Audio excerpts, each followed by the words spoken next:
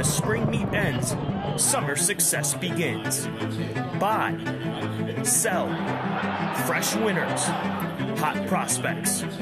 One night, one chance. Finish strong. Don't miss out. The Keeneland April Selected Horses of Racing Age Sale. Friday, April 26th.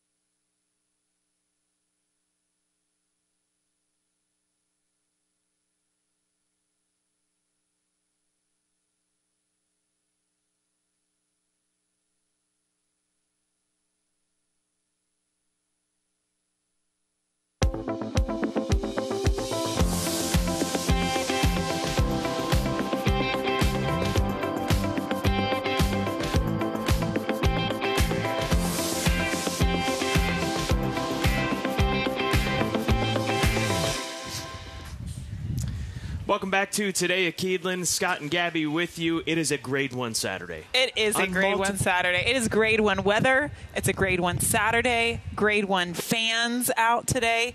Grade one wagers. Wanna keep them coming. Grade one cocktails. Grade one food. Grade one attire. You're well decked out here today for this grade one Saturday. It is a great day at Keeneland Racecourse. We're fired up. We're ready to go. The sun is shining. So the, the folks are going to be packing this place here today, as we will see I saw it seen. personally as I was walking in the gate uh, because I was running late. She backs it up. Let's uh, take a look at what's coming up today. We've got the Grade 1 Jenny Wiley, speaking of Grade 1 racing. We've got the Grade 3 Giants Causeway. That's race number seven. That is a mad dash on the turf course for those fillies. And then the Grade 3 Stone Street Lexington, the final Kentucky Derby points race of 2024 because the first Saturday in May is right around the corner. And there are horses in here that are looking for points to get into the mm-hmm. Derby, Hades being the primary one after his disappointing run in the Florida Derby. We'll talk more about that. First post time, 1 o'clock Eastern Time. So three graded stakes races today. The we'll get to the turf and main track conditions in a moment, but let's take a look back at Friday's action. It was rainy throughout most of the afternoon. It was cool. You had an off track in which these horses were competing over, and Pyrenees, the Clocker pick and Keeneland grad, delivered in race number three yesterday here at Keeneland, putting together a strong effort for Cherie DeVaux and her team. Yeah, daughter of Into Mischief absolutely loved the track conditions yesterday. Hot Beach came back at a big way in the FanDuel Limestone, was taken off the turf, run on the main track. This filly drew into the race, and she was very impressive. The one impressive thing about her performance yesterday was her gate break. She broke lengths in front of the field. How about Brad Cox for Juddmonte Farm at six, seven to one on Suncoast? Alex Axel Concepcion in the saddle. This turned out to be a heck of a payoff, given the connections behind the winner of race number eight. And I think the performance of the meet so far is master of the seas. I would agree with that. Maker's Mark Mile, the way he settled, the way that he exploded home. This was, as I said yesterday, right after this race, this is one of those races that we will look back upon when we remember Maker's Mark Mile day once we come mm-hmm. across of, of best performances that we have seen. That was breathtaking the way that he accelerated in that mile journey. It was breathtaking. Naval Power, Charlie Appleby's other horse, ran incredibly well with a horrible gate break too, and it's it's great to hear Charlie Appleby say that he's going to stay in the United States and lead up for another defending title in the Breeders' Cup Mile. Both of them. Both, Both of them, them, staying yep. here. Both geldings, so they're going to. There's a lot of these- money money to be made on the turf here That in the states. That is the truth. The trainer standings, jockey standings, Tyler Gaffalione, he's one clear of the Ortiz brothers, Junior Alvarado and uh, Johnny Velazquez round out the top five. Wesley Ward, he's two in front of Brad Cox. Bill Mott's got three. Cherie's got three. Cherie DeVaux and Kenny McPeek with three wins. So jockey trainer standings as it stand, stands coming into this Saturday, April 13th. Let's go to WKYT for this gorgeous Saturday weather. Your Keeneland forecast is going to look great as we track some sunshiny skies. Right now, what you can expect as you head out to the races is definitely great temperatures, warming up towards the mid to upper 60s by parts of the afternoon, and loads of sunshine for your Saturday ahead. Enjoy your meet. It's going to be perfect. Bottom line, enjoy it, and we know that you will because we will, along with the great racing today here at Keeneland. John Deere track conditions, main track good, turf listed as good to start the day. Something that could certainly change over the course of the afternoon with the sun and the wind that, that comes through the area. Yep, and just generally speaking, both surfaces tend to dry out really quickly. So keep that in the back of your mind, especially considering the Jenny Wiley, obviously, in the latter half of the card. Full card selections for Gabby and myself. Download the Keeneland Race Day app. How many winners did you have in a row yesterday? Five winners. The first five winners of the card, and then the last winner. Six winners. Six winners yesterday. I mean, it's nothing to write home about. They're all heavy favorites, You like can- four to five. You can only pick what they put in front of you, Gabby true. Goddard. Yep, you're right about that. It was a good day. Hopefully, we can use that momentum to today. Although I thought the early pick five, pick four sequence was so hard. I have one strong opinion in the fifth race, which we'll get to, and that's how I kind of build my day. Spaladay. Spaladay. I guess Late after Saratoga, is that what that? I would imagine Yeah. so. That, that sounds like a, a good holiday.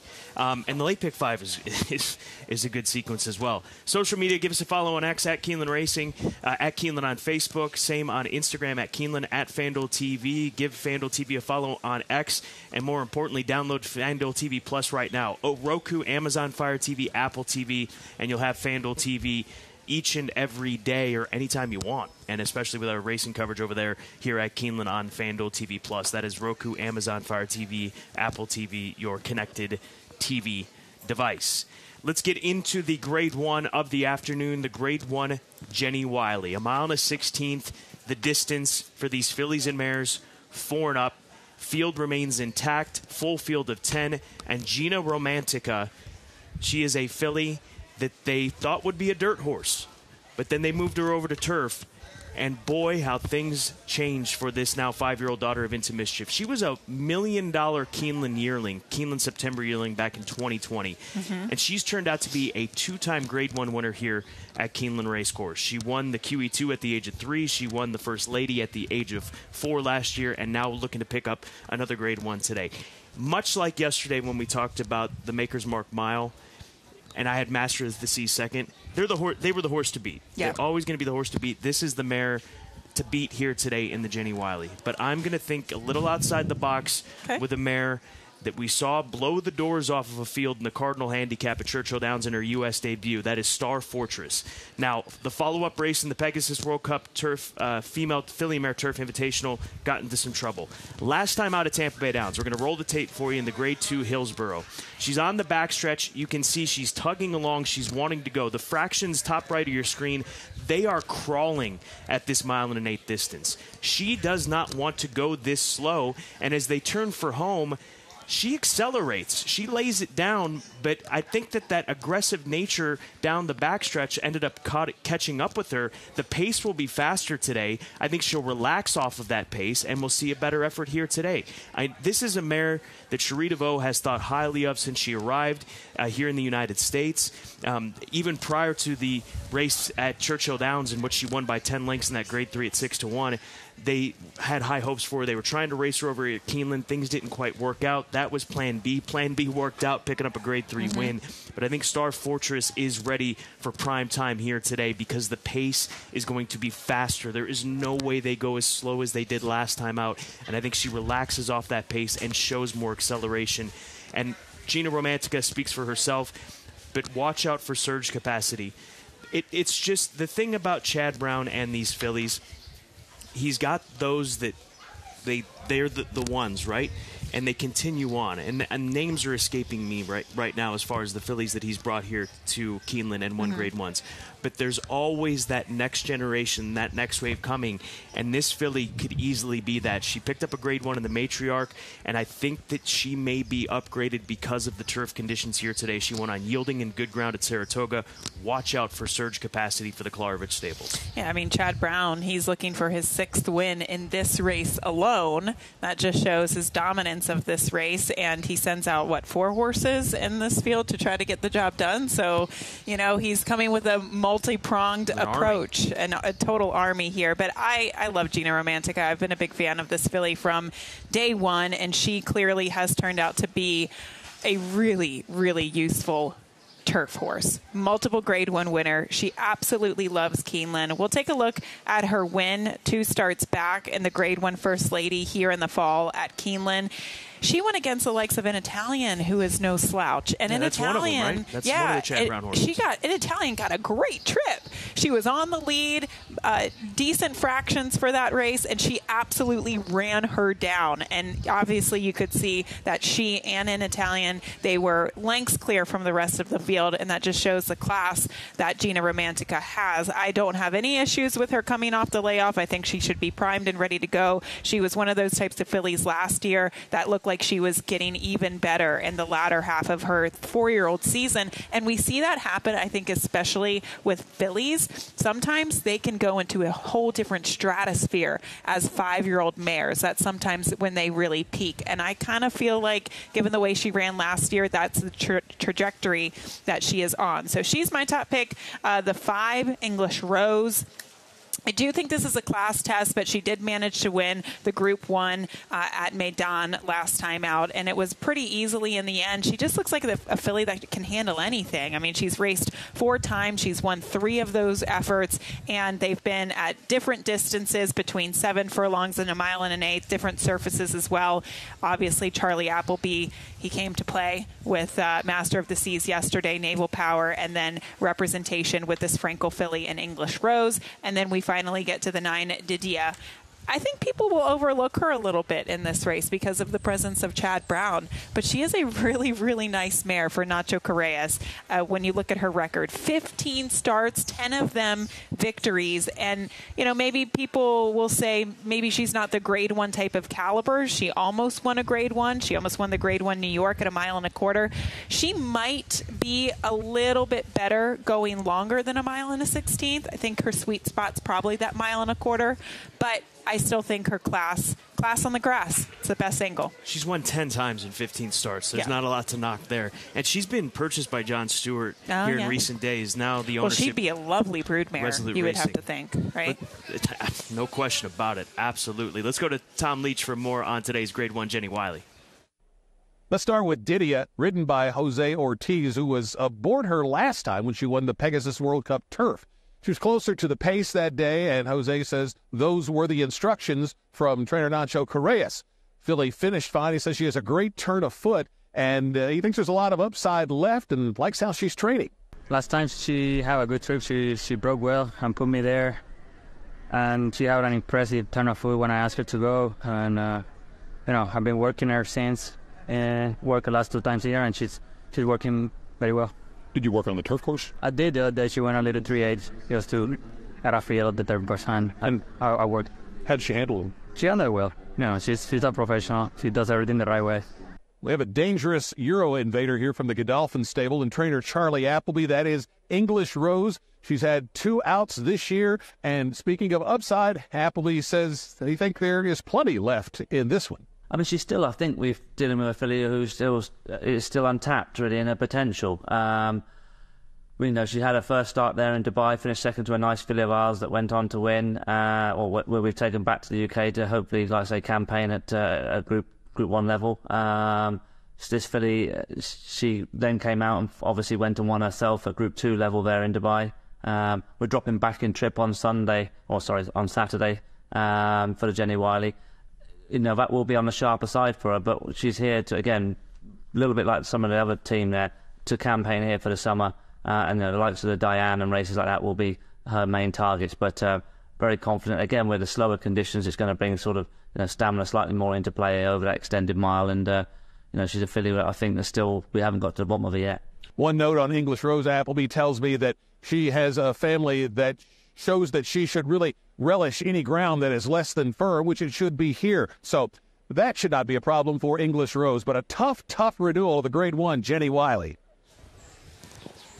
Great stuff. It is. Uh, because uh, she's obviously not only pointing this grade one, but grade ones during the summer in Saratoga watch out America with the horses that Charlie's bringing over here yep. for now and, and moving on in into the summer in places like New York. Let's move along uh, to race number 10 on the card, our co-feature of the afternoon. And this is the Grade 3 Stone Street Lexington Stakes. Straight three-year-olds, a mile and a 16th, $400,000 on the line. And also important, Kentucky Derby points on the line. The last Derby points race of 2024, as we mentioned. The Wine Steward, so a horse that scratched right before the Breeders' Cup Juvenile, and we have not seen him since his runner-up finish behind Locked in the Claiborne Breeders' Futurity at the age of two. It's been over six months since he's raced. That's the main question for the Wine Steward generally. I mean, just not for myself, but for everybody coming back here into this spot for trainer Mike Maker. I go to the number eight horse Encino for Brad Cox. He was entered in last week's Grade 1 Toyota Bluegrass, drew wide. They opted to scratch out of there and focus on the Stonestreet Lexington. And in this race, the John Battaglia Memorial at Turfway Park on March 4 or March 2nd, he beats Epic Ride. Epic Ride was third in the Toyota Bluegrass, so don't lose track of that. Here's a horse that has gotten better as he's been campaigned. He's improved every step of the way. He's bred for dirt. He's by Nyquist out of a Bernardini First Dam. And as you'll you'll get more on this horse in the clock report. He's been working in company with a pretty stout horse of Brad Cox's. I go to Encino here, five to one. I wouldn't be shocked if he goes off as the favorite in this race with the questions I think most are going to have with the Wine Steward on the comeback. Mm-hmm. The number five horse, uh, Hades, blinkers being added. He needs to go he he needs to show up today if if he's going to get into the Kentucky Derby because he's got 30 points right now and he sits at 24. He needs to win or finish second for to get into the Kentucky Derby. But Joe Orseno saying he's been wanting to add blinkers for a while, but it was working, so he couldn't make yeah. the move. But he gets blinkers today, and then the outside horse, Lucky Jeremy, who I know you like. I mean, he comes out of a synthetic race. He's going to be better on dirt. He was third behind Stronghold, who won the Santa Anita Derby, and a lot of luck, who came out of that race and won the Mine That Bird Derby. This is referencing the Grade 3 Sunland Derby, just mm-hmm. two starts back in February. And I think, you know, when we're focusing on our Derby picks eventually, I think people will maybe poo poo the Santa Anita Derby just because of Stronghold. He won the Sunland Park Derby, but I actually think it's going to turn out to be. California is always very strong every single year, and I think you have to respect it once again this year. So he lost to Stronghold, who would come back to win the Santa Anita Derby, and he set the pace in that race, and it wasn't a slow pace. I like to see horses who can set quick paces and keep on keeping on. Thought it was a great effort, especially considering considering that he stretched out from the mile to the mile and a 16th for the first time. We'll take a look at the Sunland Park Derby on top of that, a lot of luck was in that race. He would become a next out winner. So it has been a very productive race in terms of the top two finishers and where they have gone on since then. Uh, Jeff Ruby Stakes, last time out, I think I can give him the benefit of the doubt. Number one, because he went against Endlessly, who won by four lengths. He just dominated that group.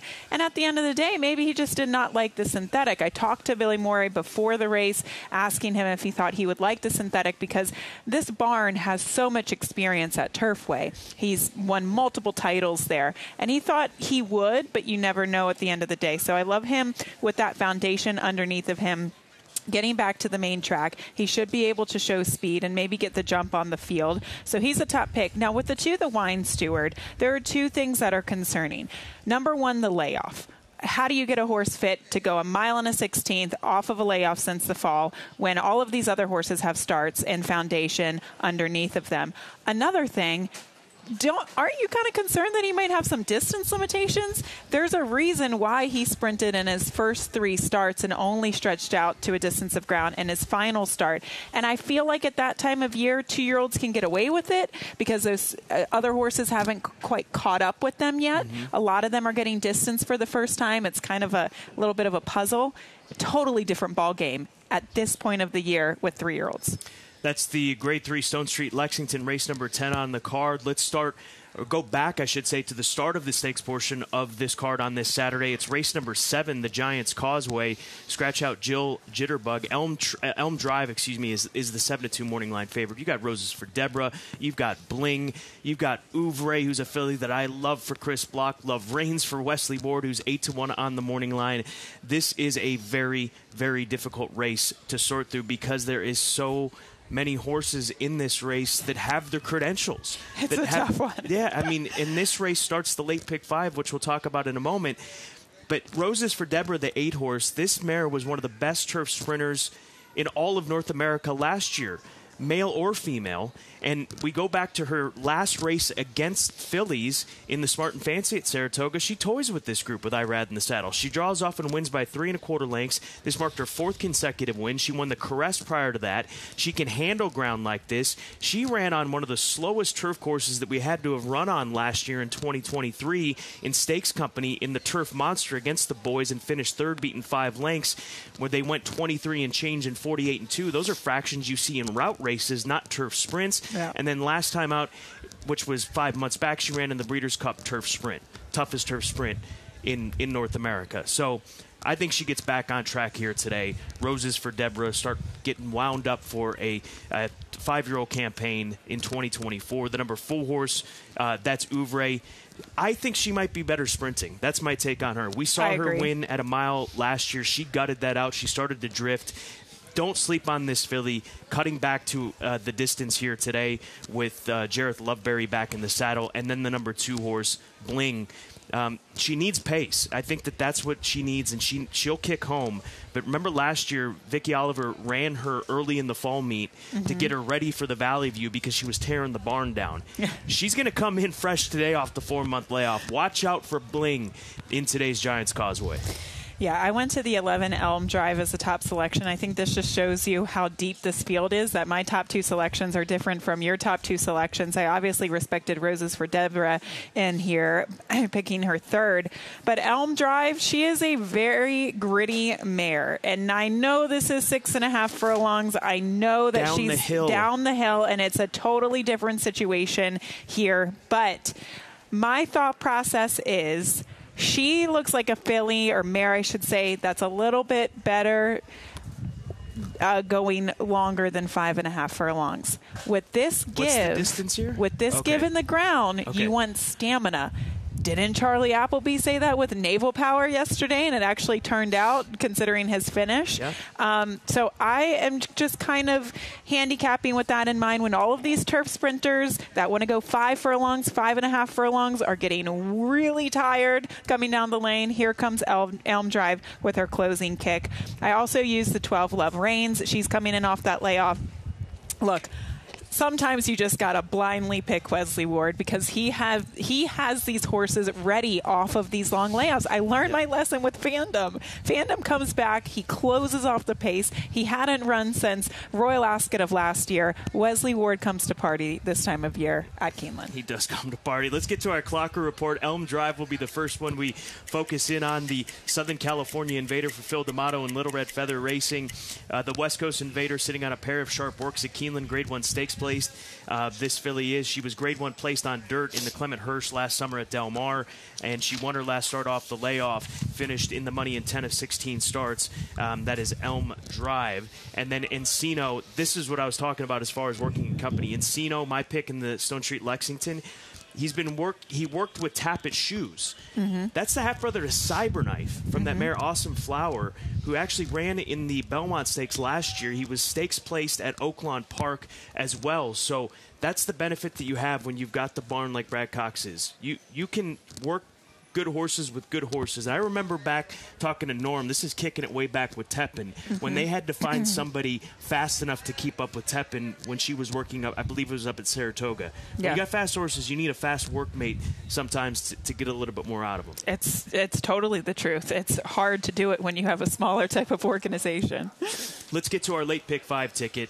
Now there was a bit of uh, controversy when it came to this because I wanted to spend like 270 bucks, but Yeah. Gabby went budget. My thought process for on air tickets.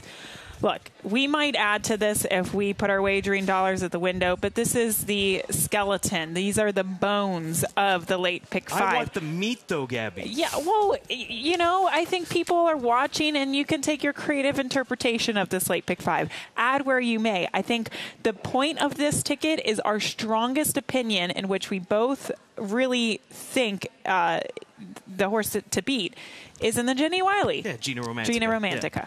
Add in race number seven. I think that that's a fair point. Race number eight, it's a third level allowance race. One, two, and five, the idea there. I like Giant Game, but Transect and Frosted Departure and Brigadier General. Don't sleep on Bigger, Brigadier General, in my opinion, in the eighth race. Gina Romantica speaks for herself.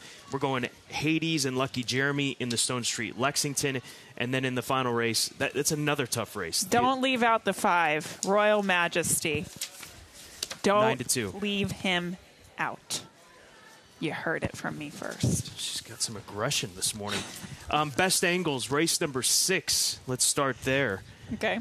As we'll move to this best angles segment, musical mischief. Just go from the outside. That's the idea with this Michael McCarthy trainee. She blew the doors off of a group in allowance company at Churchill Downs back in late November, and she was able to win this race by 11 legs. Now, granted, it was an off the turf race, but she had won prior to that on dirt. She got grade one placing in the American Oaks at Santa Anita on turf, and then last time out, she she just was in too tough. Desert Dawn's a really nice filly for Phil D'Amato. There's going to be so much attention on Julia Shining, but Julia mm-hmm. Shining is going to be playing catch up, and this is a mile and a 16th first wire finish. turn her loose on the outside. Let her go. She's going to do it. In my opinion, I'm going with musical mischief in race number six. I'm just here for the sound effects. Choo, choo. All right, let's choo, choo. back to race five. Maiden special weight. Say it with me now. Spaladay. Do you like this horse too? I do. Okay. This is a setup race. Look, this race right this here. is we're a showing. setup race. Look at the way this filly ran. She has to circle the entire field. She's about I don't know eight wide at this point under Tyler Gaffalione. You can see her in the Peter Brant silks, and then she really starts to kick it into gear.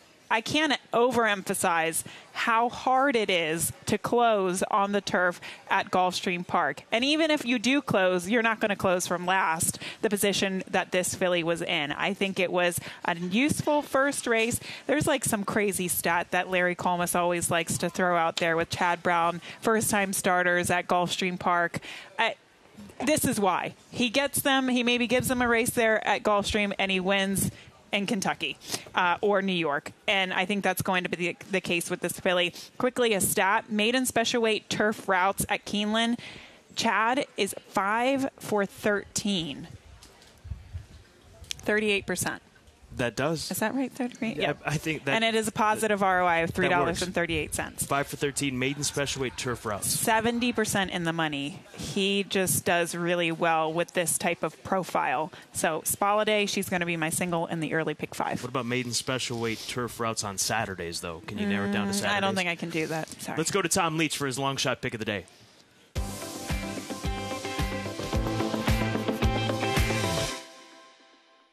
For the long shot pick on this card today, I went to the second race in the five horse Sassy Walker. The main thing is this horse was clean two starts back, showed big improvement last time. Jose Ortiz riding great in the saddle on this one. Not sure if Sassy Walker will be good enough to win, but at 10 to 1, I think this is a definite live shot to hit the board and maybe get home first. Thank you, Tom. Thank you, Gabby. Thank you, Scott. Thank you most of all for joining us on this Saturday. Enjoy a brilliant race day at Keeneland Racecourse. Weather's perfect, and the racing's even better.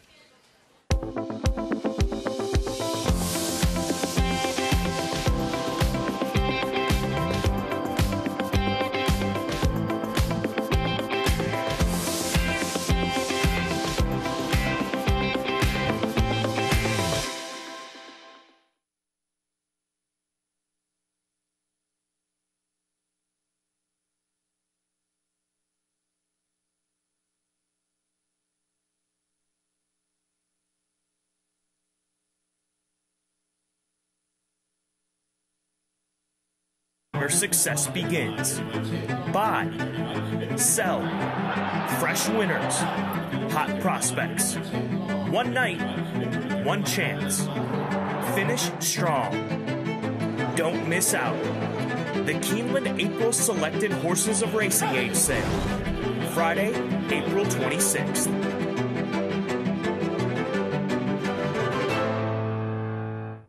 Did you know Toyota actually spends a million dollars every hour of every day on R&D? That's in addition to a $39 billion investment to design and build vehicles in the USA. Made in America means something to Toyota, like over 170,000 jobs and over 32 million Toyotas built right here in the USA. And for over 20 years, Toyota's electrified vehicles have led the way to a better tomorrow. The more you know, the more you'll drive Toyota. Let's go places. Lady Aurelia down the centre in the white and green colours is going away at the end. Rachel's Valentina Ratzener and takes the lead.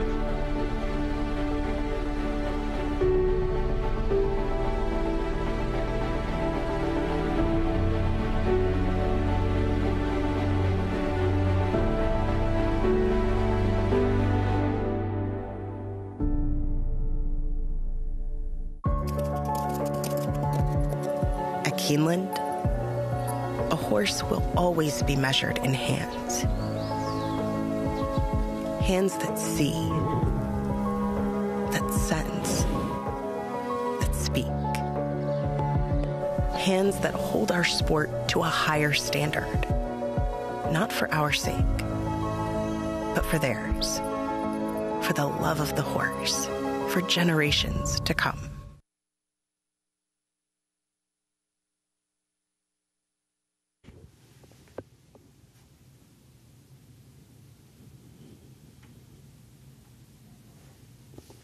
Keeneland welcomes the Acousticats to the paddock. The Acousticats are a select a cappella ensemble of 12 voices from the University of Kentucky Men's Chorus. They perform numerous concerts for university and community functions, as well as every men's chorus concert. Specializing in pop a cappella, they have recorded two albums and are one of the university's most visible ensembles. Today, the Acousticats will first present our state song, My Old Kentucky Home. The sun shines bright on my old Kentucky home. Tis summer, the people are gay.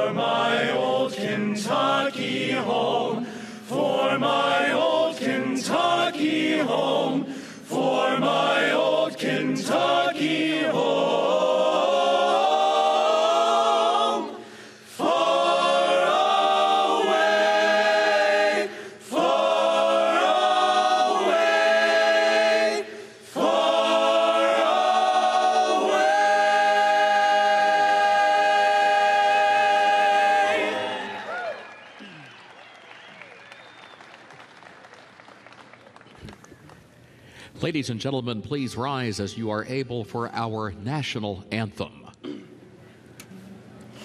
Oh, say, can you see by the dawn's early light what so proudly we hailed at the twilight's last gleaming, whose broad stripes and bright stars through the perilous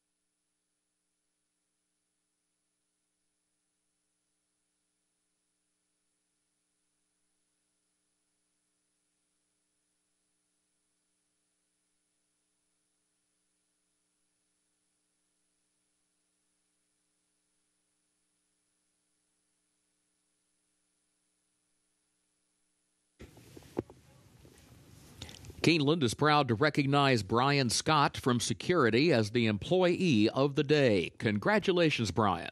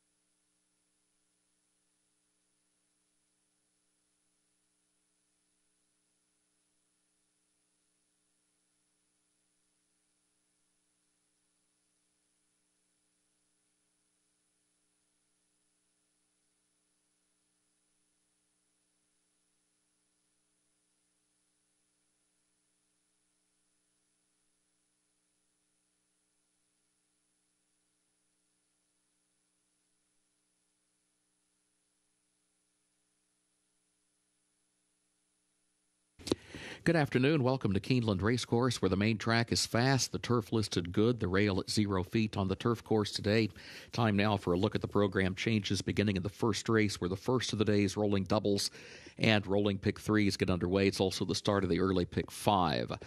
In the opener today, scratch number six, Bainbridge Dancer. Again, scratch number six, Bainbridge Dancer.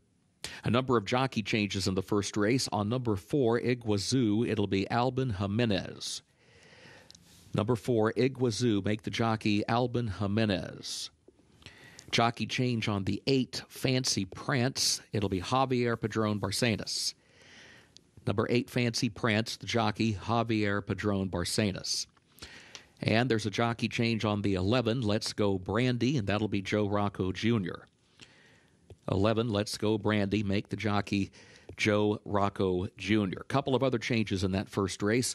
There's an overweight, number one, Gloriette, the jockey, one pound over.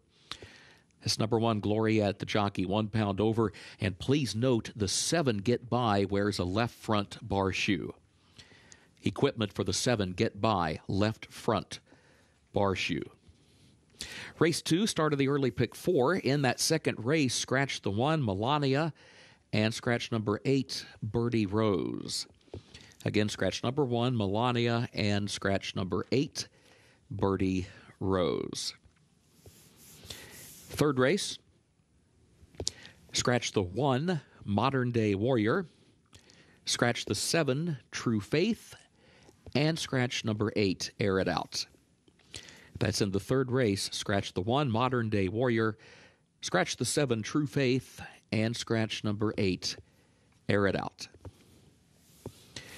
Fourth race includes not only a double and a pick three, but another pick four begins in that fourth event. In race four, scratch the seven, Bexter. That's in the fourth race, scratch number seven, Bexter. Please note there's a jockey change on the one, Brody, and that'll be Gabriel Lagunas. Number one, Brody. The jockey has been changed to Gabriel Lagunas. Race 5, take out the also eligibles 13 through 16. That's race 5, take out the also eligibles 13 through 16. They did not draw into the race. Sixth race, start of the pick six, no carryover. In that sixth race, scratch number three, Joke CC. That's in the sixth race, scratch number three, Joke CC. Seventh race, start of the late pick five. It's also the start of the Keeneland Turf pick three, made up of races seven, nine, and 11. In that seventh race, scratch number three, Jill Jitterbug.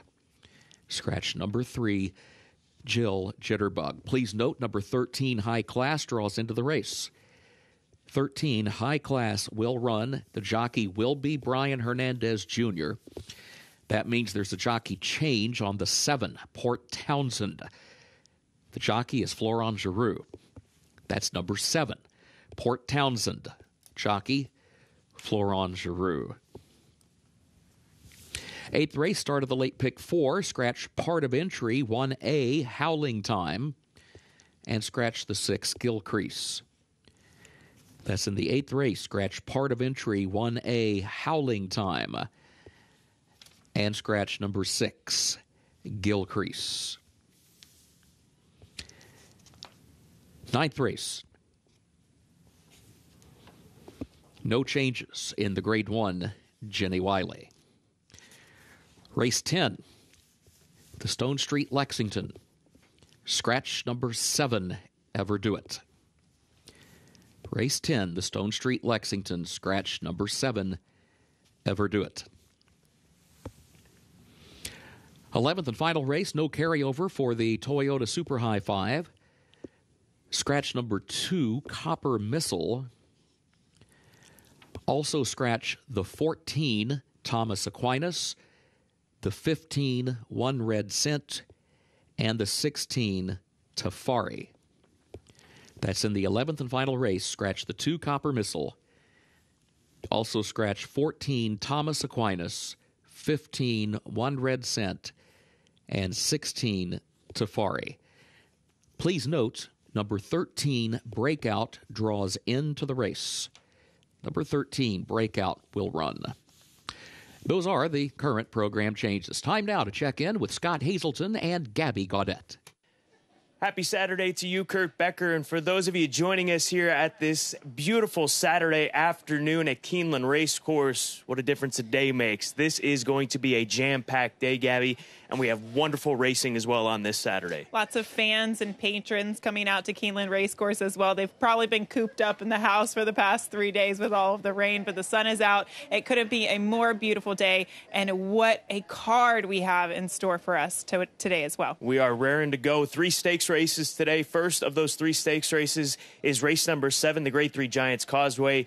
That is a very tough turf sprint. The grade one, Jenny Wiley, is race number nine, and then the Stonestreet Lexington is race number 10, our grade three. But the grade one, Jenny Wiley, is a filly, features a filly by the name of Gina Romantica, who is looking for her third grade one win here at Keeneland Racecourse. That is rare air that she's trying to achieve. She loves Keeneland and she comes back here. She obviously, her last grade one win was actually right here at Keeneland in the grade one First Lady. She did take on foes in the Breeders' Cup Mile and she returns for the first time since that event. She loves Keeneland. Chad Brown, her trainer, I believe he's looking for his sixth win in this race. She was a grade one one winner multiple times over, and even prior to that, a million dollar Keeneland September sale graduate.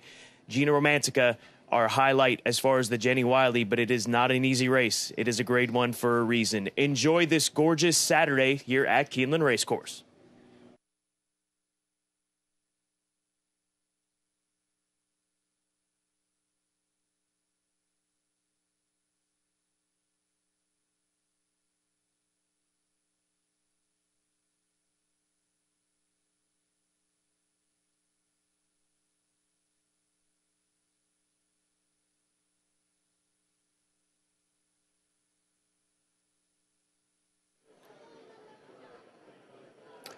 17 minutes away from the opener as the main track now listed as fast. Make note of that. Main track is fast here at Keeneland Racecourse. Let's go, Brandy. The 11 horse is 4 to 1.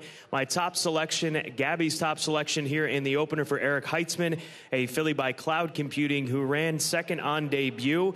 She hopped at the start. She still was able to establish a good position in that sprint, going six furlongs at Fairgrounds, and she'll be going five and a half here today. I think she's going to go from the outside post and I think she's got a big opportunity to spring a very mild upset if she holds at four to one, which I would expect will be about the region that we get as far as the price is concerned on Let's Go Brandy. I like this filly. Gabby likes this filly. And you got to like the price on this cloud computing filly. Joe Rocco Jr., that is the rider now, rider change on Let's Go Brandy, as Kurt Becker just announced. The number three horse, that is Missile for Eddie Kenneally. She's the two to one favorite right now for Eddie Kenneally and Joseph Sutton. Luis Saez gets the opportunity to ride this Bolt D'Oro filly. She dropped in for 20 last time out and ran, ran one of her better races to date. This is a filly we saw a year ago, debuted here at Keeneland at the age of two, finishing fourth. Then she just could not hang in those maiden special weight races at Churchill and Fairgrounds.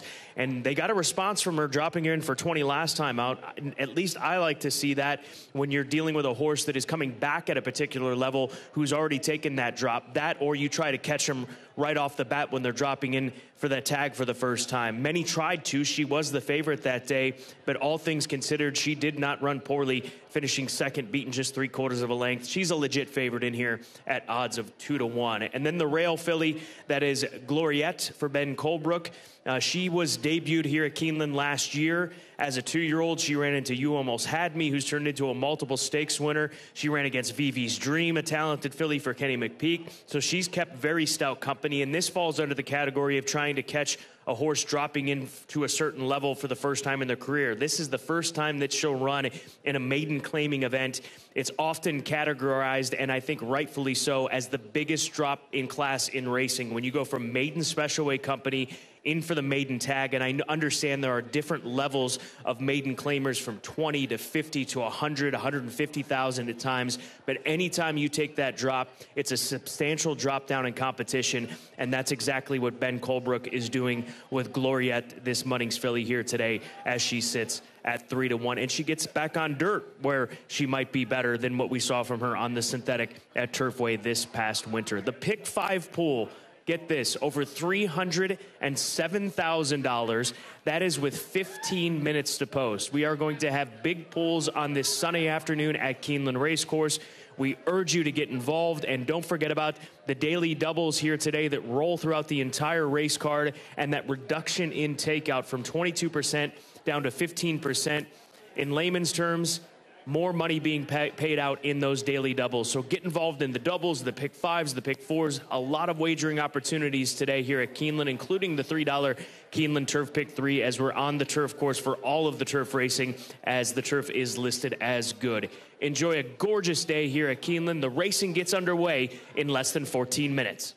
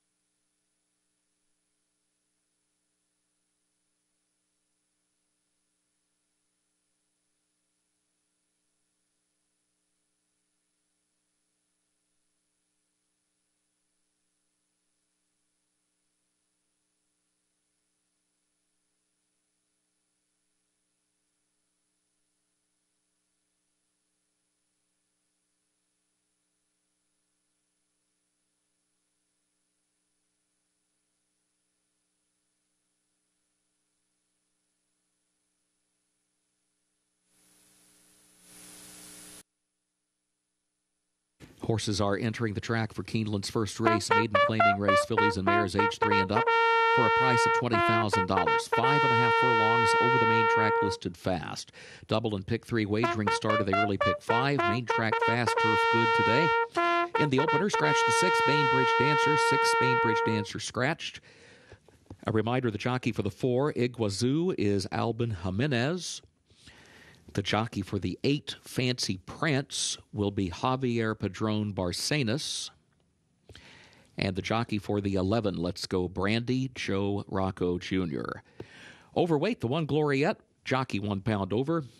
Equipment for the seven, get by, left front bar shoe. Post time, seven minutes.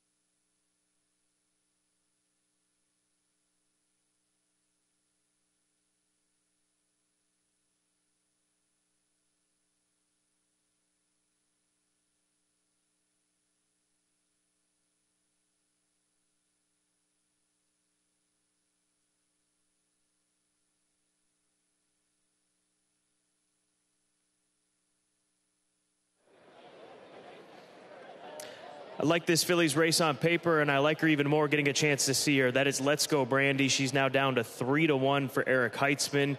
A well turned out filly, dappled as much as any of these horses in this race. Three to one on the board. Let's see if she can get turned loose from the outside draw. I think she's in a perfect situation, a perfect group in order to break her maiden in start two of her career with Joe Rocco Jr. aboard. Three to one. I'll take it all day here in the opener with coming up in less than five minutes time. And one of the long shots in here that I was drawn to, the first time starter Glamorous. Not a bad looking daughter of Palace Malice out of that first dam marvelous daughter of Pioneer of the Nile. She's a half sister to a couple of winners. Obviously a late start to her career. You typically don't see many horses, not saying it doesn't happen a lot, but it doesn't happen often where horses are debuted at the age of four. But nonetheless, here she is for trainer Israel Ace Acevedo and owner Julie Knott. Andres Calleja uh, referred to that big upset that he pulled on Sunday in that two year old race. He will ride hard, we know it, but she is not a bad looking filly. Glamorous, the number 12 at 28 to 1 for what it's worth. The pick five pull is worth getting involved. It is $434,000. We'll be talking about a half a million plus pool once the late money comes in. And there is still five minutes till post time for the first of 11 races on this gorgeous Saturday at Keeneland Racecourse. Best of luck.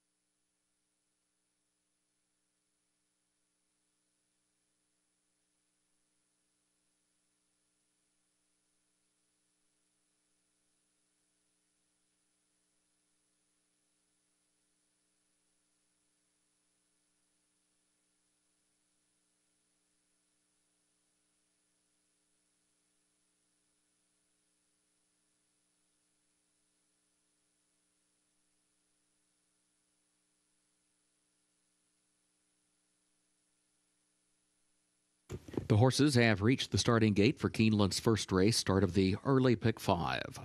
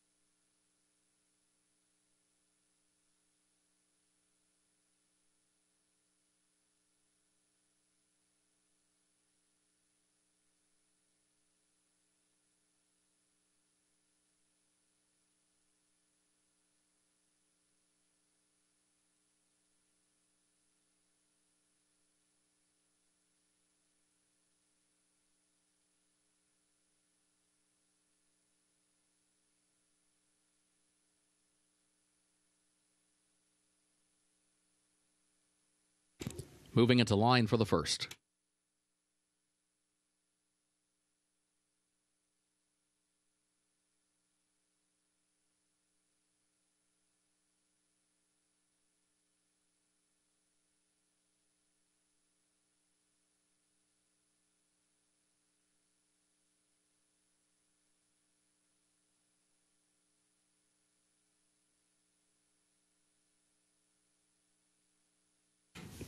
Stuck on You comes forward, along with Andrea Beach. Let's Go Brandy moves into line.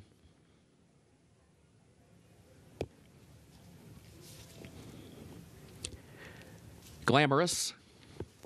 Last to load goes in at the post. And they're off. There goes Gloriette right out for the lead. Stuck on you and Let's Go Brandy there from the far outside. Get by is away running in fourth. Vacation fifth. Missile between horses down toward the inside in the sixth position. Fancy Prance moves up from seventh. Iguazu is eighth onto the far turn. Glamorous will be wide near the back of the pack in ninth. Followed by Andrea Beach, who's back toward the inside in tenth. And Mikey's Magic Gal, last of the 11. 22.2 seconds was the time for the opening quarter. It is Gloriette who leads, and Gloriette leads it by two lengths. Stuck on you is second as they come toward the quarter pole. Missile tries to move up toward the inside, tries to get engaged here, is still third, now taking second. And then Let's Go Brandy is fourth behind that one. They've got to catch Gloriette, who's opened up on a six length lead, coming to the eighth pole. Gloriette by seven. Let's Go Brandy to the outside is challenging Missile for the second spot. Stuck on you has lost ground, drops back to fourth, 16th pole. Gloriette, Luan Machado. The race is over. Gloriette has won it. The battle does continue for second. Let's go. Brandy gets up to the outside and takes that second spot on the line from Missile, who is home third. Going to be close for fourth, either Andrea Beach or Mikey's Magic Gal for fourth.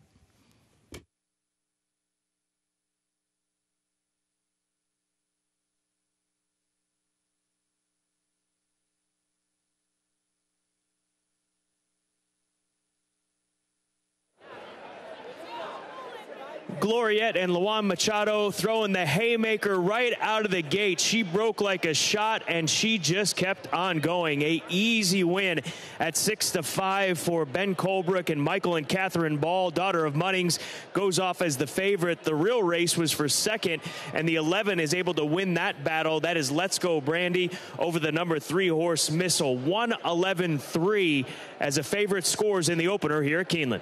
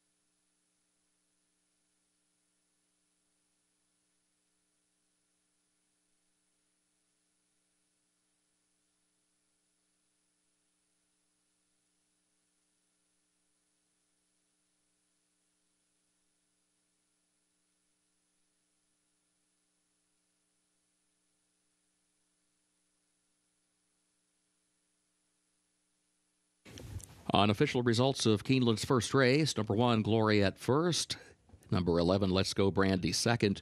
Number three, Missile third. And number five, Andrea Beach fourth. 111.35, unofficial.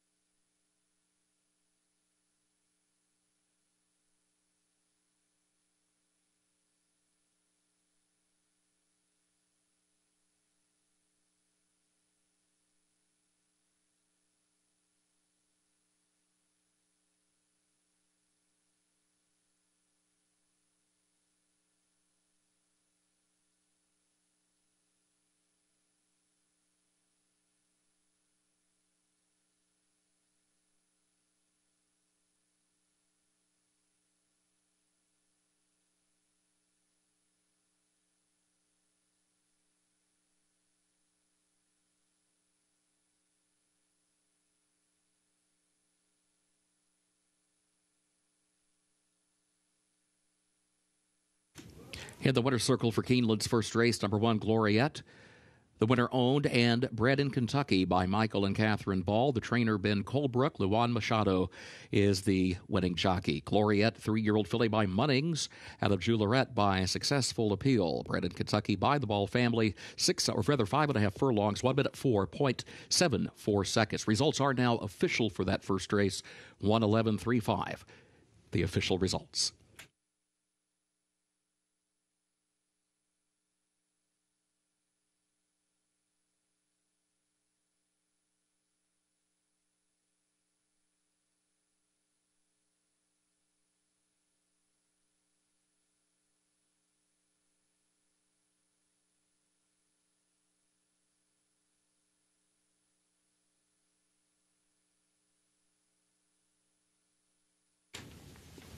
Keeneland's second race upcoming. Doubled and pick three wagering started the early pick four. Scratch the one, Melania, and also scratch number eight, Birdie Rose. Main track is fast, turf listed good.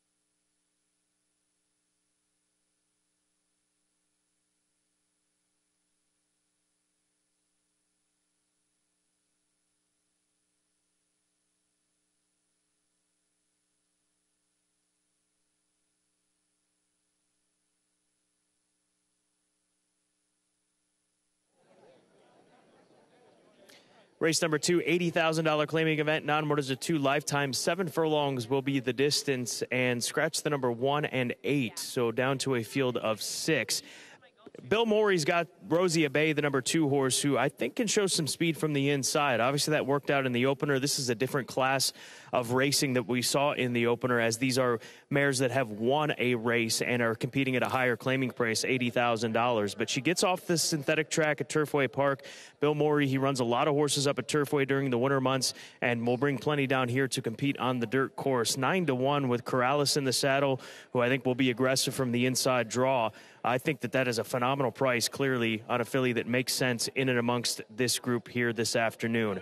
The number five horse is touting herself down here in the paddock. That is Sassy Walker. Uh, she's on her toes right now as she walks around and full of energy with two handlers with her. But uh, she is a filly that came through with a win last time out for Maiden 50. First off the claim for Jesus Esquivel and T and E Racing, and they gave her a little bit of time off from that uh, claiming event to ready for that race at the end of March, about a month and a half. And she really did respond on the synthetic. She looks gorgeous down here. Watching her parade around the paddock.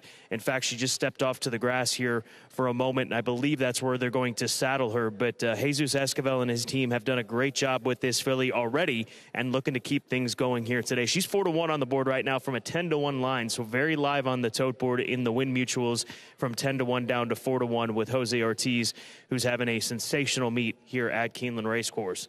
And then the number six horse, St. Benedict's Prep for Ben Colebrook, as Ben Colebrook looks to sweep the early daily double along with rider Luan Machado.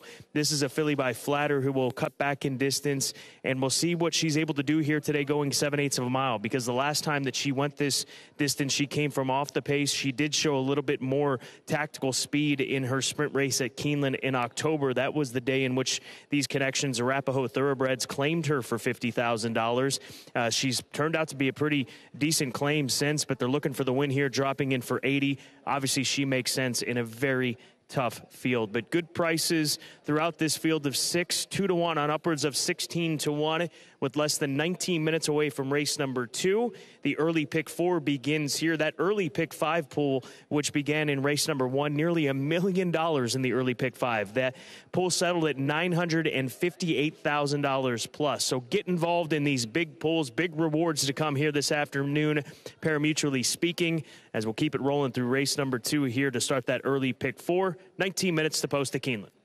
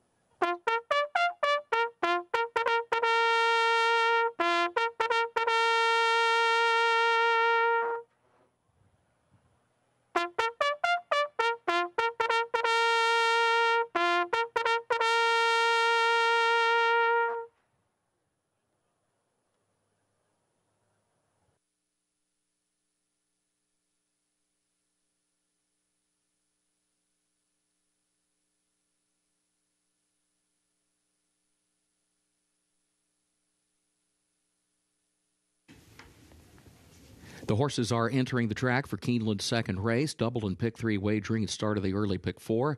Scratch number one, Melania. Also scratch number eight, Birdie Rose. $80,000, the claiming price for these fillies and mares age three and up, seven furlongs over the fast main track. Post time at seven minutes.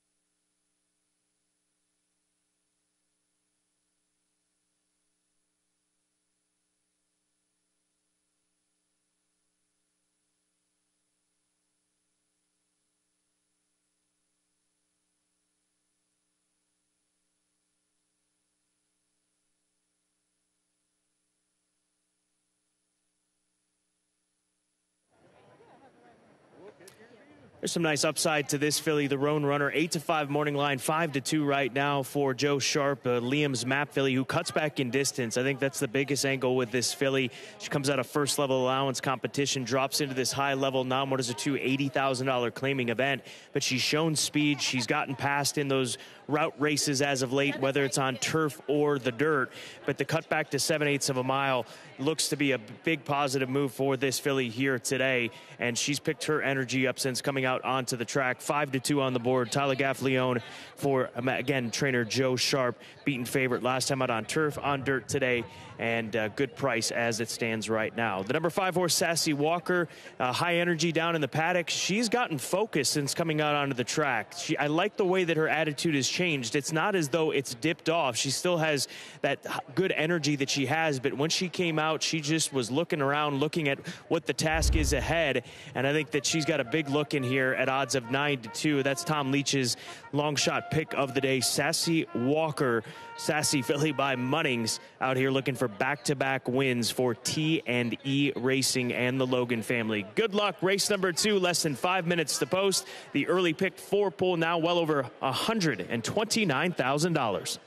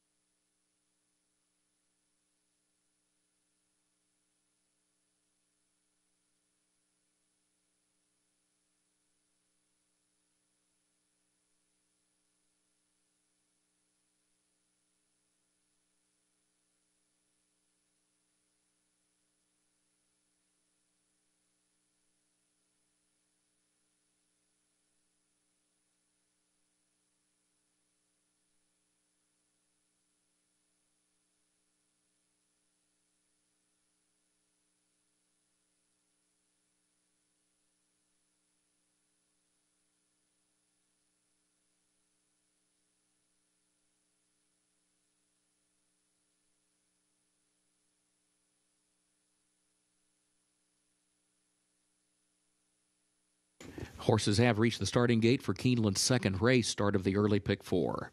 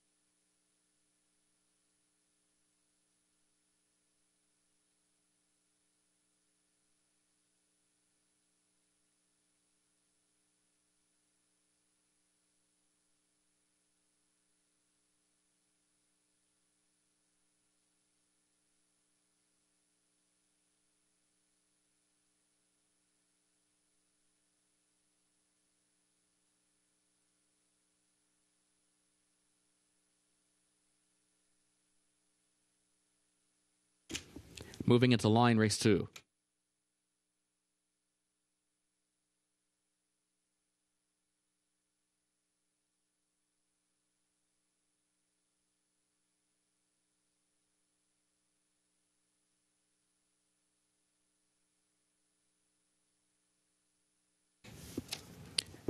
Liam's champ comes forward, three left to load.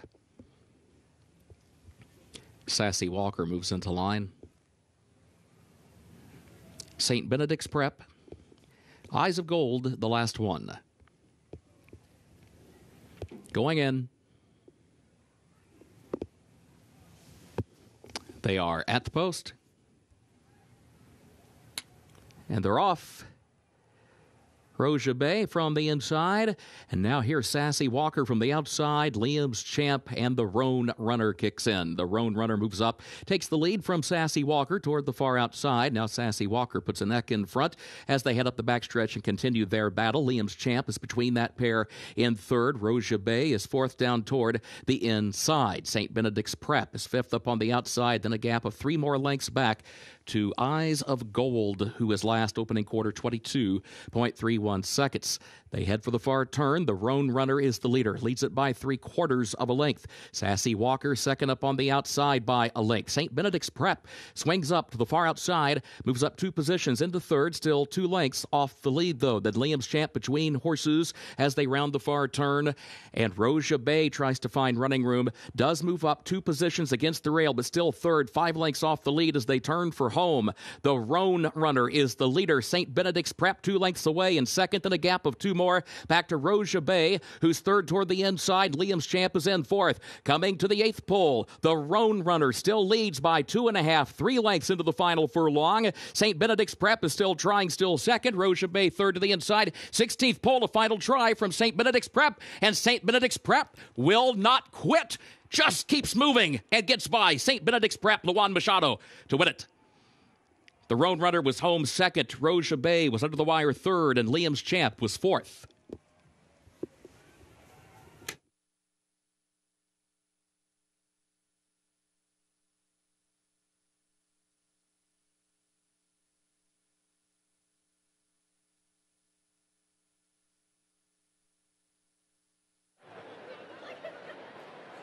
It's a Colebrook Machado early daily double on this Saturday at Keeneland Racecourse. With a 16th of a mile, she was within striking range, but she had some work to do. St. Benedict's prep, but Luan Machado kept after, kept to task as she did, and she's able to wear down the speed of the number three horse, who ends up finishing second. The Roan Runner back in third. The number two horse that is Rosia Bay, who rallied up to get that third money. But Colebrook rolling today to kick off the double along with Luan Machado. Nine to five, the price on the winner, the number six horse, St. Benedict's Prep.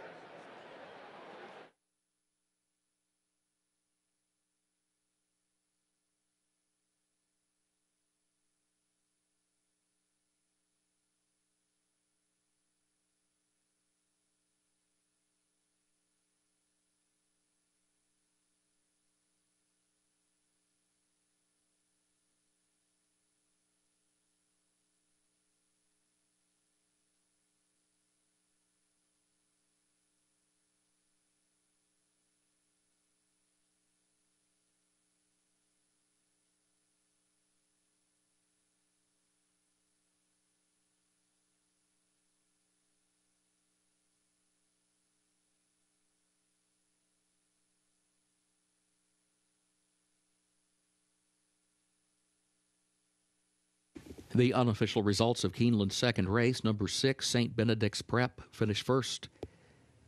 Number three, the Roan Runner, second. Number two, Roja Bay, third. Number four, Liam's Champ, fourth. 6324 unofficial.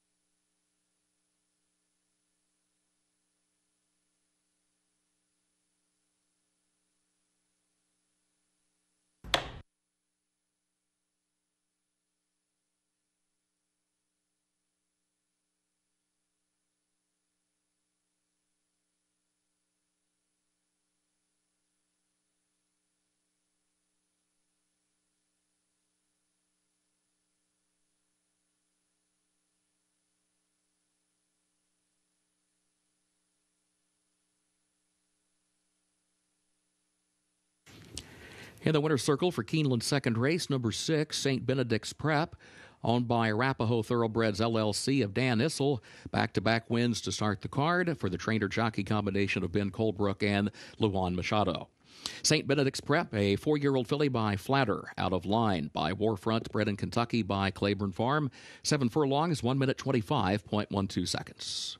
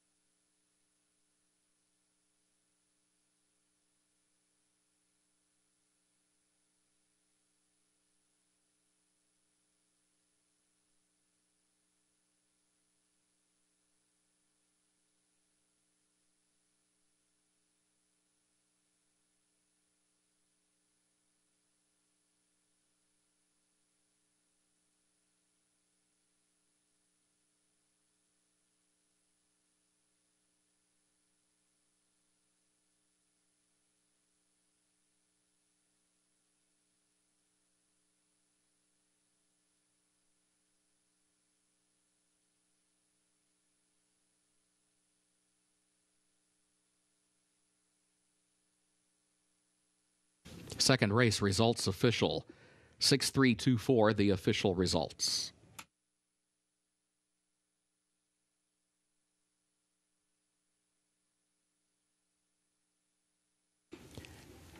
Keeneland's third race upcoming, including double and pick three wagering. Scratch number one, Modern Day Warrior. Also scratch the seven, True Faith. And scratch number eight, Air It Out. Main track is fast, turf listed good.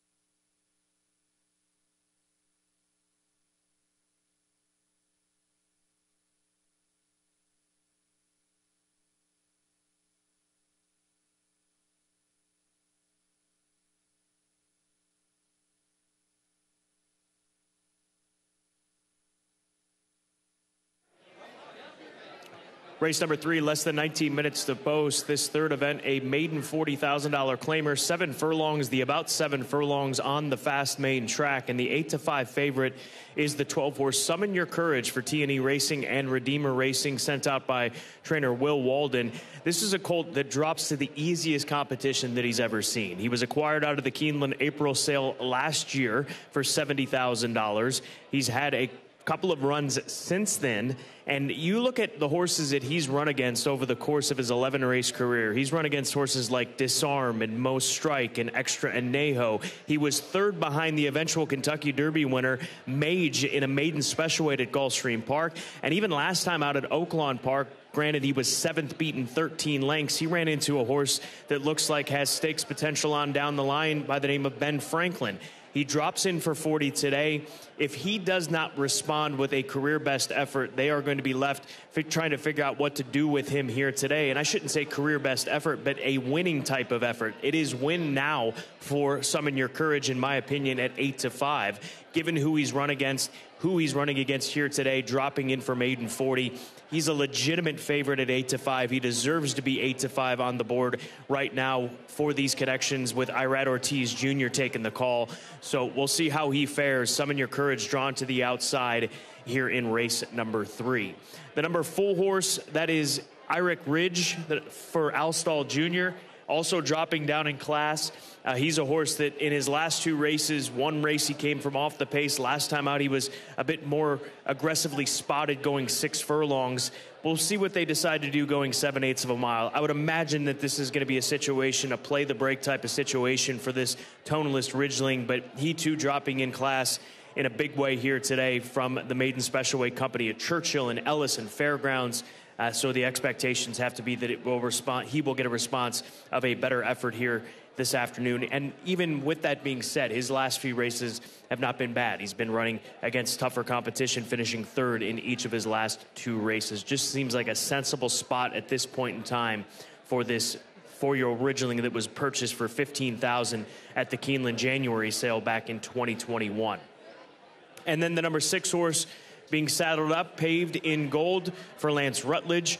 Blinkers come off this gelding. He wore blinkers in his two starts to date between Laurel and Turfway Park. Trainer Lance Rutledge has made this move with a less than a handful of horses taking blinkers off and gotten a win, one for three with a return on investment of over eight dollars. So can spring an upset in this situation. I don't know that this would be that much of an upset.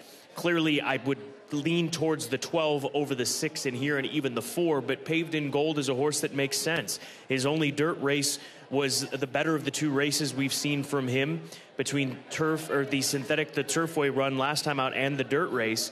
So with the blinkers coming off, Gerardo Corrales, we'll see if he's got a little bit more focus late. I would imagine that's the idea for a horse that has some speed and positional speed to be able to see those horses coming to him late in this race. Not surprised that he's being bet down to five to one right now. A son of Quality Road out of a stakes-winning first dam, Yahilwa. She was quite the runner. Uh, so so good bloodlines here for this four-year-old gelding paved in gold. Race number three coming up in less than 15 minutes start of another daily double exacta trifecta, pick three, as well as the dime superfecta in play here for race number three. Good luck.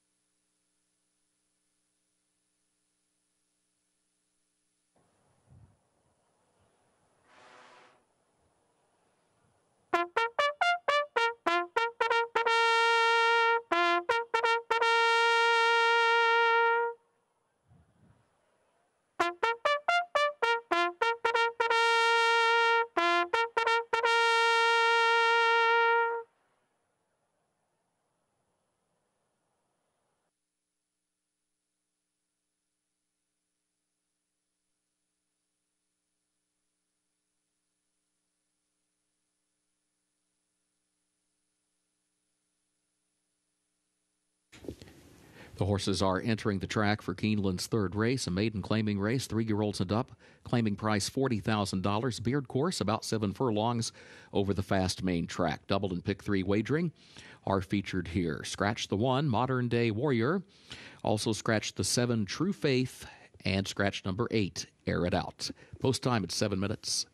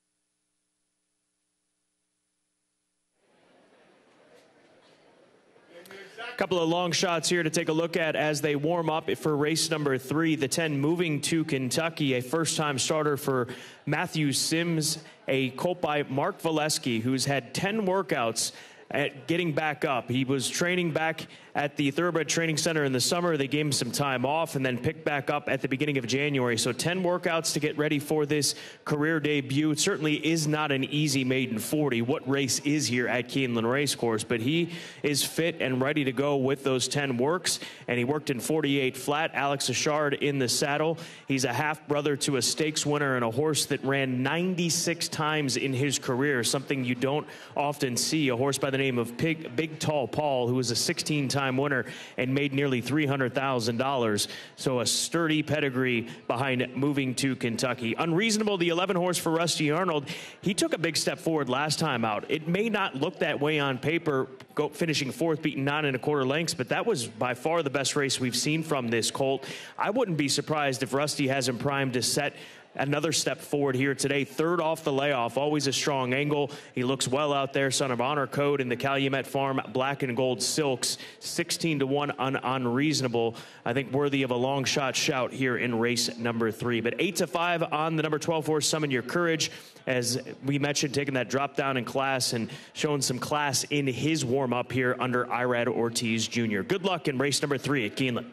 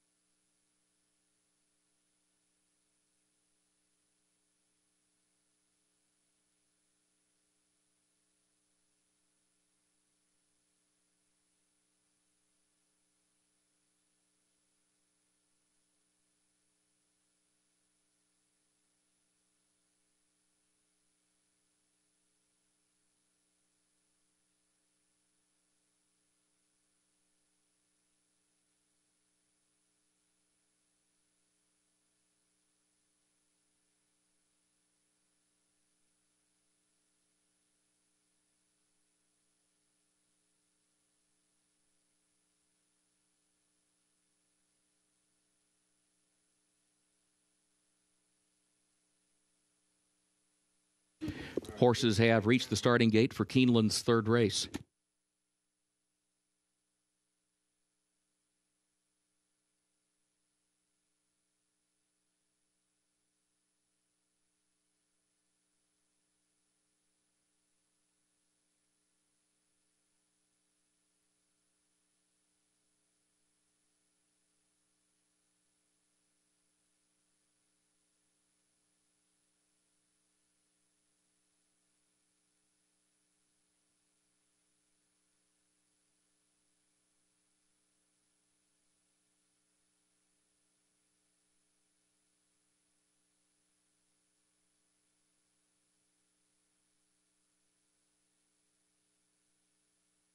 Moving into line, race three.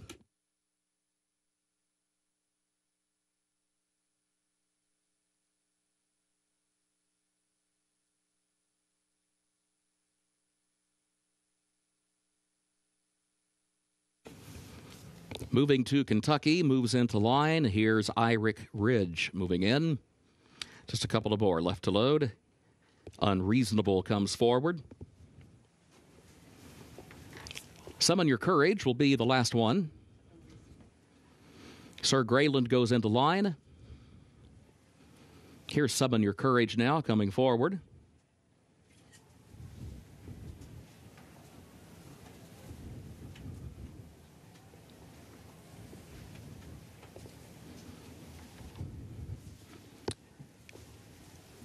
Goes in, they're at the post. And they're off. Seika Diabo is off a step slowly. Here comes Beezer out for the lead. Sir Greyland paved in gold in between that pair up close in third. And the opening stride, Summon Your Courage, moves up to the far outside. Now taking fourth, moving to Kentucky, moves with that one in fifth to the far outside. Then a gap of five more lengths back to Irick Ridge, who is sixth to the inside by just ahead. Unreasonable Trout seventh to the outside of that one as they head for the far turn. And then further back, east from west, and Zeka Diabo at the back, 22. 0.65 seconds was the time for the opening quarter. Sir Grayland against the rail leads it by a half length. Paved in gold goes second by a length. Now, Summon Your Courage is going to be wide around the far turn. Moves in the center of the track is third, still a length and a half off the lead. Moving to Kentucky is fourth, hugs the rail around the far turn. Beezer drops back, losing ground now as Irick Ridge moves by that one into fifth as they turn for home. Sir Grayland is the leader, leads it by three lengths with a quarter mile to go. Summon Your Courage trying to find more as they move off the far turn and into the stretch, but is still in second. Irick Ridge takes to the outside from third, coming past the eighth pole. Sir Greyland chased by Summon Your Courage and Irick Ridge. That pair still five lengths away as Sir Greyland strides on by the 16th pole. Irick Ridge goes to second, but Sir Greyland and Ray Gutierrez in front to win it. Irick Ridge was home second. Summon Your Courage was third, and moving to Kentucky was up for fourth.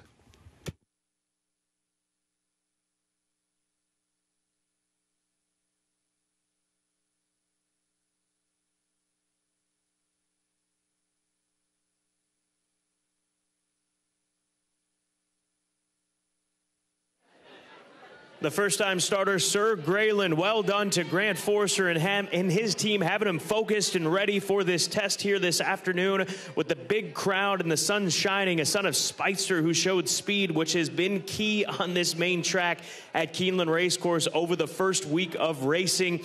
He dashes away from him at 14 to 1. A big price here in race number three. The four Irick Ridge rallies for second and the favorite had every opportunity, just flattened out some of Your Courage, checking in in third. But no doubt about Sir Greyland ready to roll here on debut, one for one to kick off his career.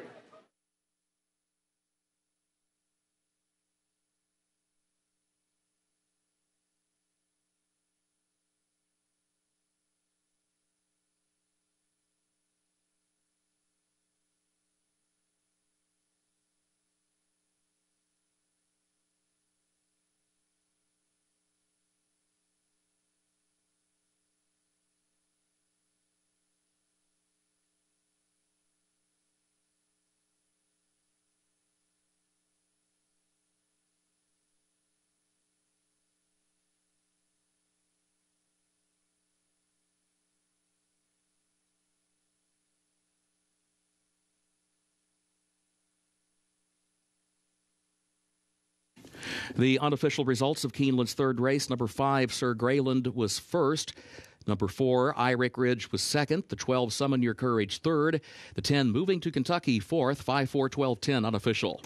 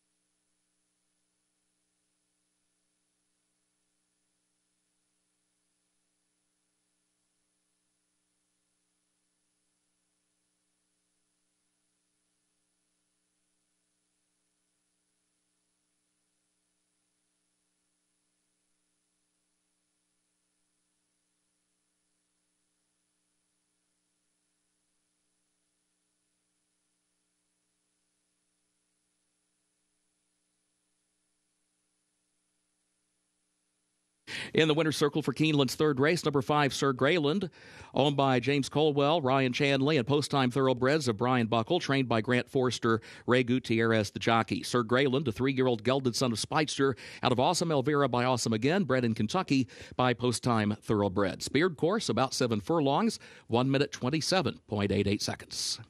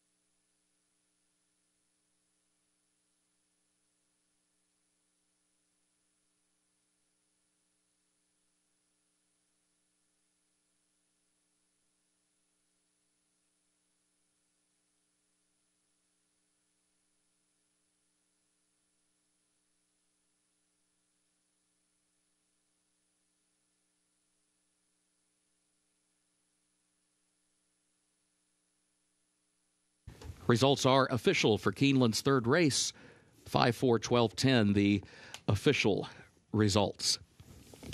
Keeneland's fourth race upcoming. This will start another pick four. Rolling doubles and pick threes also continue. Scratch the seven Bexter. Scratch the seven Bexter. Jockey for the one Brody, Gabriel Lagunas. Gabriel Lagunas rides number one Brody. Main track is fast. The turf listed good.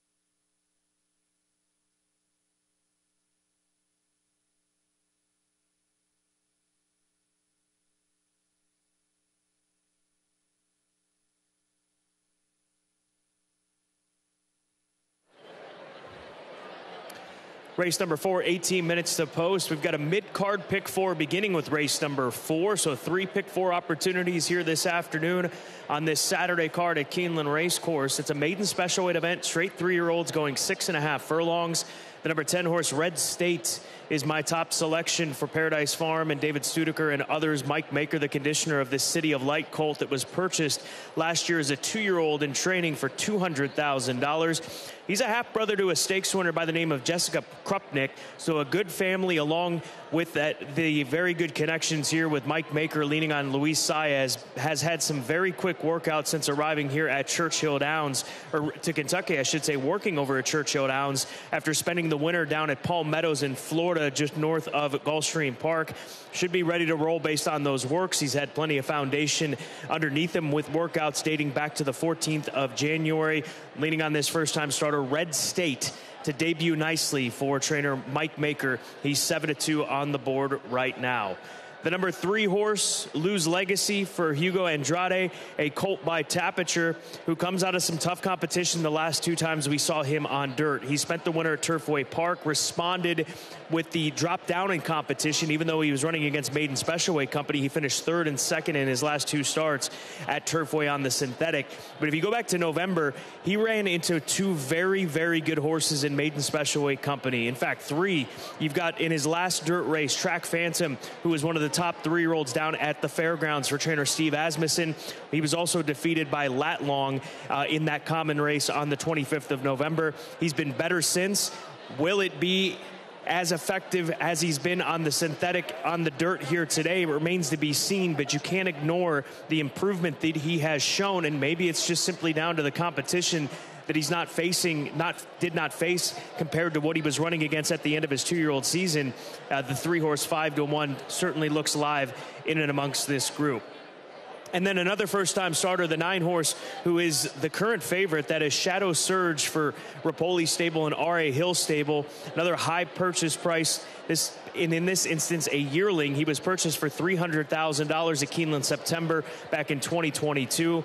George Weaver with first time starters 15%. He's a son of Speightstown going six and a half furlongs today with a violence first dam. So there is some speed pedigree there and sprint pedigree when it comes to the nine Shadow Surge, our current favorite. Taking a closer look at the 16 Idol, this will be my top selection. A colt that has a wonderful pedigree, the Stonestreet homebred. He's a three year old son of Curlin out of Teen Pauline, who was grade one place and graded stakes winner for Stonestreet. Todd Pletcher actually trained her.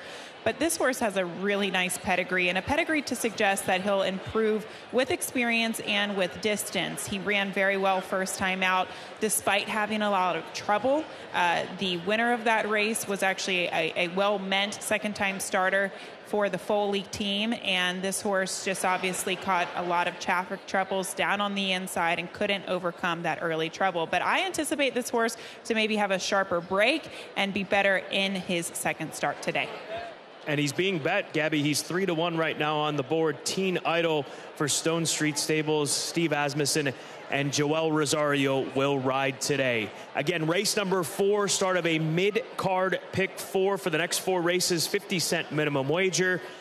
Less than 15 minutes to post before this fourth event at Keeneland.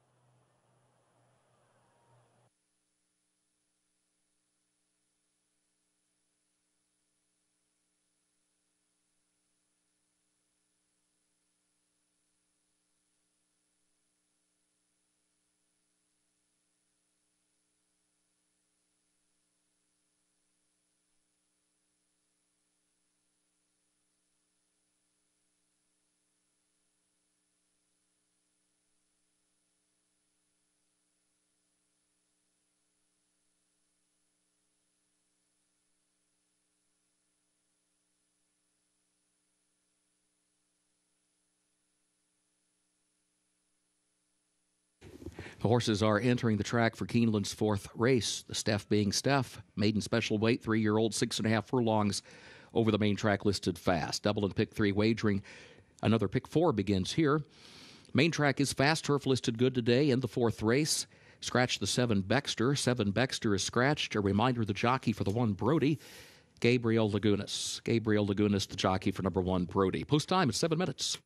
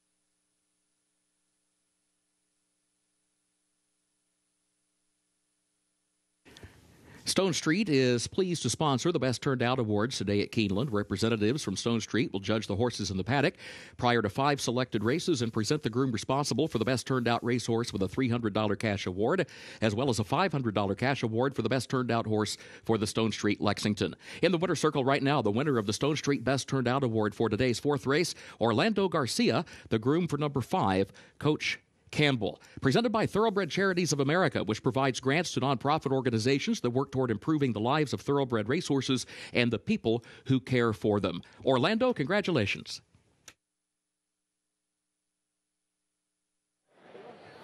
There's a look at our best turned out thanks to Stonestreet here in race number four. Coach Campbell for T-Zac Racing. One race so far in his career. Comes out of a quickly run race, and he was involved a bit early, but they got away from him. So second time out at odds of 24 to 1.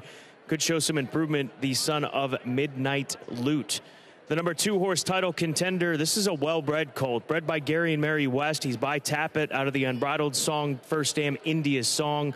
Debuted at Churchill Downs going 7 eighths of a mile and was beaten by Otto the Conqueror in late September on that card at Churchill. Otto the Conqueror later on in the season at the end of his two-year-old year would take the grade or the excuse me the featured race on closing weekend at Remington Park, the Springboard Mile, bleeding, beating Glenn Gary, who we saw pick up a stakes win back on opening weekend, just last weekend here at Keeneland Racecourse. So the one concern would be the lack of run last time out. That was on synthetic, but he's back on dirt where he appears to be better suited. But he is a good-looking colt by Tapit, a well-bred colt for Curly Heb, Ian Wilkes, and Julien Leparoux.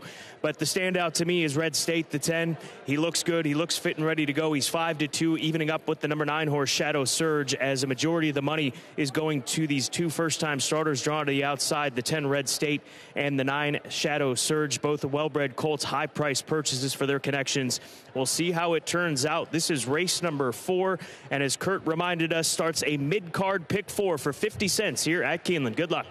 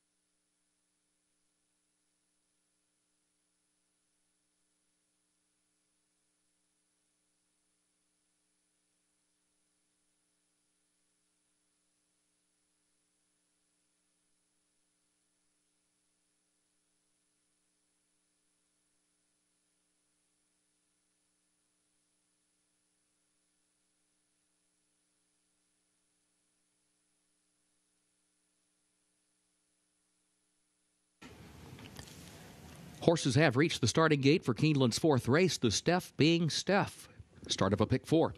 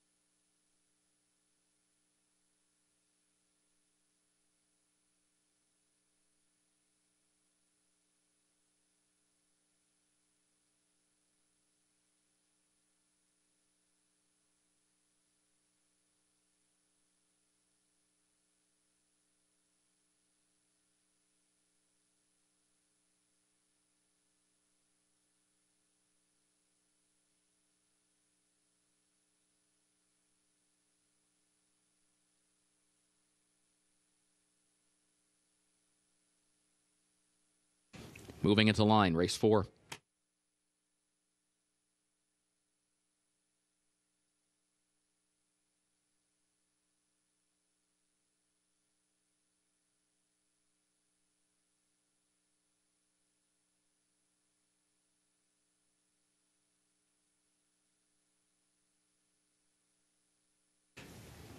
Teen Idol goes into the gate. Lou's Legacy comes forward along with Let's Bounce.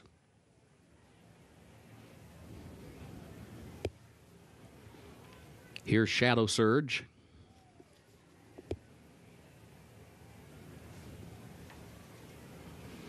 Last two moving into line. Red State will be the last one. Coming forward now. Last one going in at the post. And they're off. There's Shadow Surge, quick into stride, along with Red State. Red State, Shadow Surge come to the front. Right out of the gate, Teen Idol comes away running in third. Coach Campbell will go fourth. Let's bounce his fifth upon the outside. And then comes title contender, moves up in sixth, in between horses, fracture, seventh back toward the inside. Lou's Legacy travels in eighth. Brody wide from ninth, moves up one position from last as they head for the far turn. Up front, Red State against the rail, and Shadow Surge is right alongside, contesting the lead 22.9 seconds the time for the opening quarter. Teen Idol is third and running four lengths off the lead, placed outward from the rail. Coach Campbell fourth to the inside, and then Fracture, who's fifth in between that pair, moving up fourth, and now taking third still four lengths off the lead. They round the far turn. Red State Shadow Surge still side by side, contesting the lead just over a quarter mile to go. Fracture changing lanes, looks toward the outside third. Still four lengths off the front pair, though. Then Coach Campbell, Lose Legacy comes next, seven from the front. They turn for home. Shadow Surge and Red State going at it for the lead. Fracture third up on the outside. Lose Legacy is fourth and trying to find running room. Has to change lanes toward the outside, but the leader's moving by the eighth pole. Red State. Red State in front by five. Fracture is second. Lose Legacy third. 16th to go. Red State in front. Fracture then lose Legacy. It is Red State in front. Fracture and then lose Legacy. Red State hanging on. Red State wins at a half length. Fracture second. lose Legacy across the line in third, and then Coach Campbell fourth.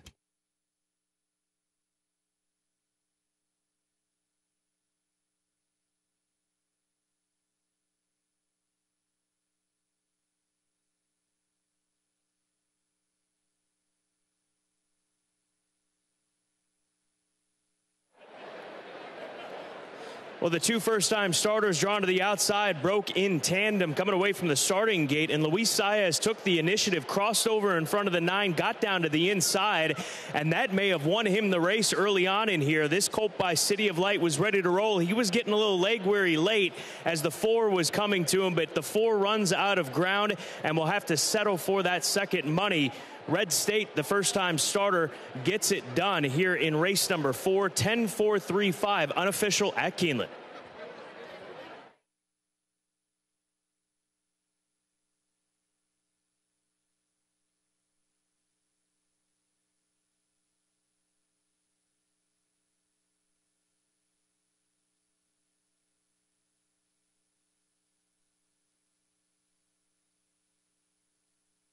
Heck Keeneland inquiry sign posted on the infield board for the fourth race. sold all tickets. 10 4 3 5, the unofficial results.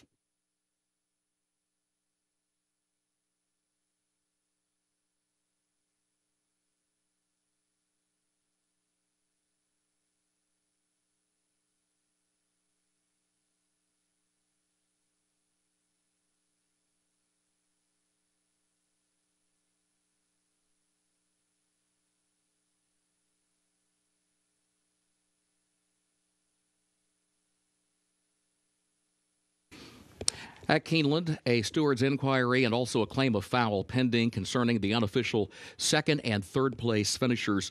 Steward's inquiry into the stretch run focuses on the unofficial runner up, number four, Fracture. In addition, claim of foul lodged by the jockey of the unofficial third place finisher, number three, Lose Legacy, against the unofficial runner up, alleging interference in the stretch. Hold all tickets.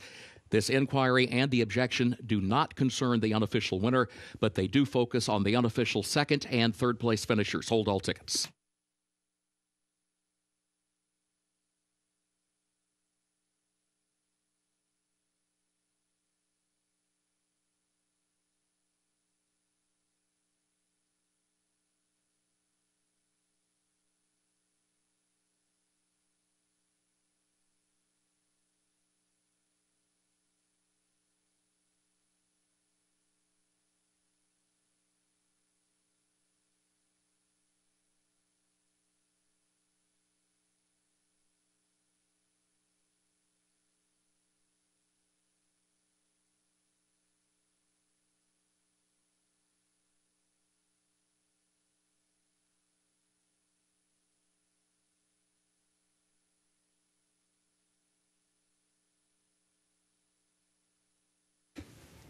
On the television monitors and video boards, the split screen with the program feed to the left, the head on view of the stretch run to the right. Again, inquiry and objection both pending concerning the unofficial second and third place finishers. 10 4 3 5, the unofficial result. Hold all tickets.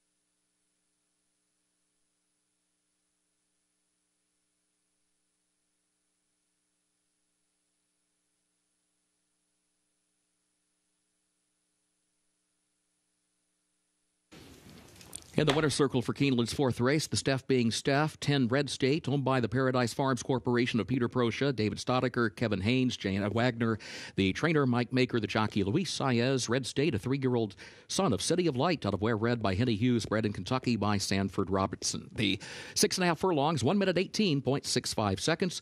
Inquiry and objection still pending concerning the unofficial second and third place finishers. Hold all tickets.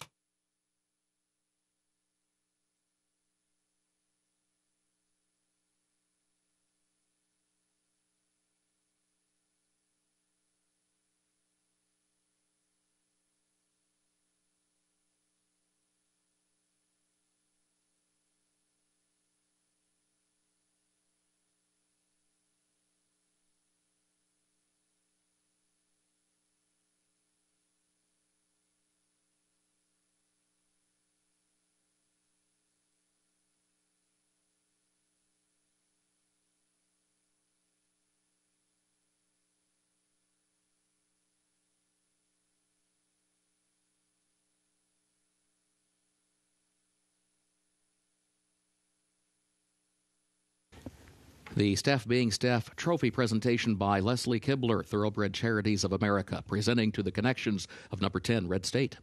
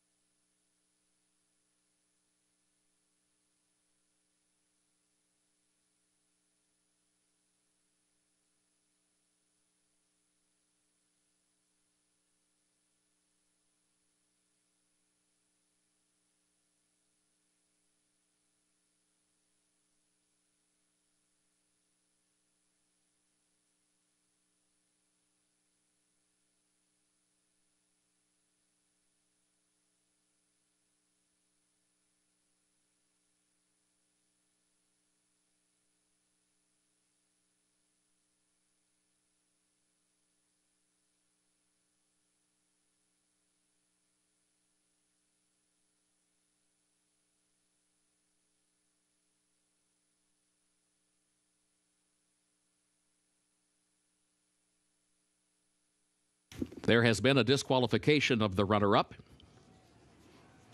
For interference in the stretch, the stewards have ruled that number four fracture, who finished second, shall be disqualified and placed fifth for interference committed against the nine Shadow Surge. As a result, the new numbers are 10 3 5 9. Split screen once again on the television monitors and video boards with the program feed and the head on view of the stretch run. Again, the stewards have ruled that number four, Fracture, who finished second, shall be disqualified and placed fifth for interference to the nine, Shadow Surge. The new numbers are 10 3 5 9.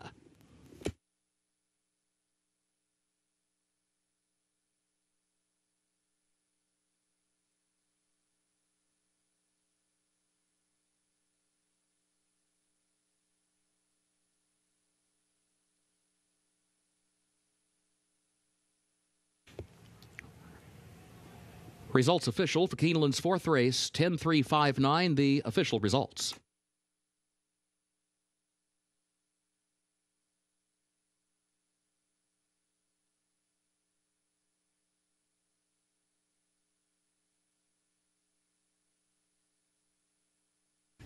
Keeneland's fifth race upcoming. The turf is listed good. The rail at zero feet today. Double and pick three wagering featured here. Take out the also eligibles 13 through 16. They did not draw into the race.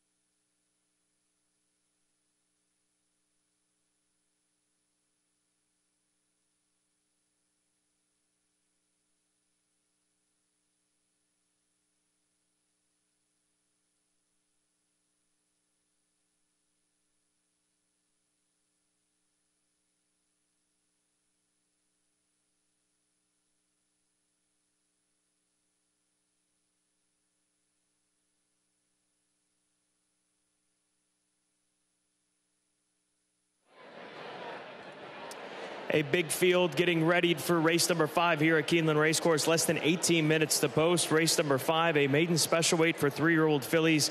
They'll be competing on the turf course, which continues to be listed as good as it was listed at the beginning of the day. And looking forward to turf racing here this afternoon at Keeneland Racecourse. Spaladay, the heavy favorite. Four to five right now in this field of 12. This is a filly for Peter Brant and Chad Brown that was debuted at Gulfstream Park, came from way off the pace to rally to finish third in her only career start. Absolutely, the expectations are that she'll go better than she did, and that was a good debut effort. So, building off of that debut effort, as Gabby mentioned this morning on today at Keeneland, Gulfstream Park is not an easy turf course or even main track to close on.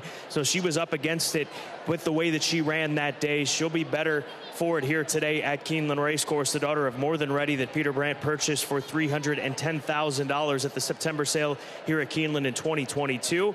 A filly bred by Stone, uh, Stonestreet Thoroughbred Holdings out of that wonderful race filly, stakes winning filly day at the spa.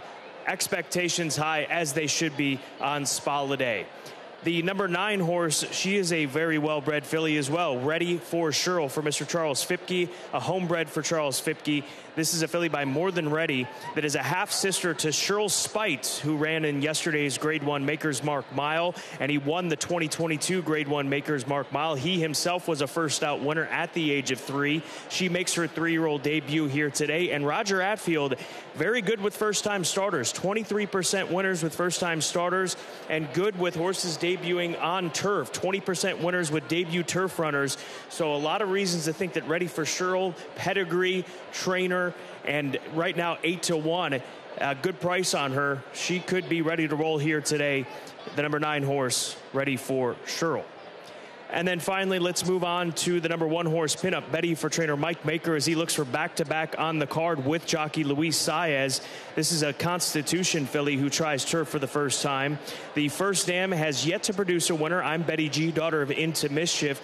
But this filly's been knocking on the door in her dirt and synthetic races. Two of her last three races were very productive at Churchill Downs and Aqueduct going the one turn mile. She went six and a half furlongs, two starts back at Turfway Park in late December. This is her three year old debut, or three year old second out, I should say. She was a three year old runner back on the 19th of January, but going two turns for the first time, maybe a positive move for this filly with that route pedigree that she has, being by one of the leading stallions in Constitution. Eight to one on the board right now with pin up Betty. But Spaladay, the heavy favorite at four to five, will remain that way here in race number five. You would assume maybe around even money, six to five come post time. We'll check them out, give them a good look, and give you our thoughts on the front side as we lead up to race number five here at Keeneland.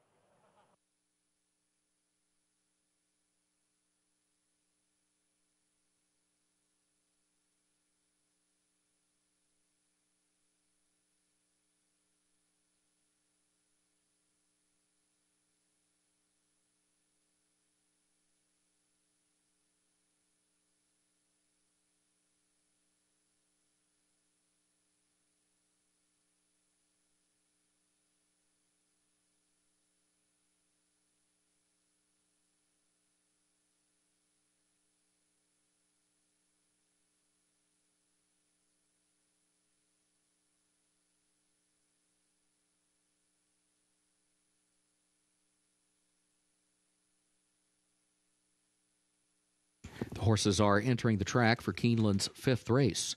The Rachel's Valentina, maiden special weight three year old fillies, a mile and a sixteenth over the turf, listed good. The rail at zero feet on the turf course today. Double and pick three wagering featured here. Take out the also eligibles 13 through 16. They did not draw into the race. Post time at seven minutes.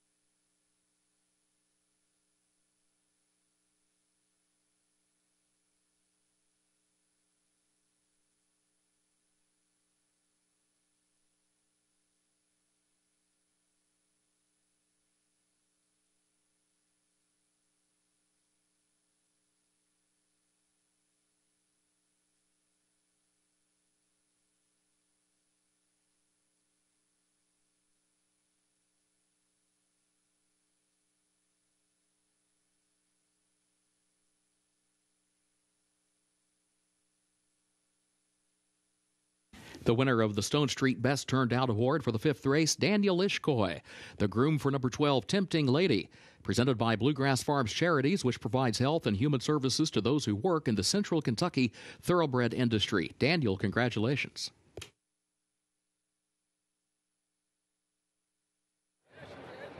And there's a look at our best turned out thanks to Stonestreet. Tempting Lady right now sitting at 13 to 1. She's a filly that tends to want to be involved in races, whether it's sprinting or going long on turf or dirt.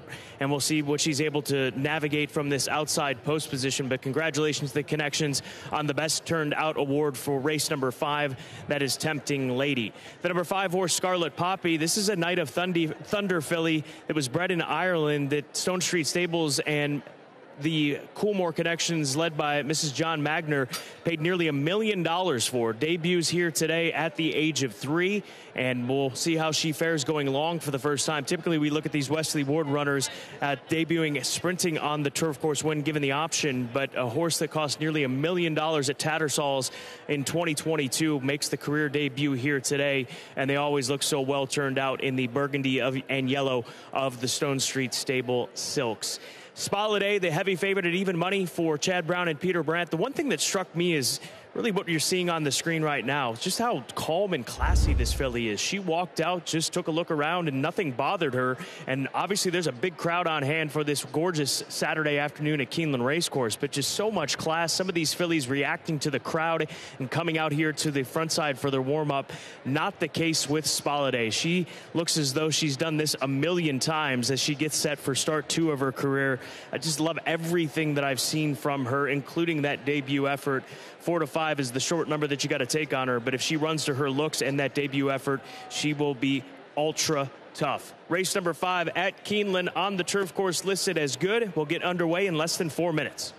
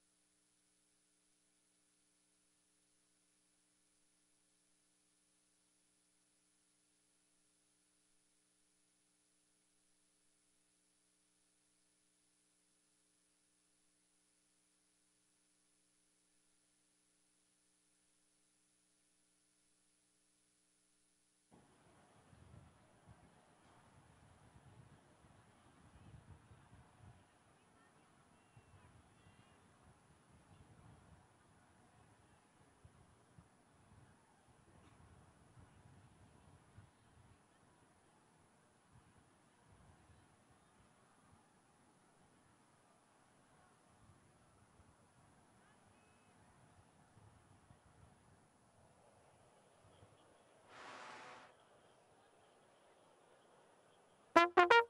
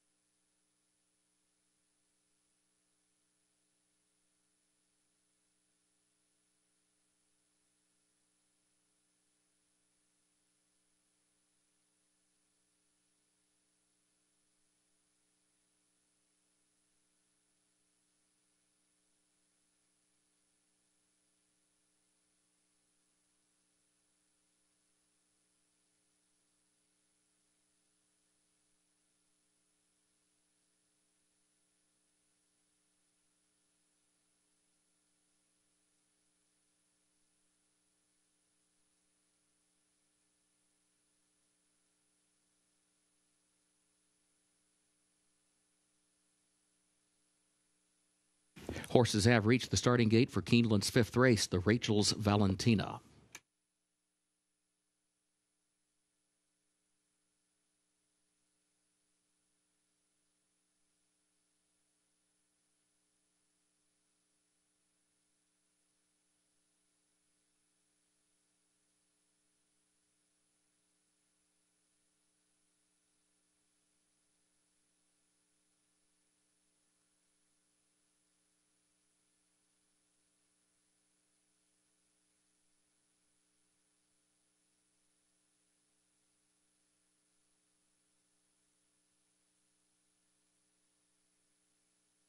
Moving into line, race five.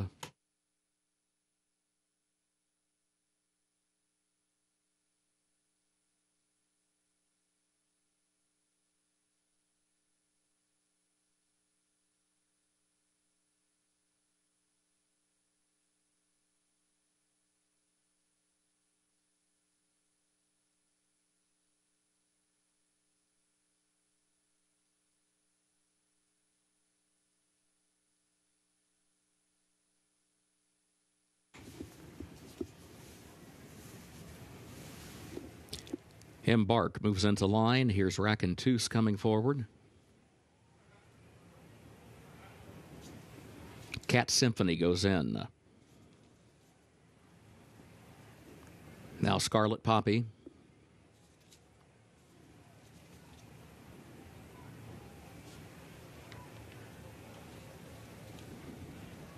Wine and Waves. Tempting Lady will be the last to load. Comes forward now.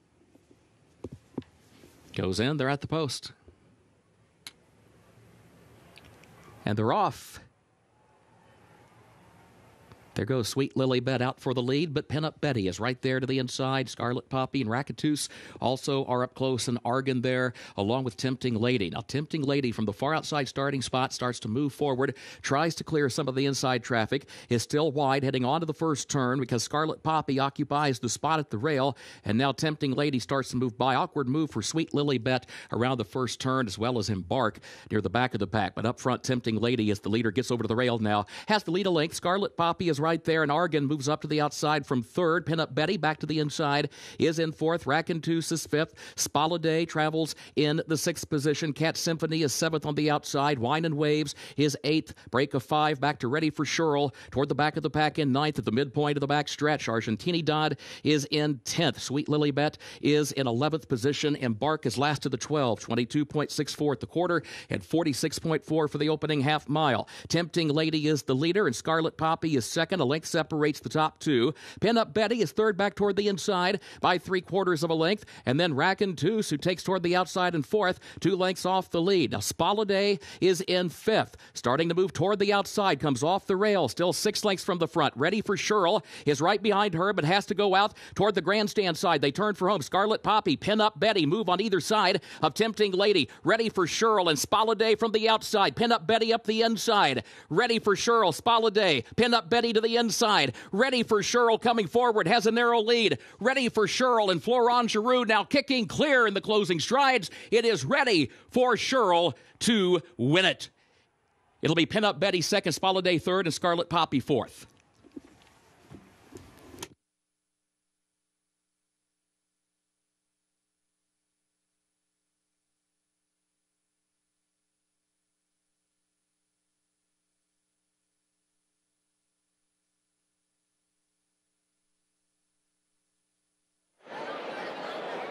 What a family this filly hails from. Ready for Shirl for Charles Fipke from that wonderful broodmare and stakes winning first stand. Perfect Shirl, the half sister to the grade one winner, Shirl's Speight, shows up on debut here today. And Roger Attfield had her ready to roll as she storms home at odds of 7 to 1. Spaladay had every opportunity. She just flattened out, involved in that runner up photo, which I feel goes to the horse and clearly I think goes to the horse on the far side.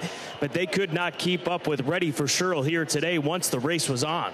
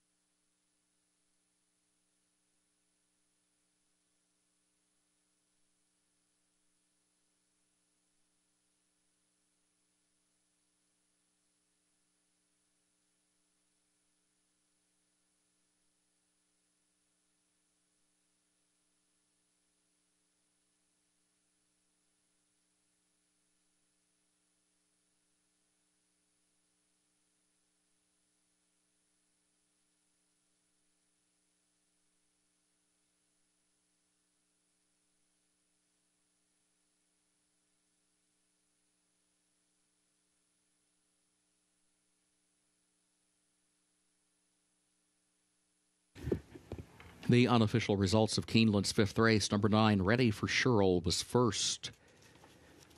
Number one, Pin Up Betty, was second. Number two, Spaladay, third. Number five, Scarlet Poppy, fourth. 9125, unofficial.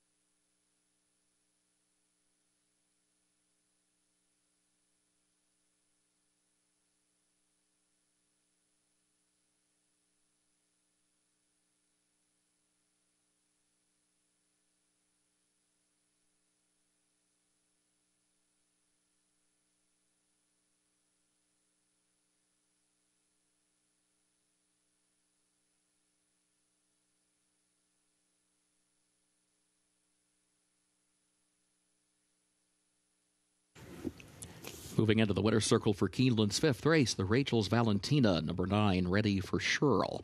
Owned by Charles Fipke, trained by Roger Attfield, Florent Geroux, the jockey, ready for Shirl, a three year old filly by More Than Ready out of Perfect Shirl by Perfect Soul, bred in Kentucky by Charles Fipke. Mile and a 16th over the turf listed good, 1 minute 43.39 seconds.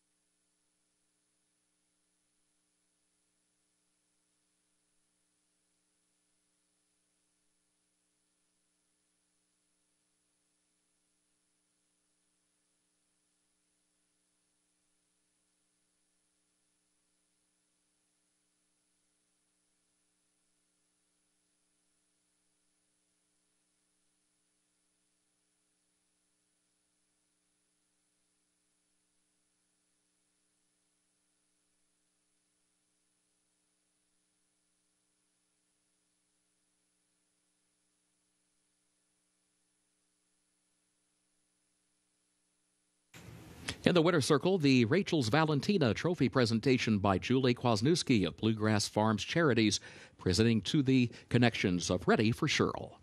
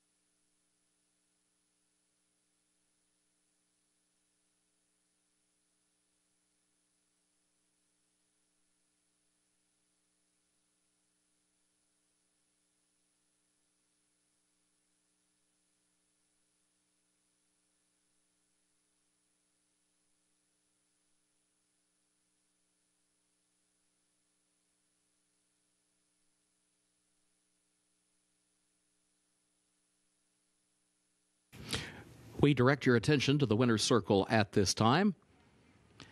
Today, we recognize Legacy Equine Academy for the organization's work to identify promising African American youth and other students of color in an effort to educate them regarding opportunities in the equine and agri-science industry. Joining us in the winner's circle to present scholarships, Legacy founder and CEO Ron Mack and board chair Marshall Fields.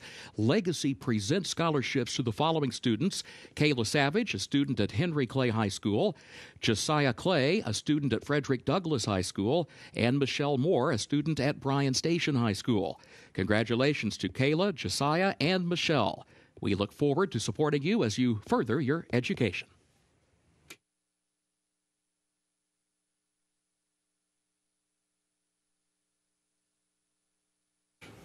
Race 5 results official 9125, the official results.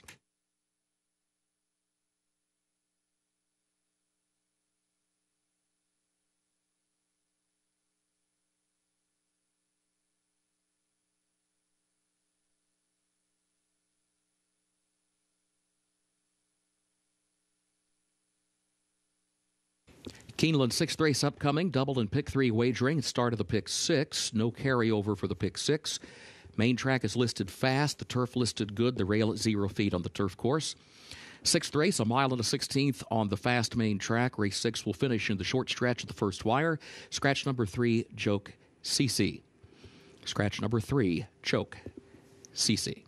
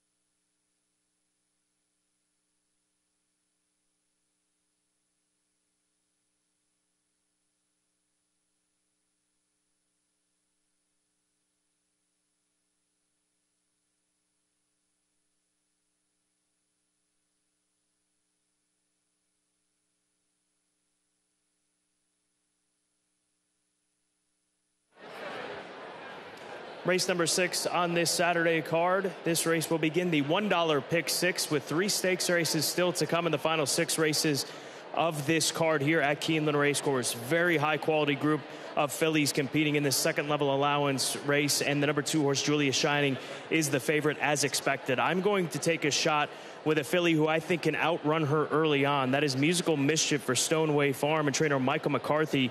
This is a daughter of Into Mischief that was able to win at Churchill Downs going a mile and an eighth by 11 lengths. Prior to that, she had broken her maiden against easier types in Maiden Special Weight Company at Horseshoe, Indianapolis.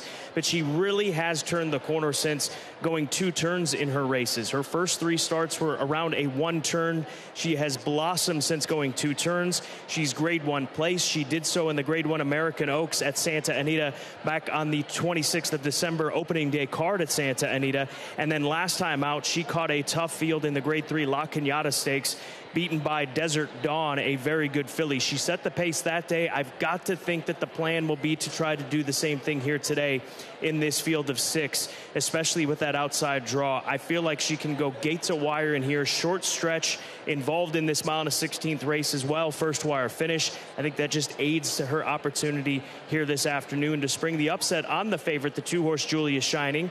She's coming off of a four month layoff for Stonestreet Stables. This filly has a ton of ability. There is no question about it. Julia Shining the two.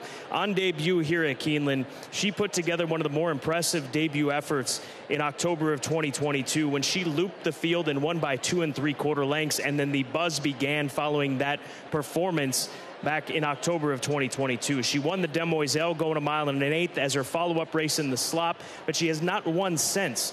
She is a filly that likes to come from off the pace, and that's why I feel like Julia Shining may be a little bit vulnerable in here with the filly that I like on the outside being able to get away from her musical mischief. But if she can stay close, she does have that ability to reel them in, and at odds of four to five, we'll see how she handles this dip down in class because since her maiden win on debut in October of 2022, she's done nothing but face against Stakes Company and mainly graded Stakes Company, including a couple of Grade 1 efforts, one here in the Ashland and in the Grade 1 Alabama at Saratoga last summer.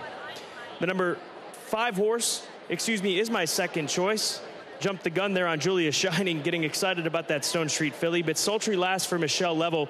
Uh, she's another one I think that can have some position out in front of Julia Shining. I mean, that's going to be how they beat this filly here today in race number six. Colby Hernandez is aboard. She's a filly that ran well at Fairgrounds back on the 1st of January. And then I think that you look at those two turf races, they were not bad. She caught a soft turf course against Stakes Company.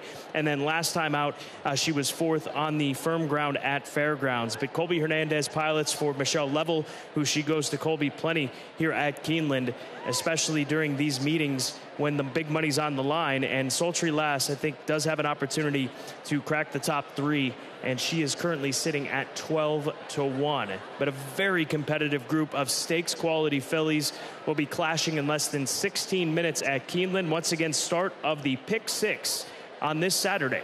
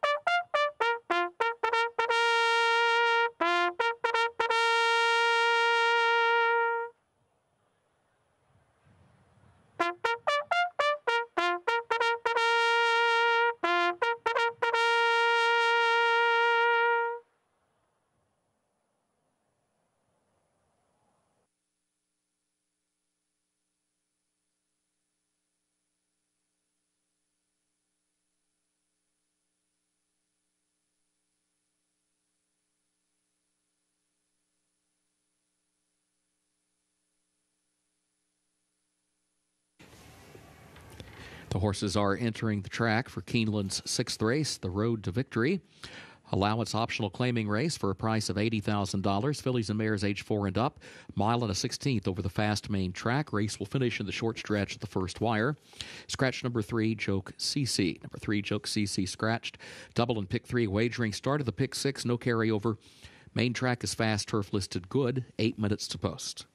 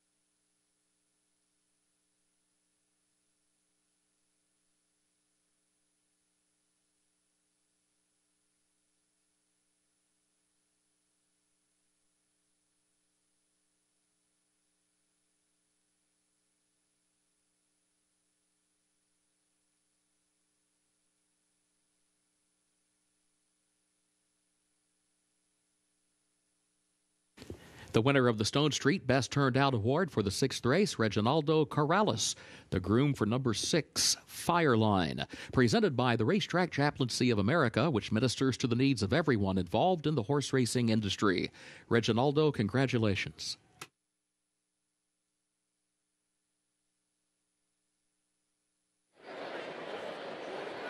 And Fireline is definitely deserving best turned out for race number six. This Juddmonte filly by Arrogate, Juddmonte homebred. Looks gorgeous out here. The gray daughter of that champion, Arrogate, from the Quality Road First Dam. She's a two time winner. She picked up wins late in her two year old season and near the beginning of her three year old campaign, or at the beginning of her three year old campaign last year. And then she really started to swim in the deep end of the pool, running in grade ones, grade three. The turn back the alarm was the last time we saw this filly. She was beaten by a, a very nice filly in Interstate Daydream. So, but off the five month layoff, that may have just been what she needed. Get a little bit of time off of that campaign last season, which encompassed five races in 2023. She is currently sitting at four to one right now. This is a very good group, as I mentioned before. Julia Shining still holding at four to five, the number two horse for Stonestreet Stables. We're less than six minutes out from the sixth race, start of the pick six at Keeneland.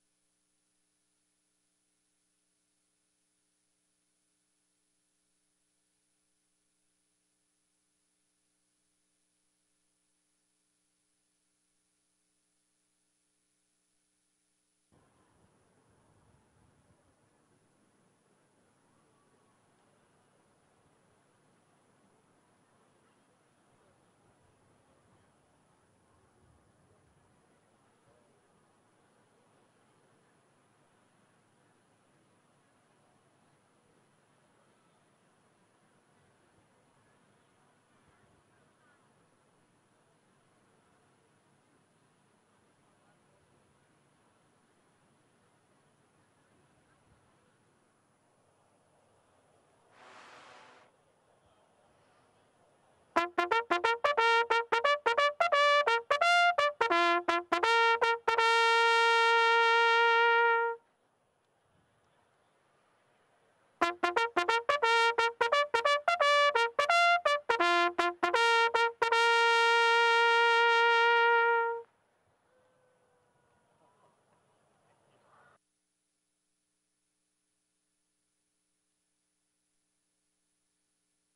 Horses have reached the starting gate for Keeneland's sixth race, the road to victory, start of the pick six.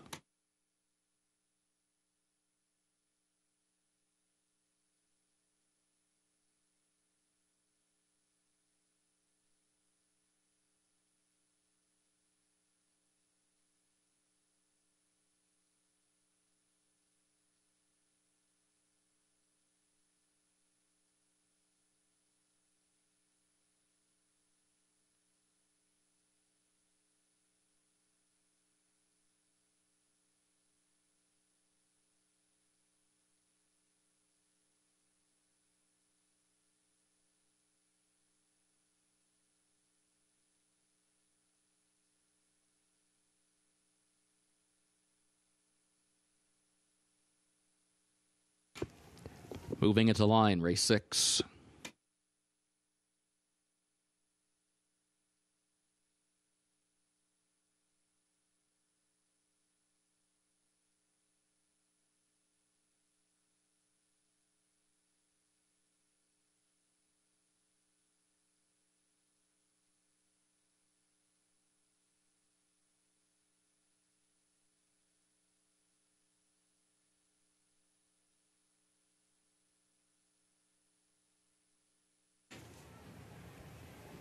Magical Loot goes in.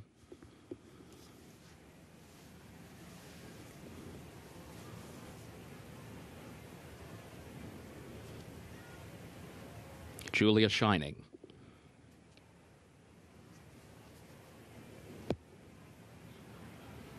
Little King's Princess.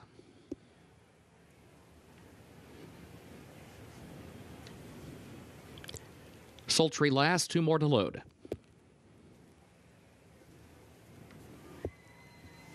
Here's Fireline. Musical Mischief, the last one. Going in.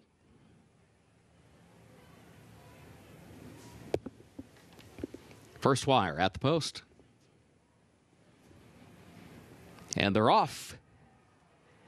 There goes Little King's Princess. Little King's Princess from between horses comes out for the early lead. Then Fireline up on the outside. Julia shining back toward the inside. Little King's Princess, though, has the lead. Starts to get closer to the rail as they move into the first turn. Musical Mischief moves up just off her flank into second. Around the outside of Fireline, who's third. Sultry Lass fourth. Julia Shining, a lane off the rail in fifth around the first turn. And Magical Loot is last of the six. Little King's Princess got the opening quarter, 24. 0.37 seconds. Leads it by a length. Musical Mischief goes second by three quarters of a length. Sultry Lass. Third up on the outside. Then Fireline fourth back toward the inside. With Julia Shining at fifth, five lengths off the lead. She's got Magical Loot right behind her, who travels in sixth as they reach the midpoint of the backstretch. Little King's Princess dictates the terms here and leads it by two lengths. Opening half mile went in 48.65 seconds. Little King's Princess leading Musical Mischief, who is second by three quarters of a length. Sultry Lass third, and then Fireline, who's back toward the inside and fourth. Still three and a half lengths off the lead. Julia Shining is another length behind her, and then Magical Loot against the rail at the back. They're midway on the far turn, and here's Musical Mischief now starting to move up to the outside of Little King's Princess. The battle for the lead a quarter mile out. Julia Shining and Fireline are coming. Here's Julia Shining. She is swinging up to the far outside at the top of the short stretch, right alongside of Musical Mischief. Julia Shining from the outside, Musical Mischief to the inside, and then Magical Loot who goes to the rail third into the final furlong. Fireline is fourth. Musical Mischief, Magical Loot up the inside, then Julia Shining, Magical Loot, Magical Loot, and Brian Hernandez Jr. got it by a neck. Musical Mischief second, Julia Shining third, Fireline fourth.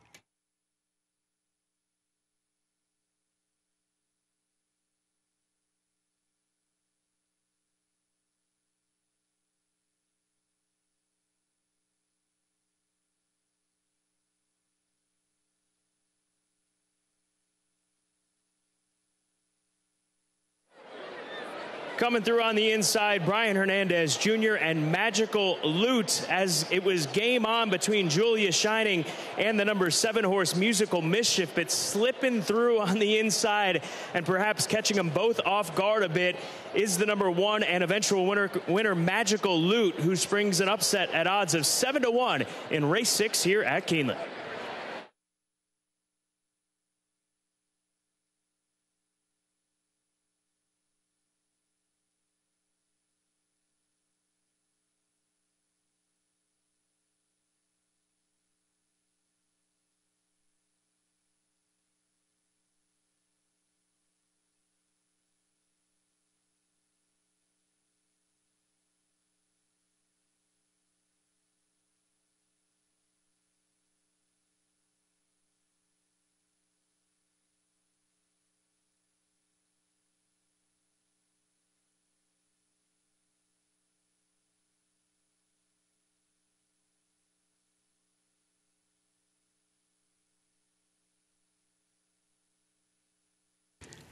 The unofficial results of Keeneland's sixth race number one, Magical Loot, was first. Number seven, Musical Mischief, was second. Number two, Julia Shining, third. Number six, Fireline, fourth. 1726, unofficial.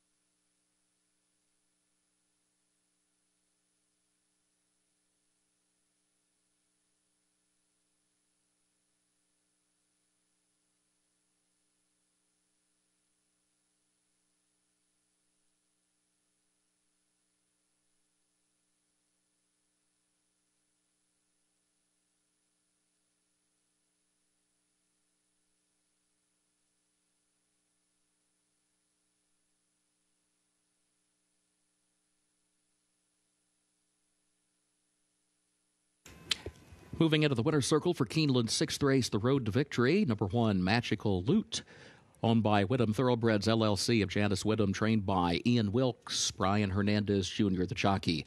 Magical Loot, a four year old son of McLean's Music, a four year old daughter of McLean's Music, I should say, out of Street Song by Flatter. Winner bred in Kentucky by Whitham Thoroughbreds LLC. The mile and a 16th over the main track, listed fast today, 1 minute 44.55 seconds. Trophy presentation upcoming.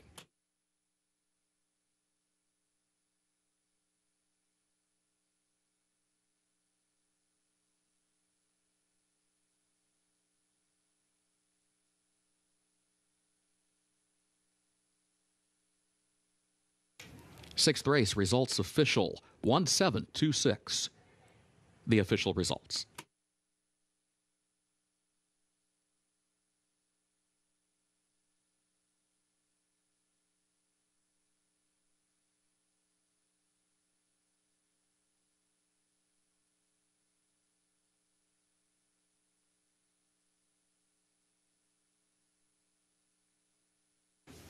In the winner's circle, the trophy presentation for the road to victory, Dan Waits, Racetrack Chaplaincy of America, presents to the connections of Magical Loot.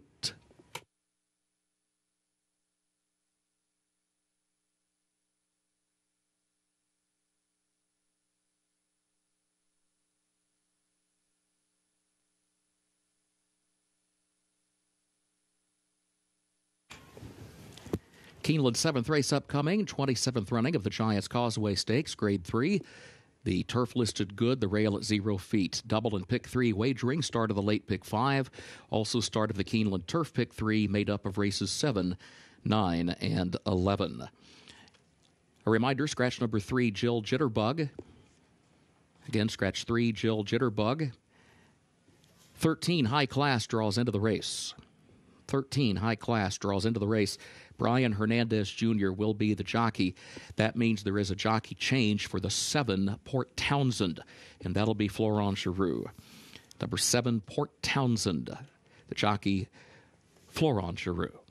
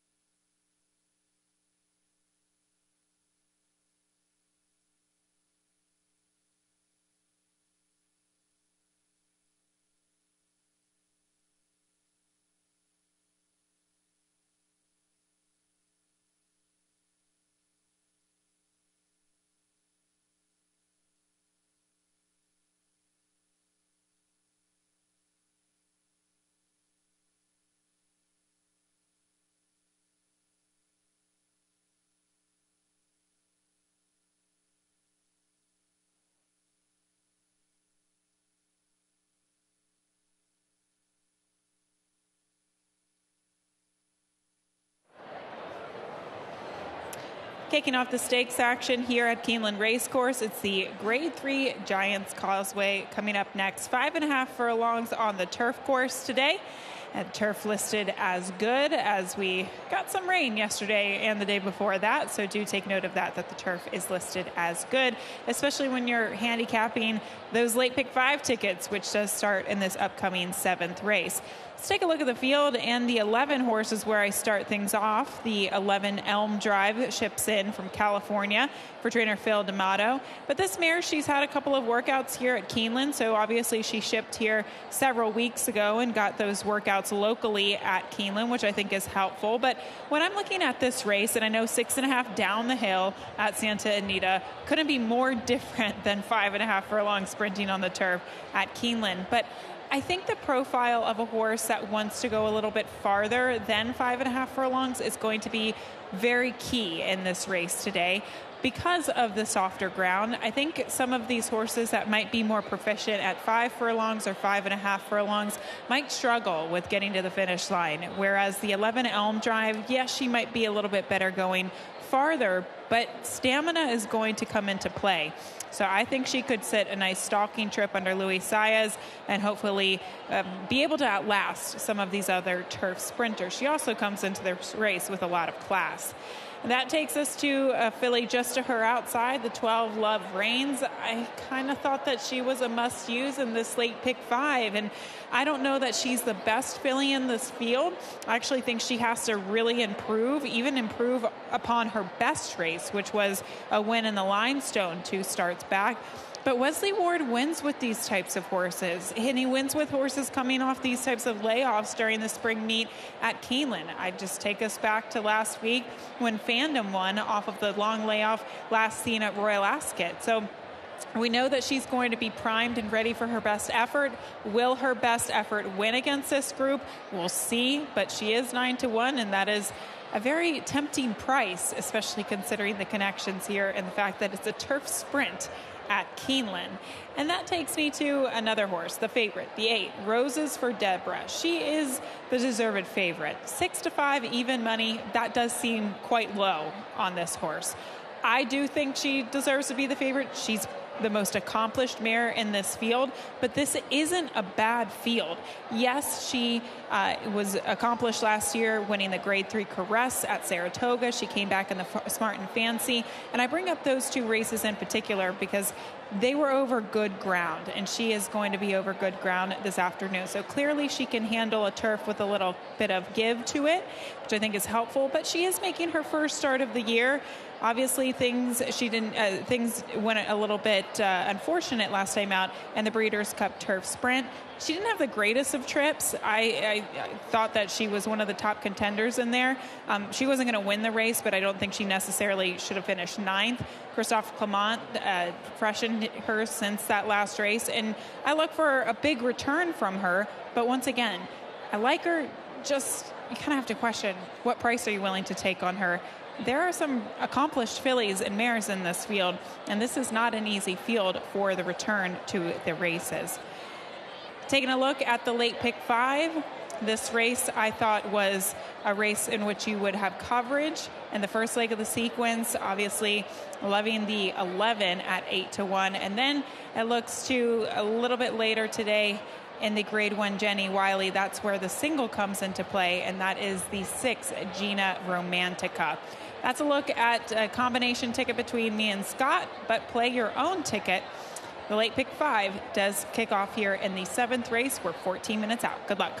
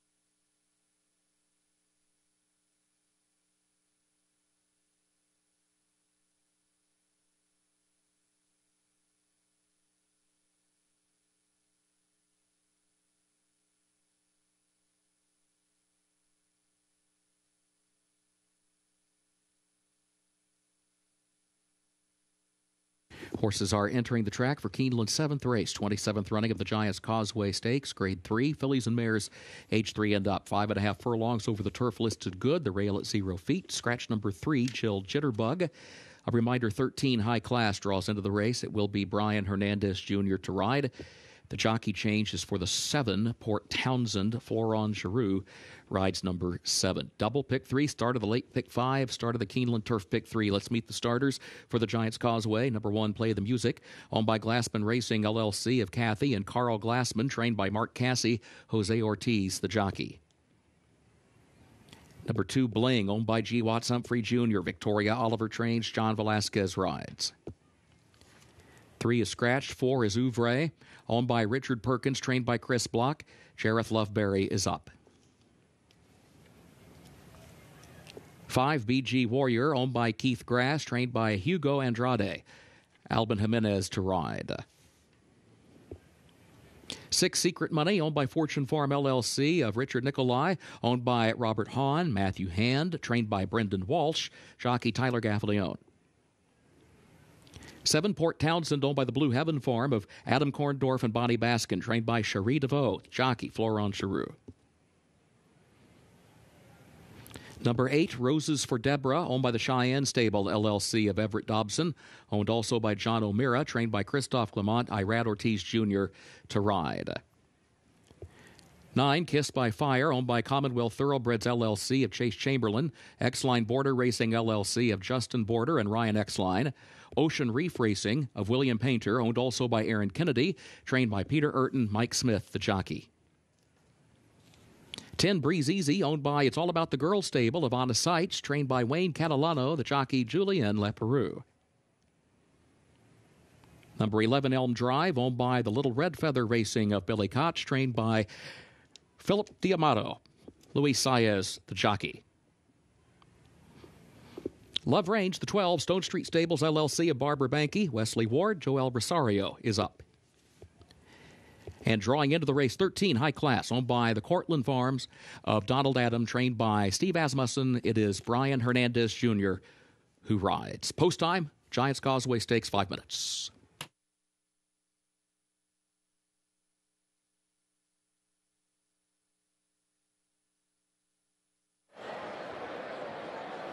What a good group, good looking group of fillies and mares here as we go postward to kick off the graded stakes action at Keeneland Racecourse. Here's a closer look at the number two, Bling. She comes in off of a freshening since December, where she faced Stakes Company at Turfway Park, and that was actually her first start over a synthetic surface. I actually thought she ran really well in that event, all considering the circumstances. But at the end of the day, she seems to be much better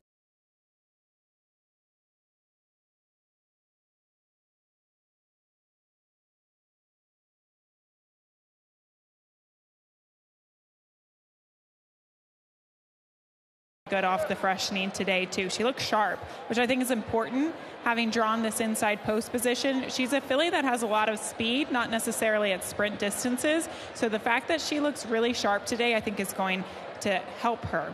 Uh, let's take a look to the six, Secret Money. This filly looks great today. I know she has to improve. She probably has to run her best race. Or actually, her best race was going a little bit farther at six and a half furlongs in the Music City. That was her first graded stakes score at Kentucky Downs but she is just dappled from head to toe. She looks incredibly fit today for trainer Brendan Walsh as well. So she's on the board right now at 12 to 1. I would consider maybe using her at a bit of a price as this race does kick off that late pick five. We're four minutes out from the Giants Causeway, a graded stakes event, grade three, heading out to the turf at five and a half furlongs. Good luck.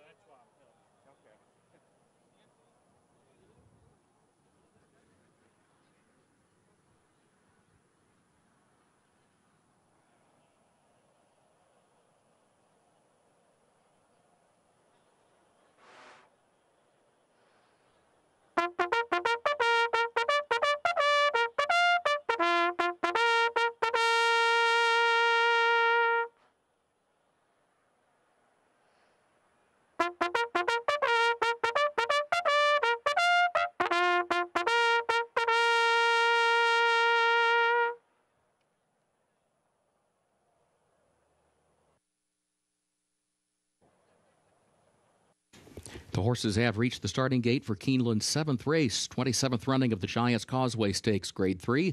Start of the late pick 5 and start of the Keeneland Turf, pick 3, made up of races 7, 9, and 11.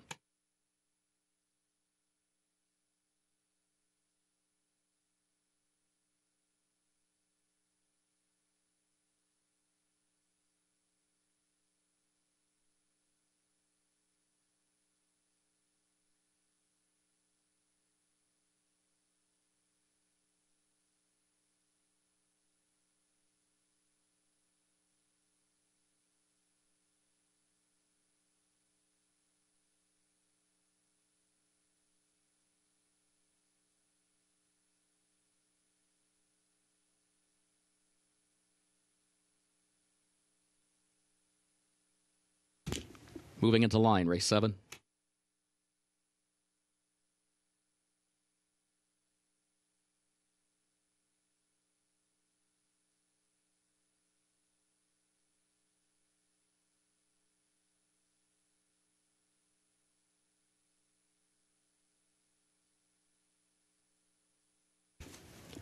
Ouvre and Breeze Easy going into line.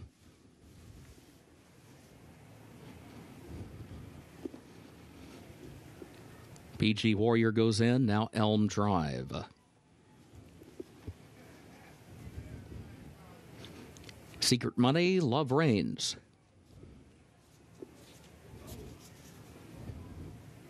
Here's Port Townsend. High Class will be the last to load.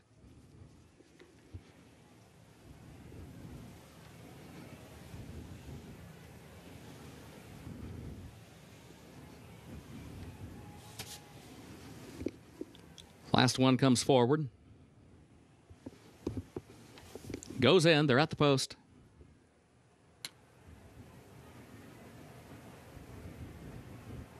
And they're off in the Giants Causeway Stakes. High class and love reigns. Elm Drive. Now Port Townsend moves up and takes the lead. BG Warrior moves up and goes into the second position. Roses for Deborah's away running in the sixth spot, moves up one position. A lane off the rail. Play the music is in seventh. Bling is eighth. Ouvre toward the inside is in ninth. And then Secret Money is tenth. Breeze Easy is eleventh. And Kissed by Fire last of the twelve. BG Warrior is on top. Guides the field onto the far turn, leading Port Townsend by a length and a half. Another length and a half to Elm Drive, who travels in third position position, takes toward the outside now as they come for the top of the stretch. Roses for Deborah, looks to the inside, is still fourth, and running six lengths off the lead, a quarter mile to go. BG Warrior has the lead, leads it by three to Port Townsend. Here's Elm Drive. Elm Drive comes on from the outside, coming after BG Warrior. Port Townsend is there. Roses for Deborah tries to get going, center of the course, still fourth. Now she's third. Roses for Deborah Love Reigns. Roses for Deborah Love Reigns coming after Elm Drive. Roses for Deborah. I Irad Ortiz Jr. to win the Giants Causeway. Love Reigns was up for second, Elm Drive third, and Secret Money was fourth.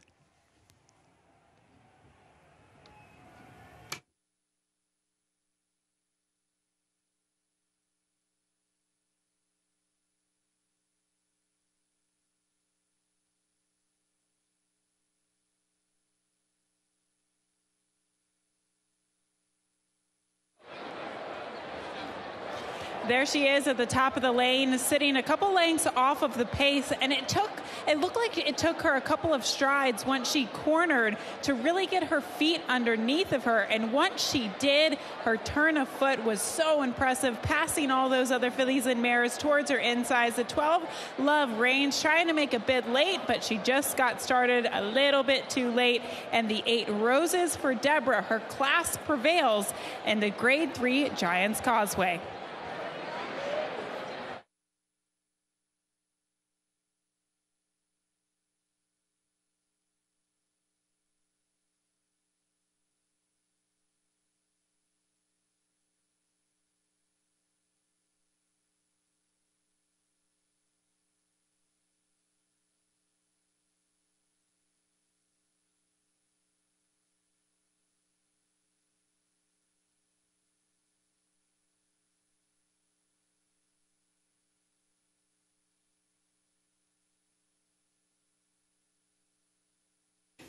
The unofficial results of Keeneland's seventh race number eight, Roses for Deborah, finished first.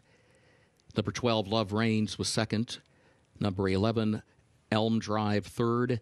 Number six, Secret Money fourth. 8, 12, 11, 6 unofficial.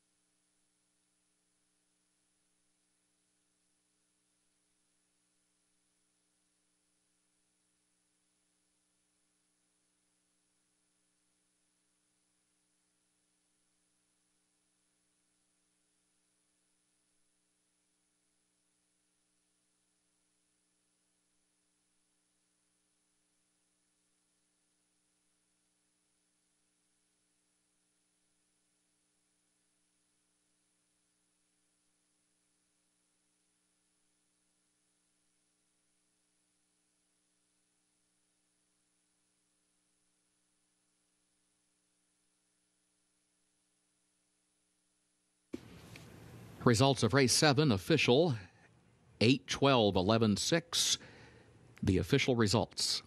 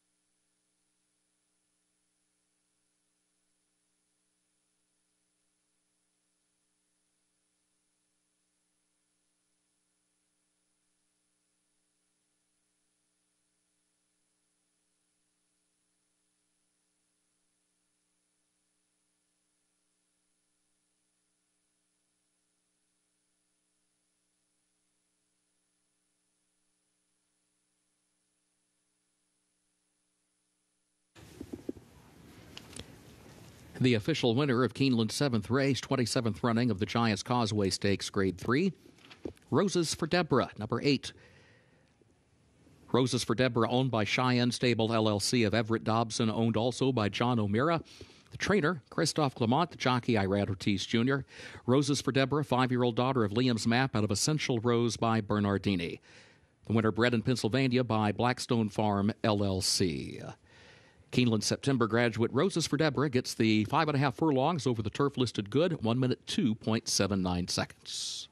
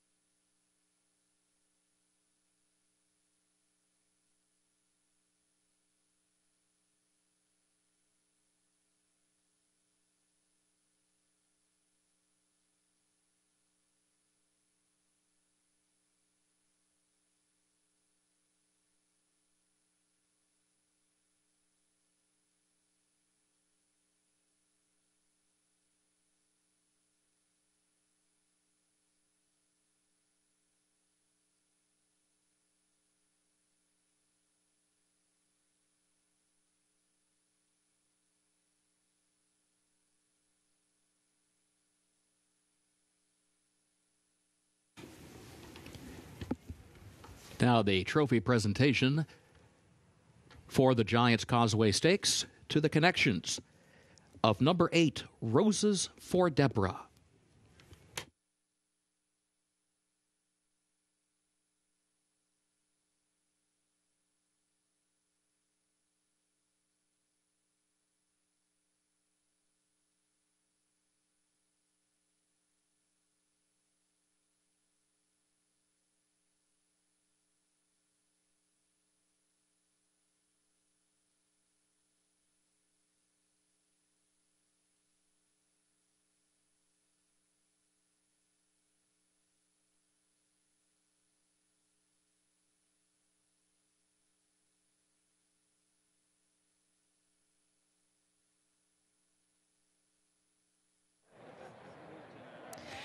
Roses for Deborah returns a winner off the long layoff. Irad, you've been aboard her several times before in the past. Given that knowledge on this filly, uh, w- what were you thinking with your early position? Were you happy with that? I was so happy. Uh, a couple horses going uh, in front of me, I was able to sit, save some ground, and I was able to get to the fence real quick and saving that ground on the turn and just waiting the time to go. Like the trainer told me, try to wait, keep it together as long as you can, and turn for home is still like holding her. And when I let her go, she she was she gave me everything she got, and she showed that she's a nice filly. Yeah, uh, t- talk to me about that turn of foot, that kick that she showed coming down the lane, because it looked like took her a couple of strides at the top of the stretch to get going, and then she really got going. Yeah, yeah, she take like three jumps, but when I hit her the first time, she she turned on, and then when I hit her left on the on the passing the eight pole, she gave me another gear. So that's uh, really nice when those these kind of horses they give you that feel. Congrats, Irad. Thank you. And here with assistant trainer for Christophe Clement, Christophe Lorieul. And Christophe, what was the readiness for her today? What was the confidence going into the, today's performance? Well, you know, she had a break after Breeders' Cup, and she came to Kentucky to Mr. Dobson Farm, and uh, she came to Payson all winter. She was training great over there.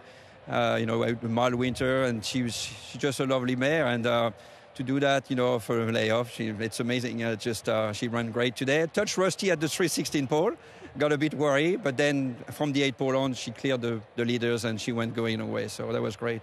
Congratulations. Thank you. All right, Roses for Deborah returns a winner in the Grade 3 Giants Causeway.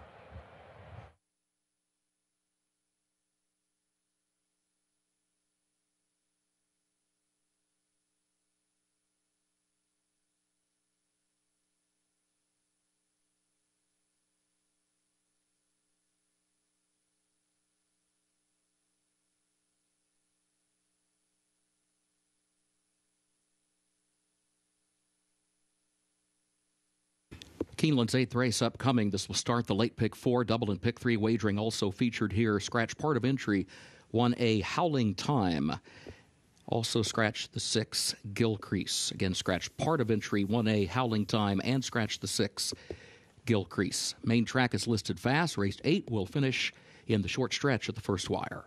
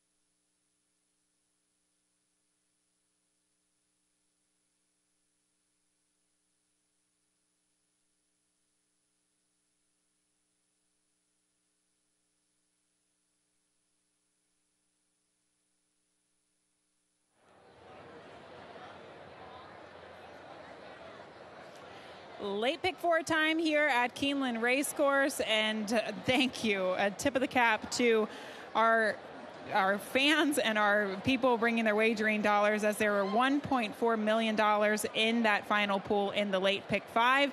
Let's dive back into the late pick four as well. We still have plenty of graded stakes action still ahead and a very nice allowance race coming up next. A mile and a 16th out on the dirt course. And the five hay strike is where I go for trainer, trainer Kenny McPeek. I actually thought he ran one of his better races last time out in an off the turf event at the fairgrounds. It was a smaller, tight field, but I think that shows how tough of an effort it was because of his running style. Horses like this don't do well in small fields because there's virtually no pace, and this is a horse that needs pace to close into. I think he can come back in a big way. Obviously, when you look at his profile from last year, he competed in some of the best races, including the Grade 1 Toyota Bluegrass right here at Keeneland.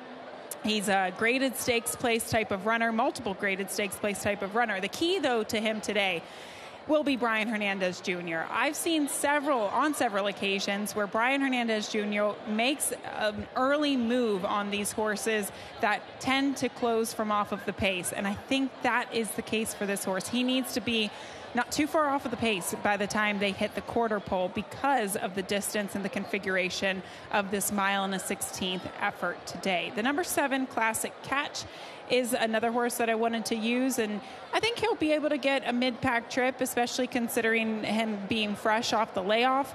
Uh, one of his more impressive performances came in an off the turf event at Saratoga over the course of the summer last year, where he found himself close to a slow pace, but he can also close uh, into you know modest fractions as well. This is a horse that just seems to be very versatile, and I think he can come back in a big way for trainer Todd Pletcher. And then finally, we get to the number four, Brigadier General for Dallas Stewart. His last race, he didn't really show up, but look at his record here at Keeneland. He's two for two. His last win came right here at Keeneland in the fall over that sloppy seal track where he went wire to wire. I don't know that there's a ton of pace in here. The two Transect might go, the one giant game might go, but Brigadier General, especially with the presence of Tyler Gaffalione, he won't be too far off of the pace early. And I just love the fact that he has shown a local affinity right here at Keeneland. Definitely one you want to pay attention to. The four Brigadier General right now on the board at seven to two. But you can see on the tote board right now, this is a very competitive field, a very evenly matched group of horses. I think even when it's all said and done, you'll still get a great price on the post time favorite, which likely will be the outside runner here for Todd Pletcher and Classic Catch. That's just how tough this three other than allowance race is.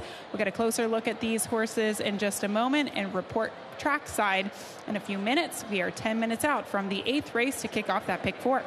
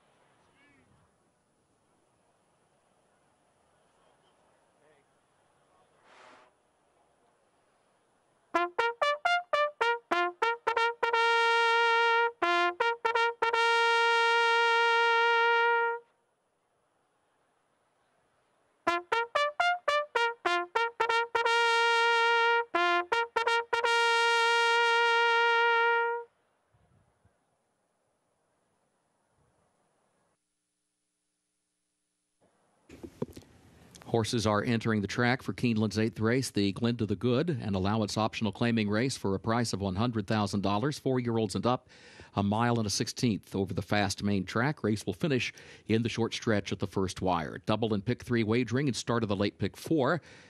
Scratch part of entry, 1A Howling Time, and scratch number six, Gilcrease. Main track is fast, turf listed good, post time in just three minutes.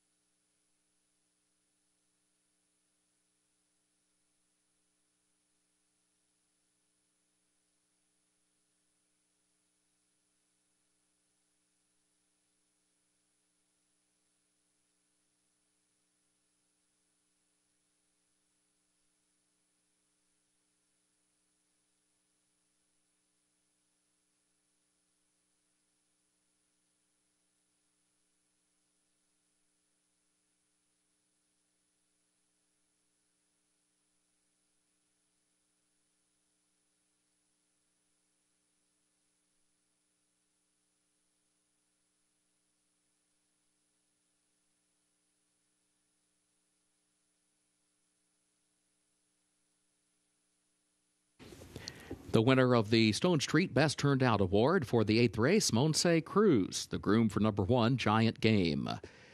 Presented by New Vocations, the country's largest racehorse adoption program. Monse, congratulations.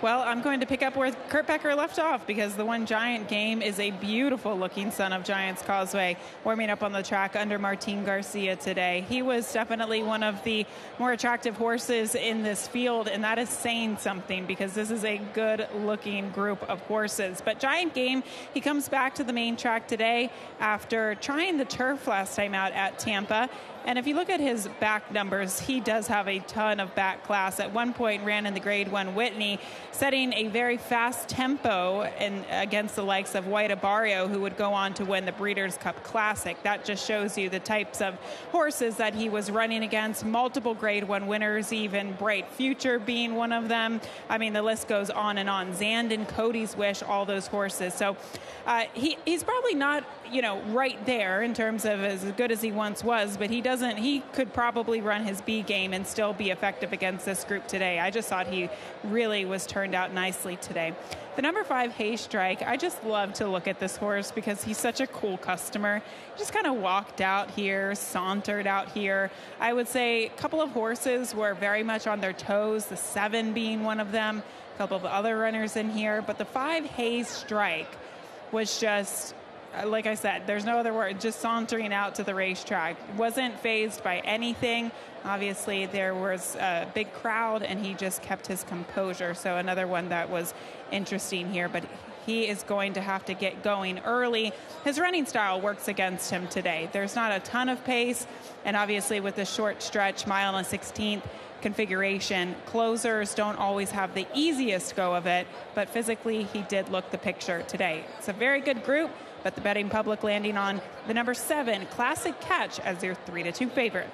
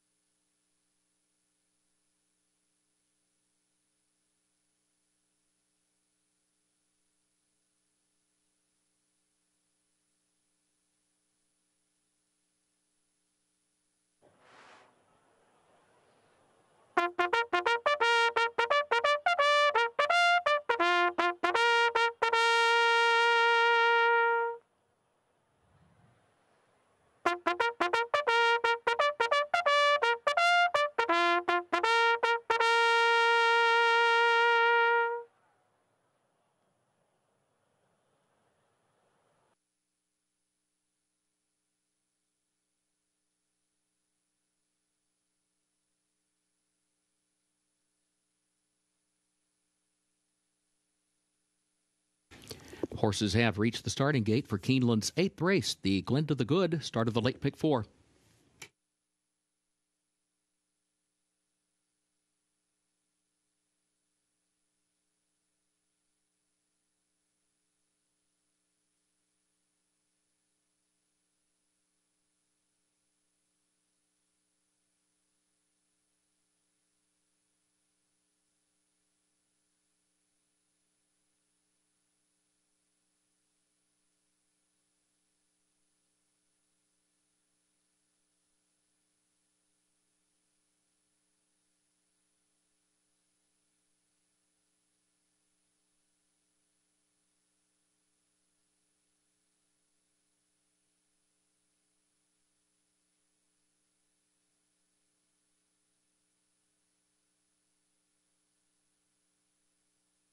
Moving into line, race eight.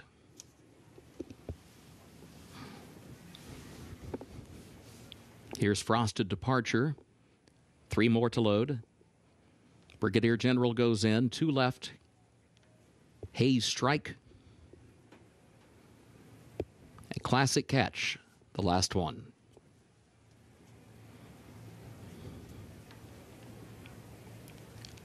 Last one going in. First wire at the post. And they're off.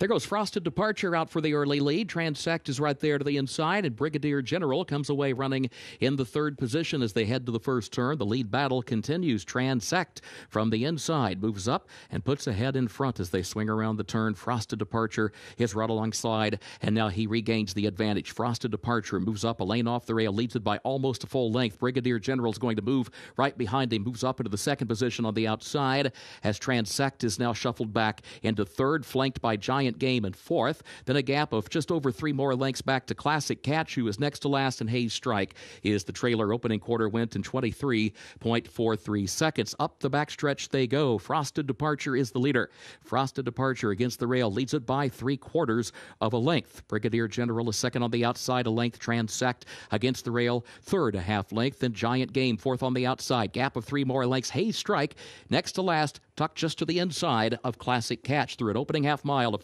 47.51 seconds. On to the far turn. Frosted Departure leads. The advantage still is three quarters of a length.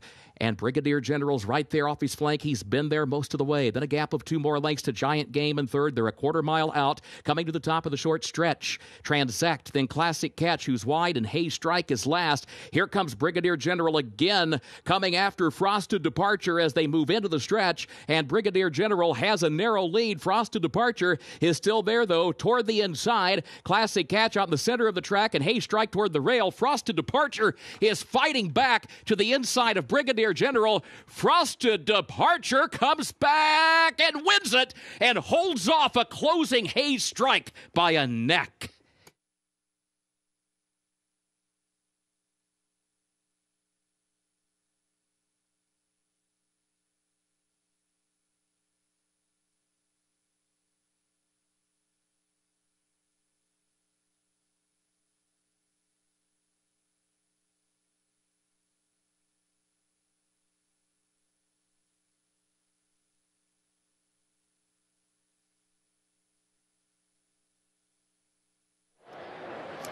What a wild finish in the end. It looked like the three Frosted Departure was going to finish, wasn't going to win at this point, as we see the number four Brigadier General absolutely pass him.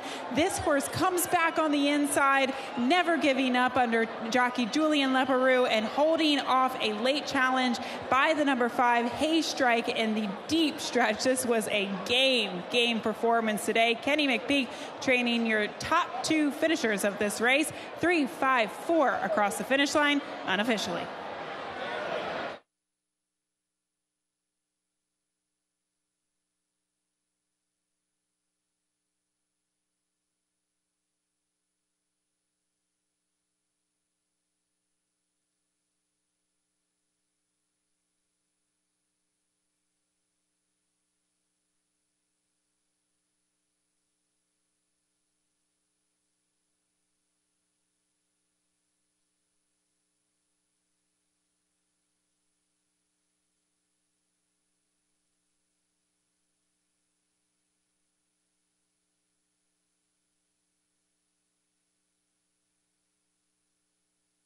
The unofficial results of Keeneland's eighth race. Number three, Frosted Departure, finished first. Number five, Hayes Strike was second. The four, Brigadier General, third. And the seven, Classic Catch, was fourth. Three, five, four, seven, unofficial.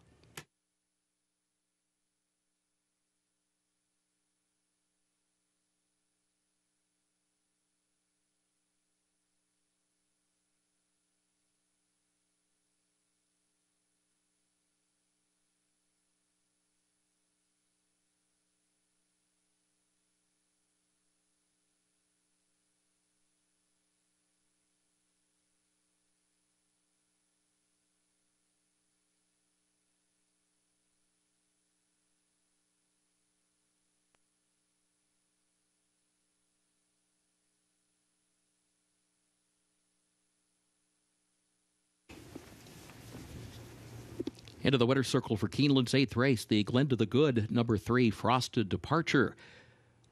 Owned by RT Racing Stable of Ramon Tallaj, trained by Kenny McPeek, the jockey Julien Leparoux. Frosted Departure, a four year old son of Frosted, out of Undeterred by More Than Ready, bred in Kentucky by Alistar Thoroughbred Company, LLC. Keeneland November Horses of Racing Age Sales graduate, Frosted Departure. Eight and a half furlongs over the main track, listed fast, 1 minute 44.09 seconds.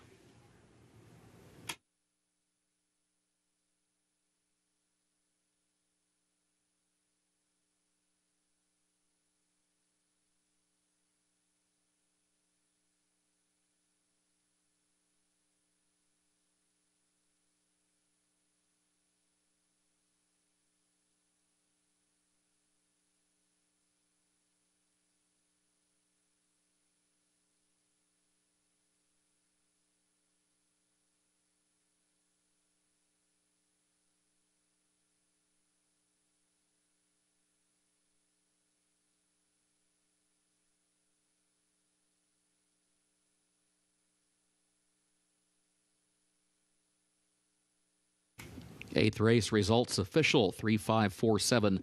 The official results in the winner's circle, the Glint of the Good trophy presentation presented by Anna Ford of New Vocations to the connections of Frosted Departure.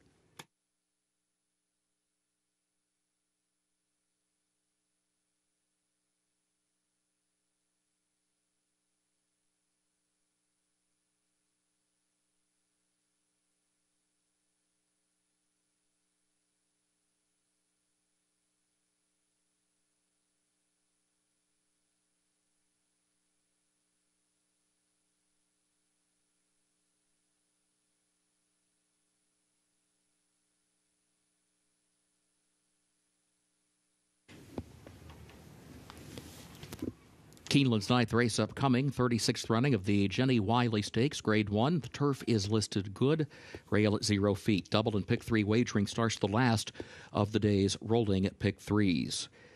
No scratches, no jockey changes in race 9.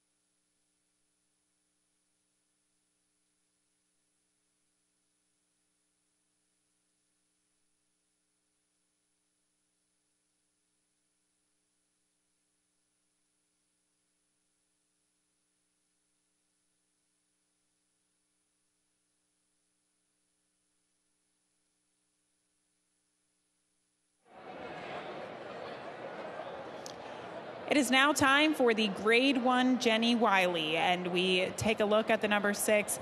Gina Romantica, as trainer Chad Brown will send out a quartet of horses in here to look to extend his very impressive rec- record in the Grade 1 Jenny Wiley. He has won five of the last six runnings of this Grade 1 at Keeneland.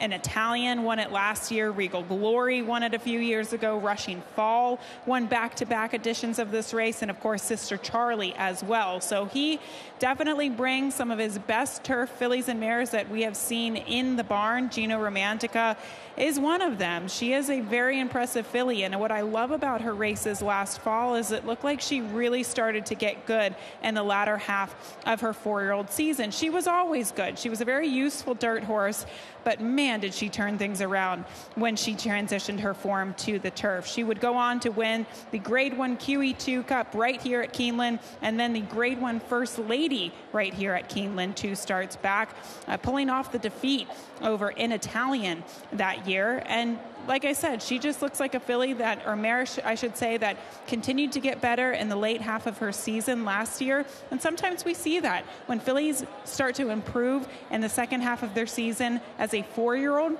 they can uh, improve into a different stratosphere in their five-year-old season. So I'm anticipating big things from Gina Romantica this season for trainer Chad Brown, and I hope she can kick things off, maintaining her undefeated record here on the Keeneland turf course. The number five English Rose, Charlie Appleby, sending out Master of the Seas yesterday for the Grade One Makers Mark Mile victory, and he's well represented with this four-year-old filly by Frankel. She is lightly raced. She is definitely not as proven as some of the other contenders in this field, but Charlie Appleby telling us this morning on Today at Keeneland, talking to our very own Tom Leach, is that she's got untapped potential, is how he described this filly, and he also plans that if all goes goes well today, campaign her in the States throughout the summer and maybe a little bit further down the road, they'll be looking at the grade one Diana and her future. But you know, she was good from the get go. She won first time out. She's lightly raced, but she's really handled so many different things that have been thrown at her, whether it be seven furlongs on the turf, upwards of a mile and an eighth on the turf, and the race in which she won last time out, the Group 2 at Meydan. And that was a class test for her, and she prevailed. So I do think she is worth a look here. Uh, nine to five is low, though, on a filly that really does need to step up uh, to the plate here against legitimate grade one horses. The number nine, as we go to the outside, Didia, she is so nice. My concern with her and why I did not pick her on top is not because of her class. She, if she runs her best race today, she is as good as any other filly and mare in this race.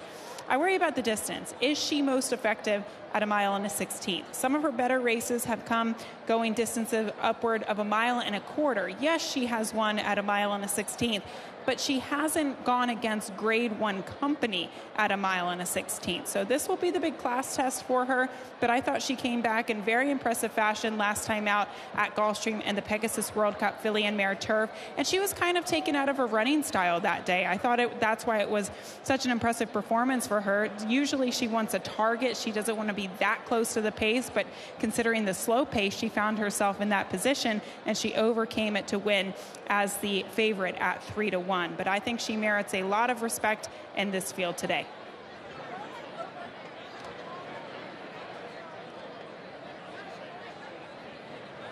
The number eight horse Star Fortress is a mare that we saw break out in her U.S. debut in the Grade 3 Cardinal over Churchill last November. She won that race by 10.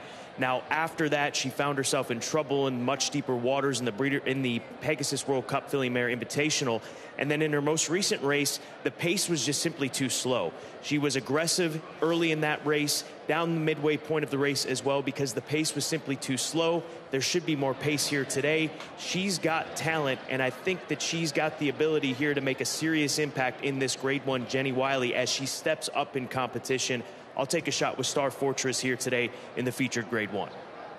Scott Hazelton uh, taking a big shot. I cannot believe that this filly is 33 to 1 on the board right now. If she runs back to her race in the grade 3 Cardinal, she can be as good as some of these other fillies in here. Yes, she's had bad trips in the last two starts and maybe she can overcome that to hit the board here. She is a class filly.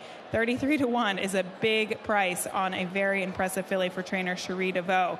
But the focus, the conversation is all about trainer Chad Brown as he sends out four four horses in this year's edition of the Grade 1 Jenny Wiley, hoping to get his sixth win in this very prestigious race.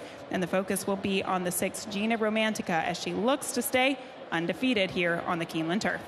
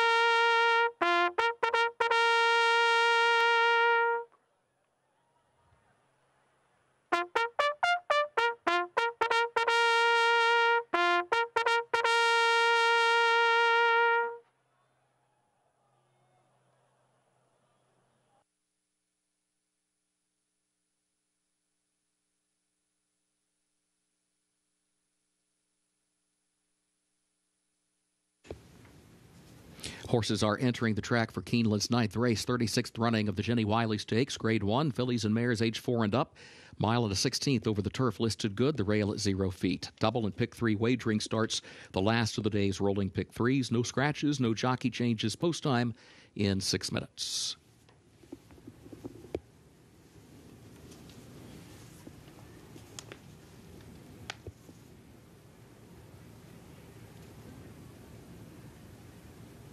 Let's meet the starters. Number one, Walkathon, owned by Whitham Thoroughbreds LLC of Janis Whitham, trained by Ian Wilkes, the jockey Julien Leparoux.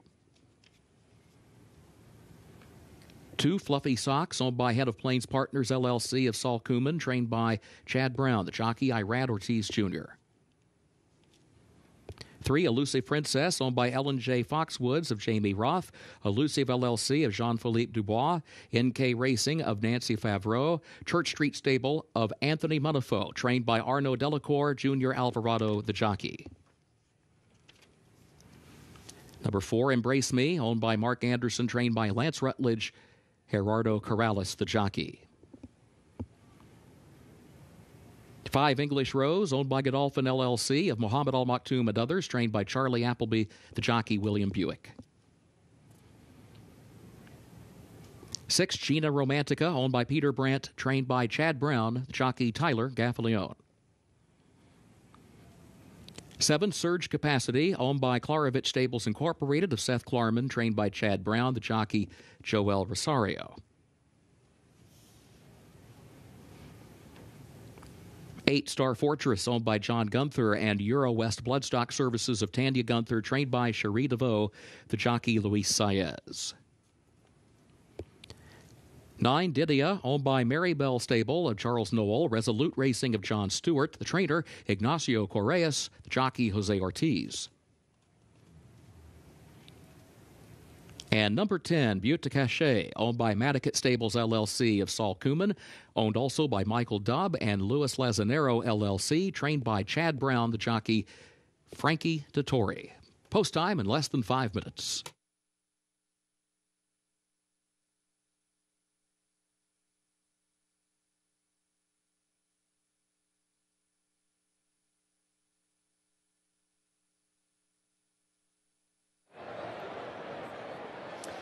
Field is warming up for the grade one Jenny Wiley coming up next. And here's a look at the number six, Gina Romantica. I picked her.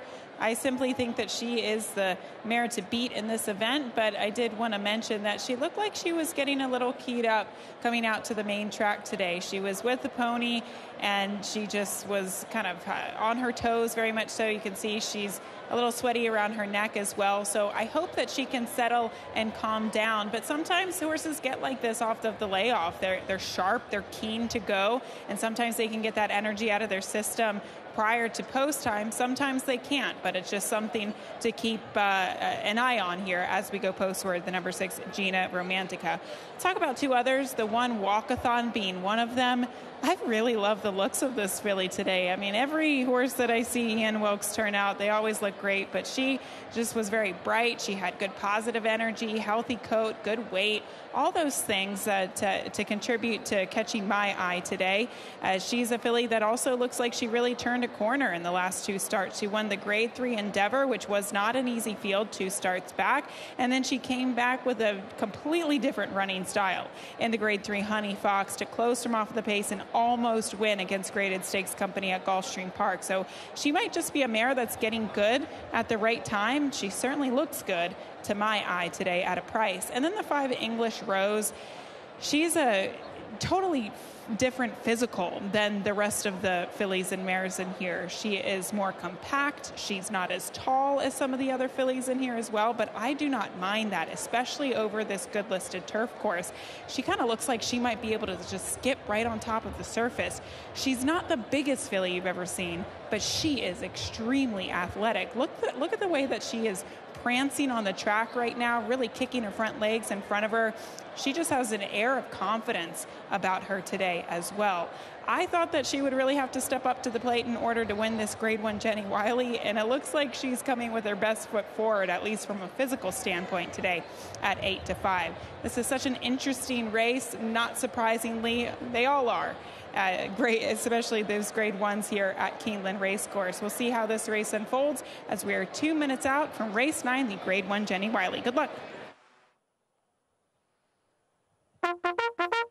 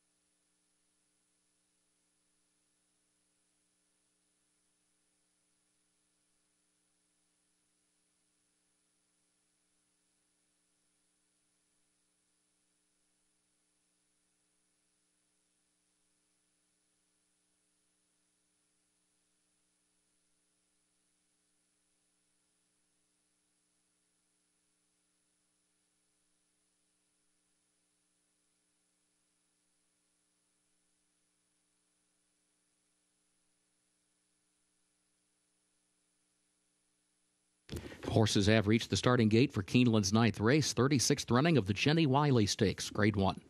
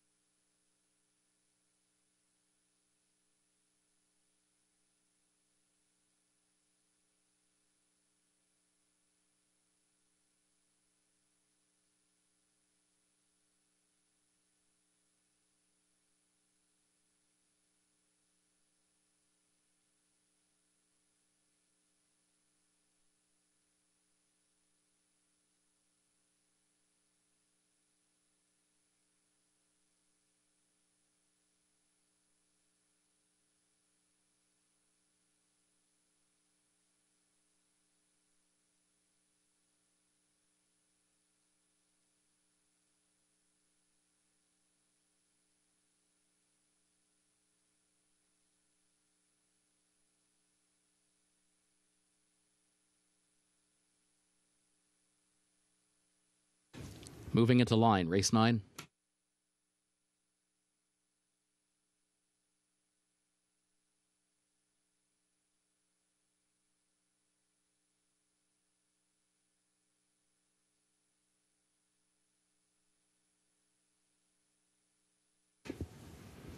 Star Fortress going in. Elusive Princess. Didia. Embrace Me goes into the gate. Here's English Rose. Beaute Cachet will be the last one.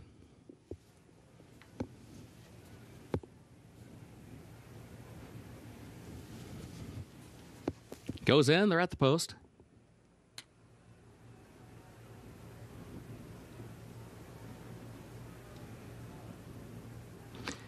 And they're off in the Jenny Wiley Stakes. There goes Fluffy Socks from the inside. Here comes Beaute Cachet from the extreme outside.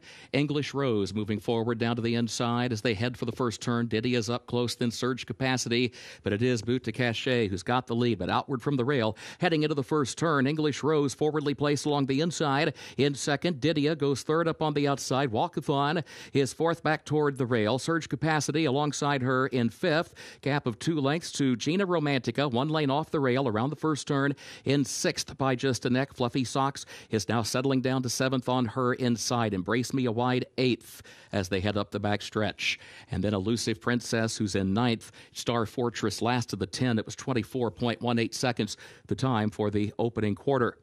Beaute Cachet has made the top clear, leads at a length against the rail. Didia a second by a head, and then English Rose third toward the inside. Surge Capacity looks toward the outside in fourth, and then Walkathon is fifth. It was 48.65 seconds for the first half mile. Gina Romantica is in sixth position between horses, has embraced me to her outside. That pair six lengths off the lead. They're midway on the final turn. Beaute Cachet leads it by a length. Didia second on the outside a length. English Rose is third. Surge Capacity Fourth up on the outside at the top of the lane. Beaute Cachet still has the lead. Didia, English Rose toward the inside. Then surge capacity. Gina Romantica is still six lengths away. They're into the final furlong. Beaute Cachet leads it. English Rose to the inside. Didia still there. Beaute Cachet in front. English Rose is still two lengths away. Beaute Cachet in deep stretch here, chased by English Rose. Beaute Cachet, 25 to 1 upset under Frankie Dettori in the grade one Jenny Wiley.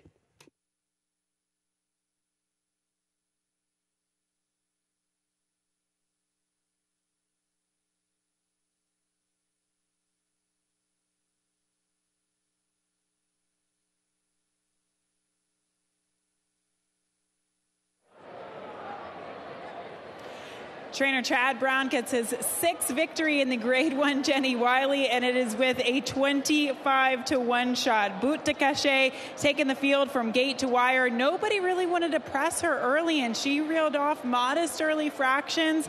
Nobody pressured her. We saw a late bid from the number five horse in the late stages of the race, but she could not quite catch her. Beaute Cachet going gate to wire. Trainer Chad Brown, Madaket Lazzinnaro as well, and Frankie Dettori and the irons for the Grade 1 Jenny Wiley.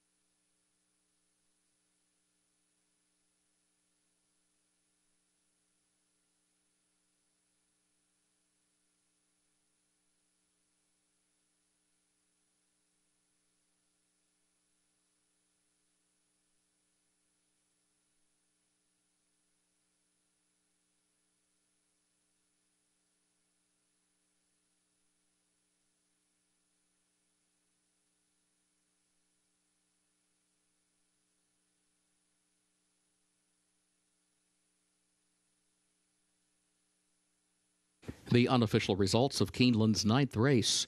Number 10, Beaute Cachet, was first. Number 5, English Rose, was second. Number 9, Didia, third. Number 7, Surge Capacity, was fourth. 10 5, 9 7, the unofficial results.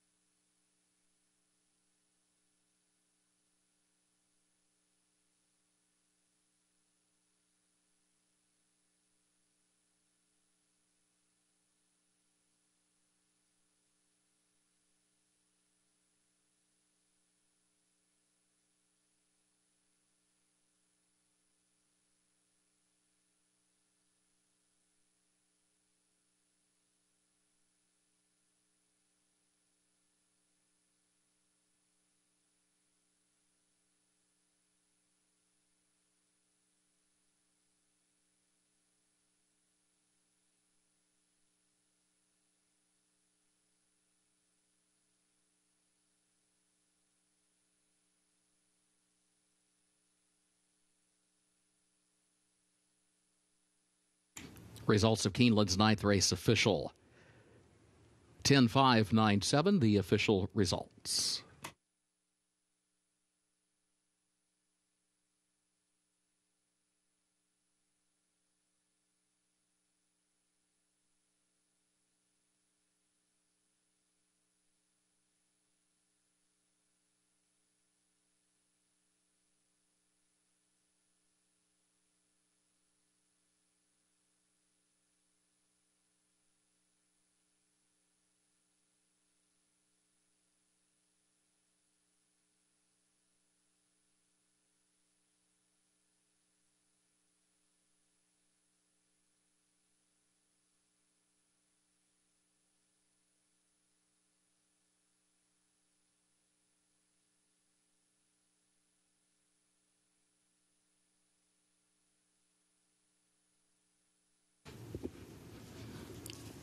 The official winner of Keeneland's ninth race, 36th running of the Jenny Wiley Stakes Grade 1, Beaute Cachet.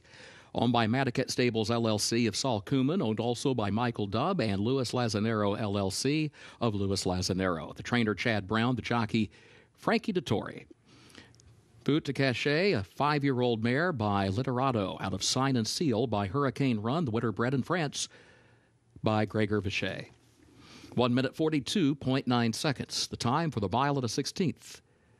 Over the turf listed good.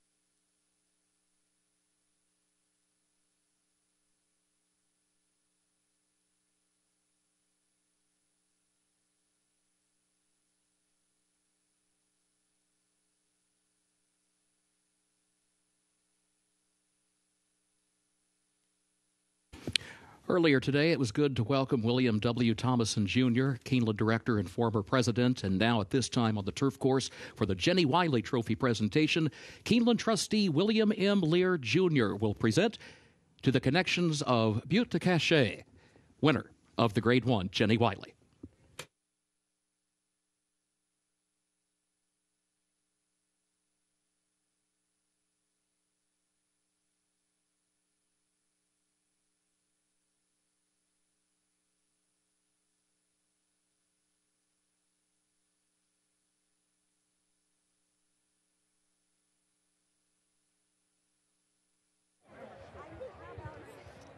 Beaute Cachet taking the field gate to wire in the grade one Jenny Wiley and here with winning rider Frankie Dettori. A couple of days ago, you won a race at Keeneland. You didn't do the flying dismount. There are a lot of disappointed people Not in the today. crowd. Not today. You stuck the landing. Congratulations. But Frankie, take us through this trip. Were you surprised that you didn't really get any pace pressure today?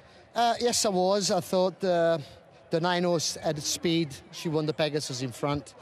But Chad left it to me, and she broke well, and uh, I was able to get to the front in my own terms.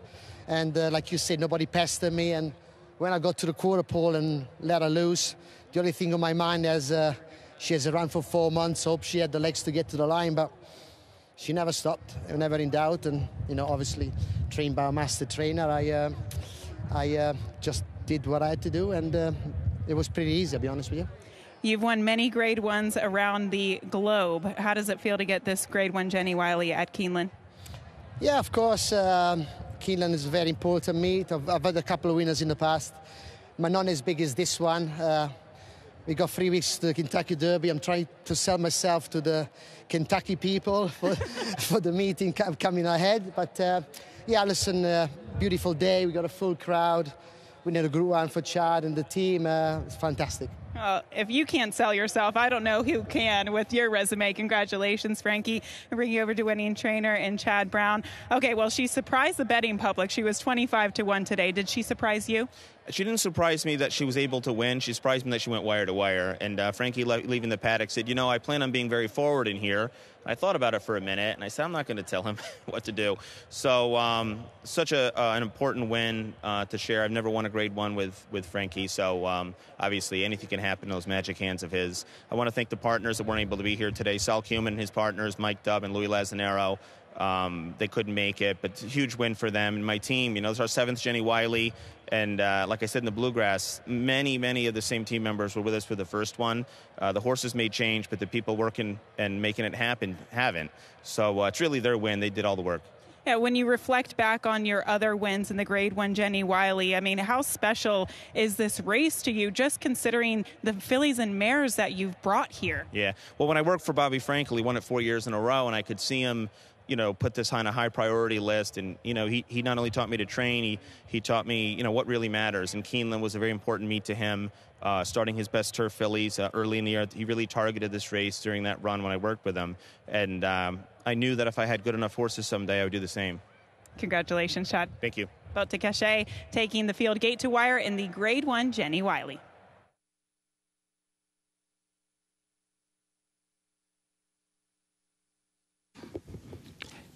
Thank you, Gabby.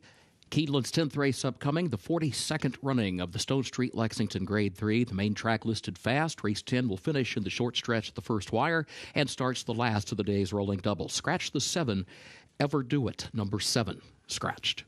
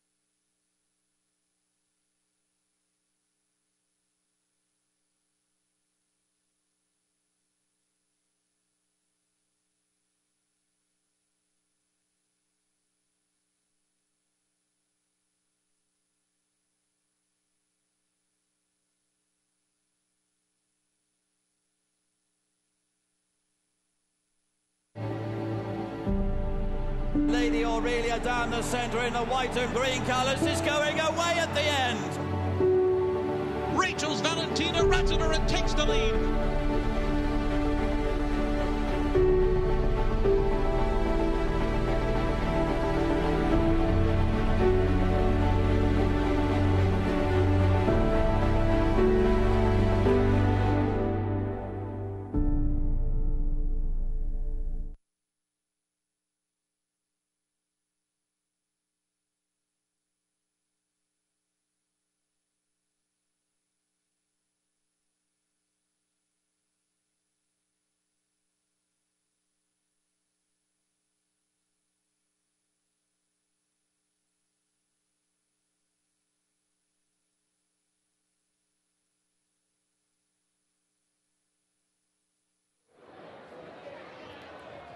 It is now time for the Grade 3 Stonestreet Lexington, the final opportunity for these three year olds to get Derby points uh, just a couple weeks out from the 150th running of the Kentucky Derby. And they're going to be heading out to the main track at the distance of a mile and a 16th. And you're taking a look at the number 10, Lucky Jeremy, for trainer Billy Morey. I was at Turfway Park when this horse ran last time out in the Jeff Ruby Stakes. And I remember uh, interviewing the trainer prior to the race and asking him whether or not he thought he would take to the all weather surface. Now, he has won many titles at Turfway Park in the past, so he would know a thing or two about horses taking to that specific surface. And going into the race, he thought he would. Now, in hindsight, I don't know that it is his best surface. He still ran really well, and I think he got a lot out of it. Being involved in that pace, going a mile and an eighth, and now today cutting back to a mile and a 16th. The last time he was on the dirt, it was in the Grade 3 Sunland Derby, and Stronghold won that race. Uh, Stronghold would go on to win the Grade 1 Santa Anita Derby. And I know some people might think, uh, well, the California contingent might not be that strong with regard to this year's Kentucky Derby. And I would disagree. I think Stronghold is a really nice horse. I think the second place finisher in the Sunland Derby is really nice. A lot of luck. So therefore, I have confidence in Lucky Jeremy, and I have confidence that he can clear the field from that outside post position and have this forward trip on a track that is very kind to speed. And on top of that, considering the mile and a 16th, that short stretch, you definitely don't want to be too far off of the pace.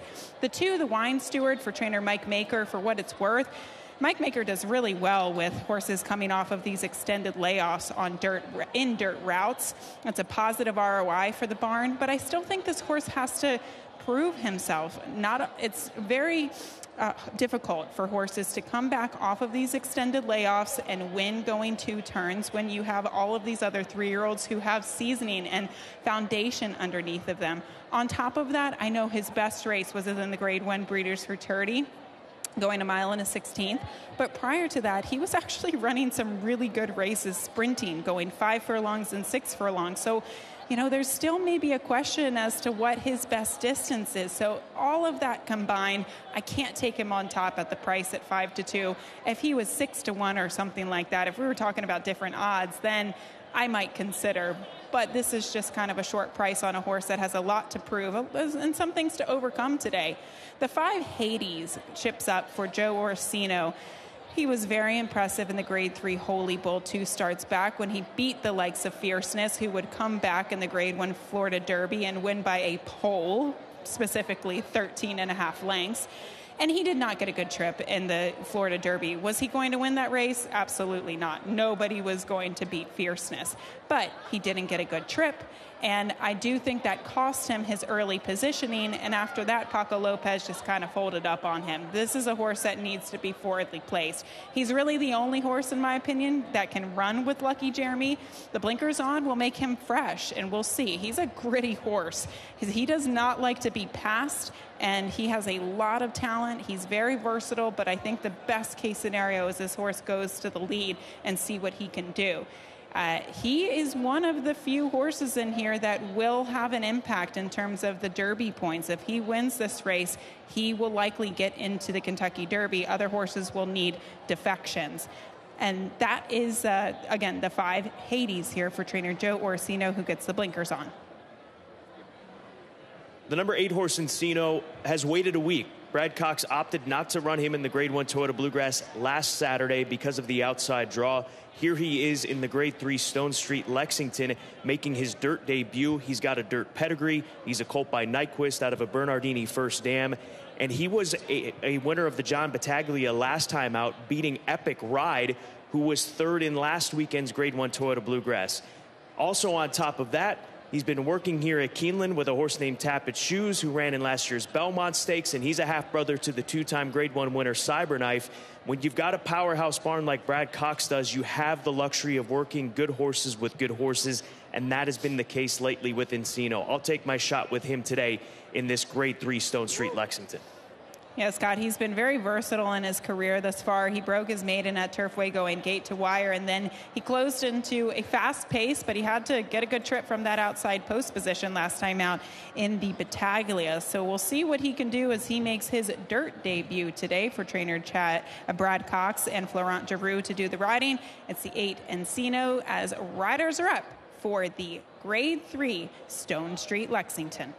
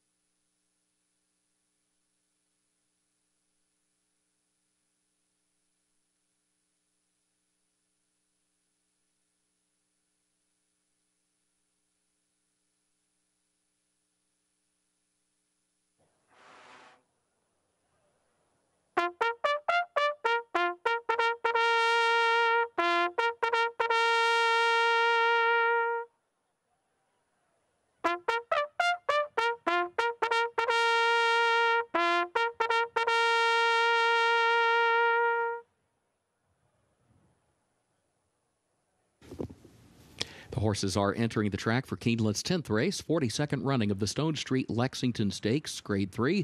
Three year olds at a mile and a 16th over the fast main track. Race will finish in the short stretch at the first wire and starts the last of the day's rolling double. Scratch the seven, ever do it. Number seven, scratch. Post time in less than five minutes.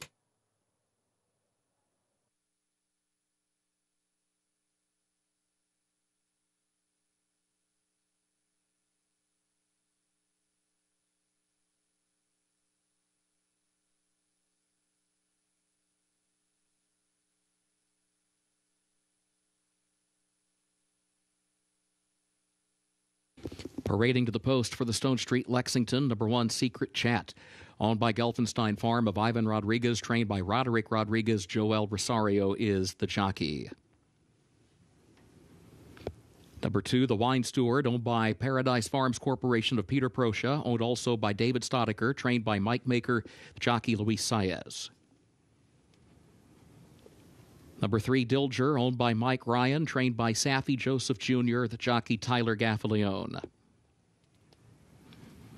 Number four, Footprint, owned by Greg McDonald, trained by Kenny McPeek, the jockey, Brian Hernandez Jr. Five, Hades, owned by DJ Stable LLC of Leonard Green, owned also by Robert Cochran, trained by Joe Orseno, the jockey, Jose Ortiz. Six, How's Your Attitude, owned by Welch Racing LLC of George Huff, trained by John Ennis, jockey is Adam Beschizza. Seven is Scratched. Eight, Encino, races for Godolphin LLC of Mohammed Al Maktoum and others, trained by Brad Cox, jockey Florent Geroux.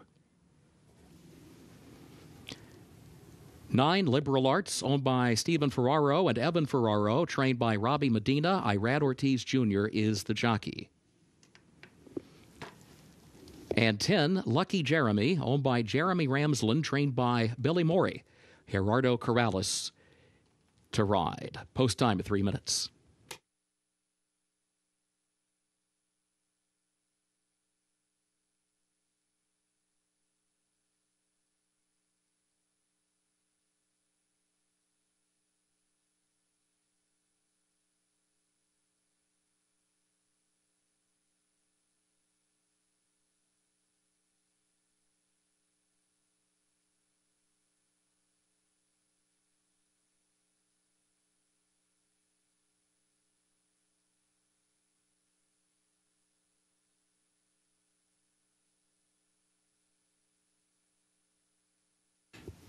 The winner of the Stonestreet Best Turned Out Award for the Stonestreet Lexington, Jose Maria Estrada, the groom for number nine, Liberal Arts. The award presented by the Jockey Club Safety Net, a charitable trust which provides financial relief and assistance to needy members of the thoroughbred industry and their families. Jose Maria Estrada, congratulations.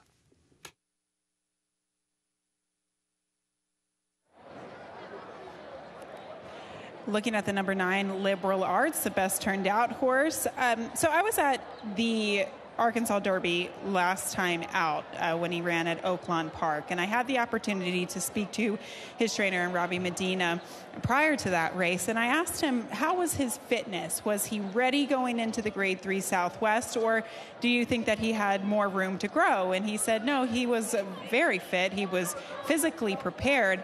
It's the mental aspect of this horse. Sometimes he can be an overthinker and lose his cool in the afternoon. Now, he did a little bit in the Southwest, and he definitely did in the Arkansas Derby last time out. You could see him just kind of unraveling prior to post time in that race. When he walked into the paddock, he looked fine. He looked great. And then he started to unravel a little bit. So I think the key for him is to really keep his composure today. I he's getting a little warm, but I don't mind that. Overall, he looks good. And look, sometimes Oaklawn can be a tricky track because of that indoor uh, paddock. Then they have to go out to the turf course. There's a lot of things going on prior to the race. This is more of a, a, an easy approach to get to the starting gate. So maybe he can turn things around, but he does look good here for Robbie Medina. The number 10, Lucky Jeremy. I like this horse. I liked him on, on paper. I like him physically he's not going to have an easy task of clearing the field and getting the lead here, but he couldn't look any better coming into today. Just a nice shiny coat, and he looks like a happy horse for the connection. So, all good to report there. And then one other horse I'll give you at a big, big price 37 to 1 on the three Dilger. This horse had made a nice appearance. Uh, he totally turned things around last time out. I don't know that that was a legitimate performance. And look, he is definitely bred for turf. He's by Lope de Vega. He's out of a majestic perfection mare. There's definitely turf there. You would uh, understand why his career started off on the turf, but he popped up in a big way last time out. And physically, he's just really broad through his chest, really powerful behind the saddle. Maybe this is a horse that could do some damage at a big price uh, over 30 to 1 on him. But very competitive field here for the grade 3 Stonestreet Lexington. Horses are heading to post here. Good luck.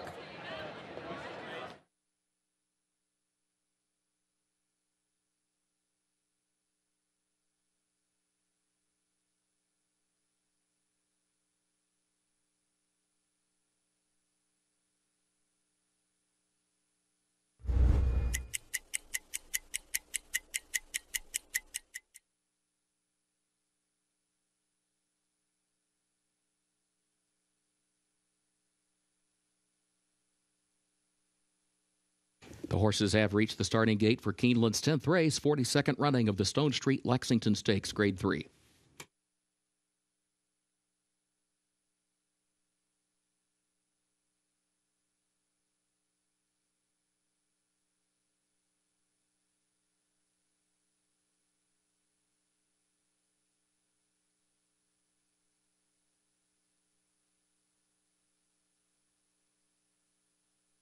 Moving into line, race 10.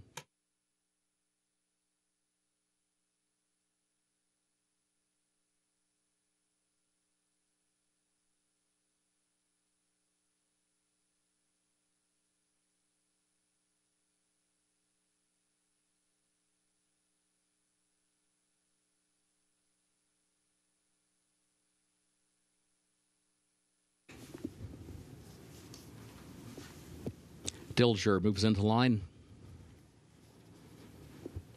Footprint and now Encino.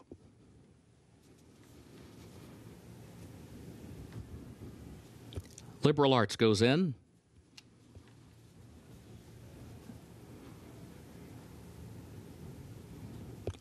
Lucky Jeremy, the last one, coming forward.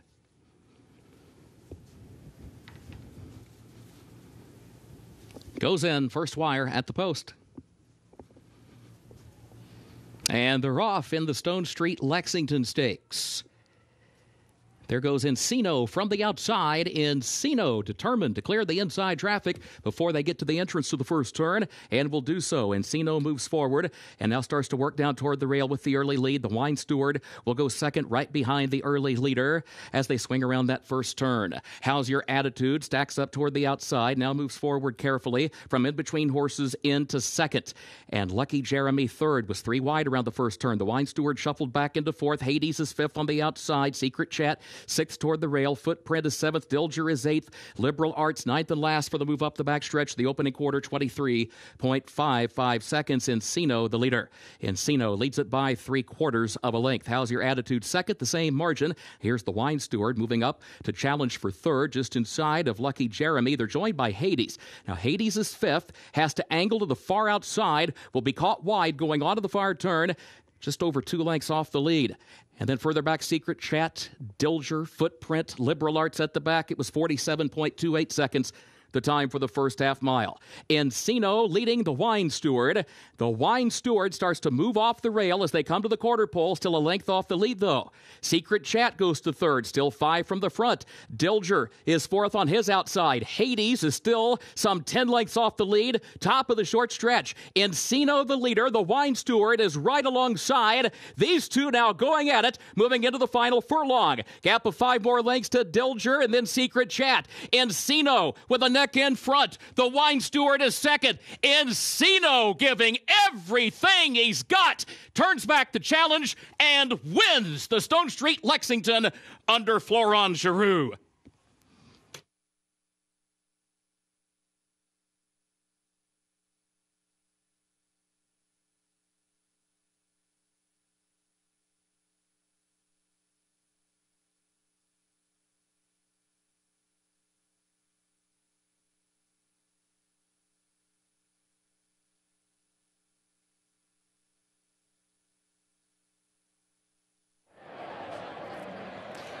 Encino broke awesome today and found himself in a forward position under jockey Florent Geroux, and every other horse was just pretty much chasing in his wake. But this horse dug in gamely as the wine steward came up on his flank, tried to challenge him, but he got back at him and dug in even harder to stay on for the victory in the end. Encino, your winner of the Grade 3 Stonestreet Lexington home, homebred for Godolphin and Brad Cox, Florent Geroux to do the riding.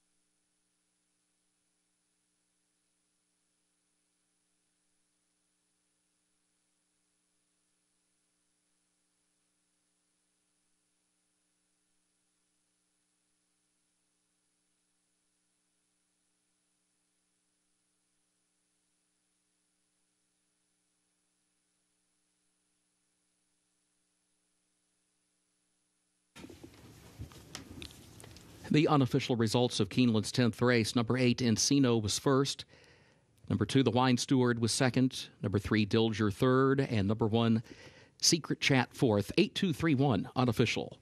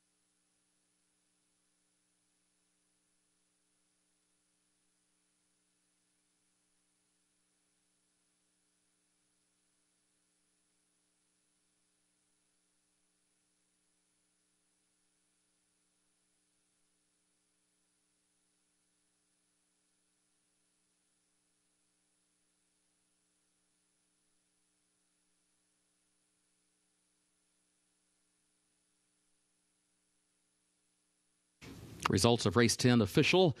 The official winner of race 10, the 42nd running of the Stonestreet Lexington Stakes Grade 3, number 8, Encino.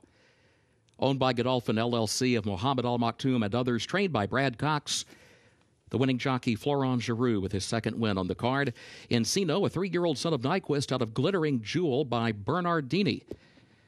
Two graded stakes winners on the card today from Bernardini First Dams. The winner bred in Kentucky by Godolphin. Time for the mile at a 16th over the main track listed fast, 1 minute 43.93 seconds.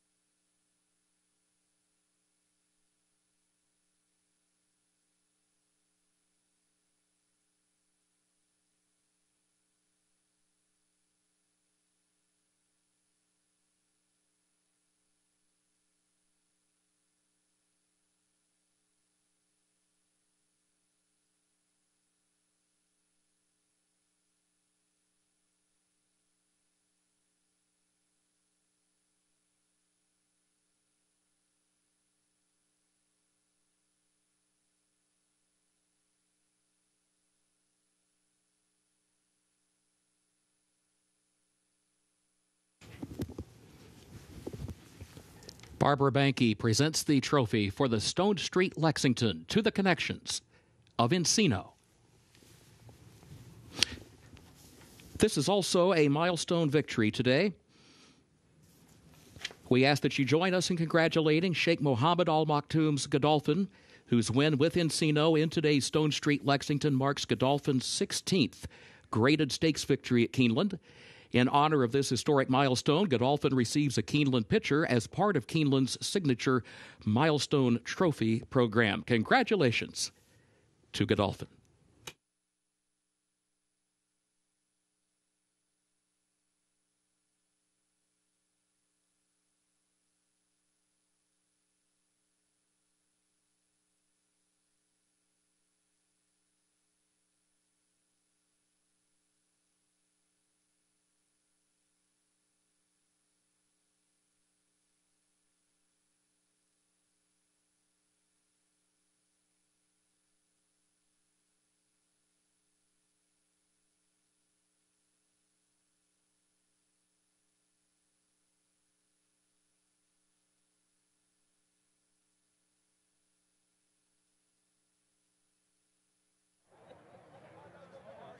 Here with the winning connections in the Grade 3 Stonestreet Lexington. Encino gets the victory. And Flo, let's go back to the start.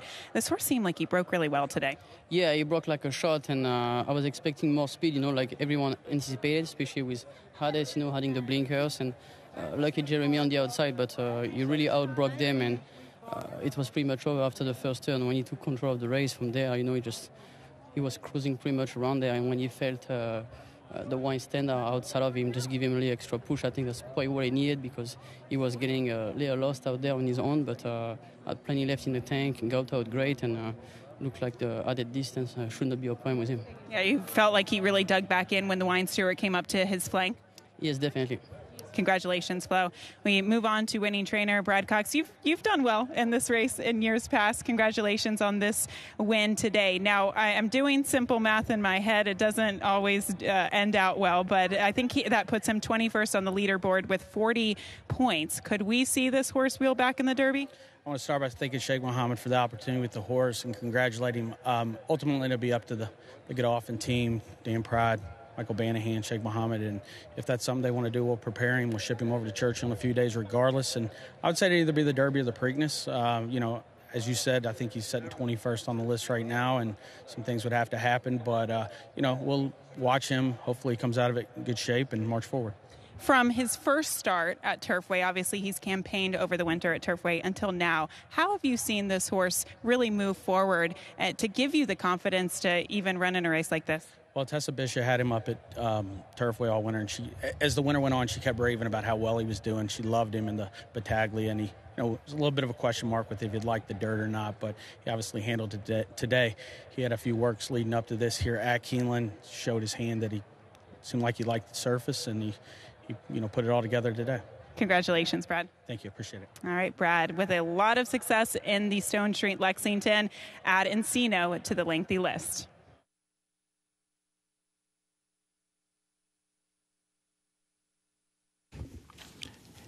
Thank you, Gabby. Keeneland's 11th and final race upcoming. No carryover for the Toyota Super High 5. Turf listed good, rail at zero feet.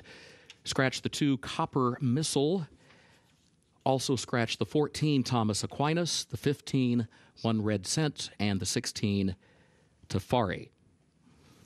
A reminder number 13 Breakout draws into the race. The jockey will be Jose Ortiz as programmed.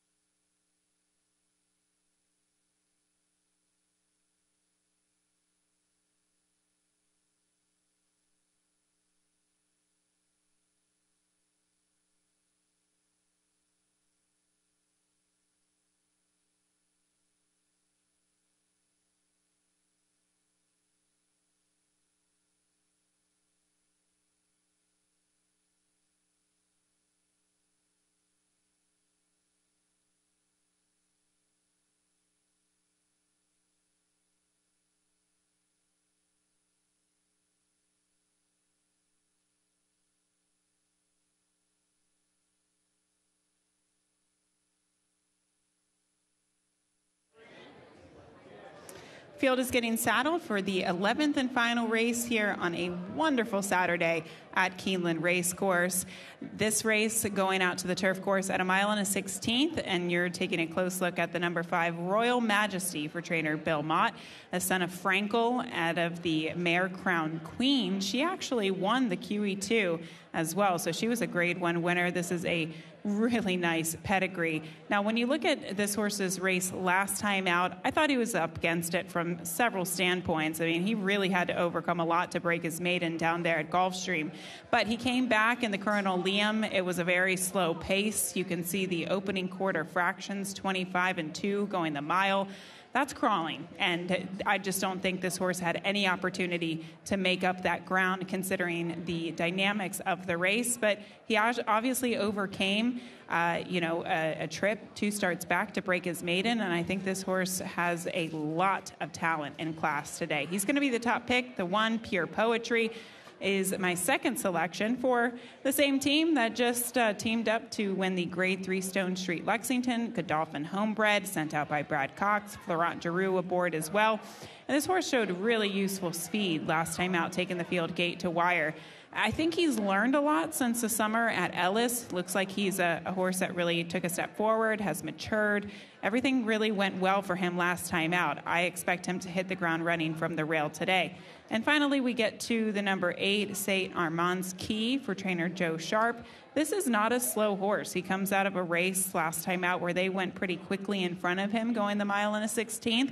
He was in the thick of it early, and that was his first race since the fall of last year. So I think he definitely got something out of it. Tired a little bit late, but maybe he comes back a stronger, fitter racehorse today, and he looks to have a forward trip under Tyler Gaffalione. He's sitting on the board, big odds right now at 18 to 1. We'll get a closer look at these horses and report trackside in just a few moments, 11 minutes away from the 11th and final race. Good luck.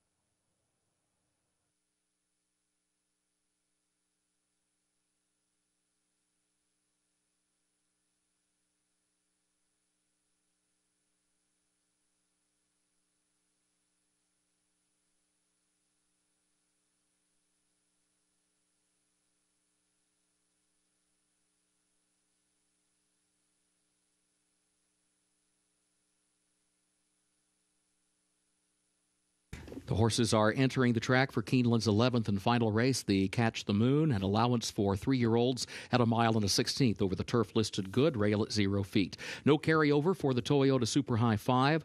Scratch the 2 Copper Missile. Also scratch the 14 Thomas Aquinas, the 15 One Red Cent, and the 16 Tafari. A reminder number 13 breakout draws into the race. Jose Ortiz will ride as programmed. Post time, less than five minutes.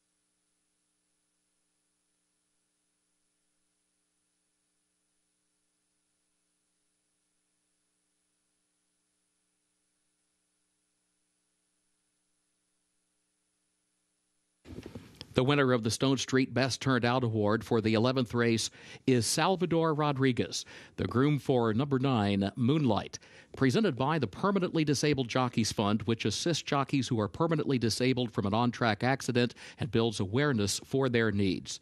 Salvador, congratulations.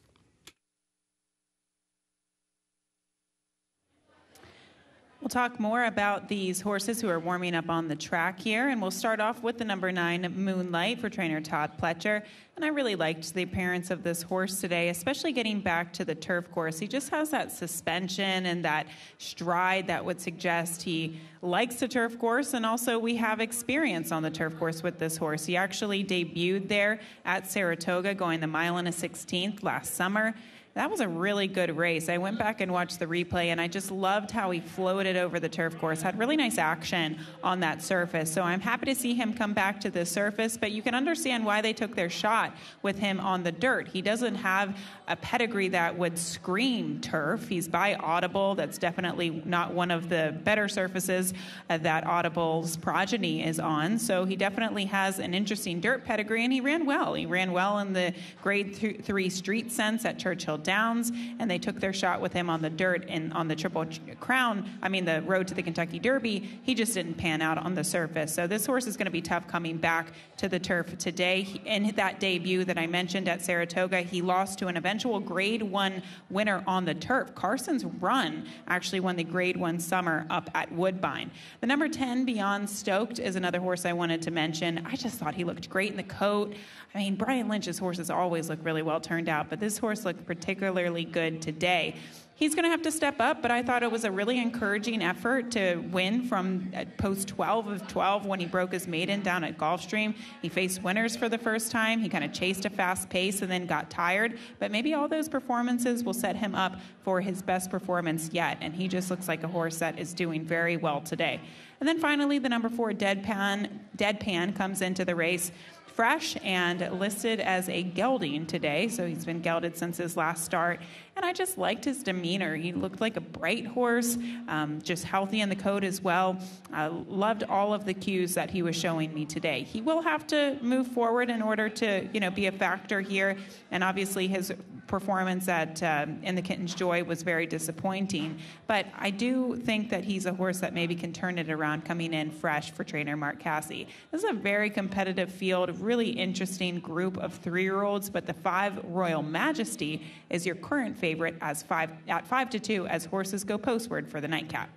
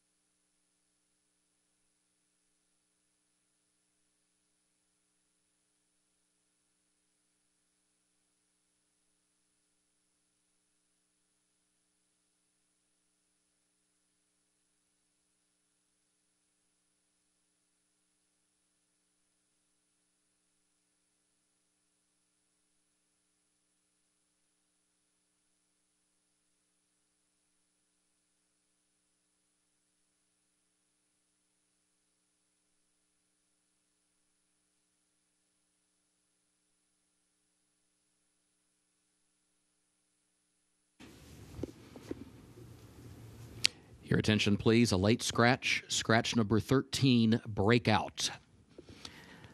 Late scratch in Keeneland's 11th and final race, scratch number 13, breakout.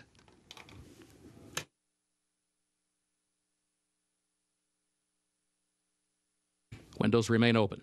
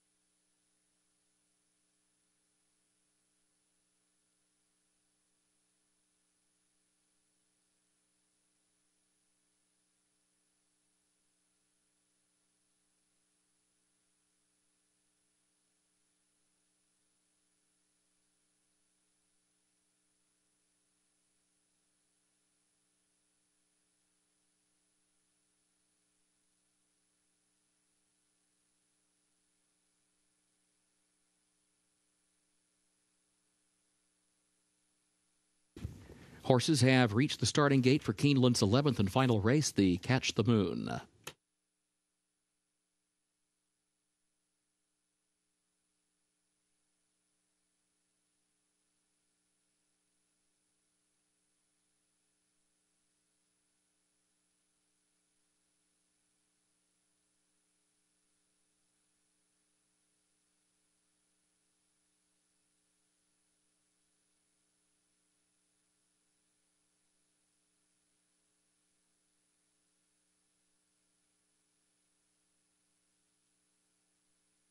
Moving into line, race 11.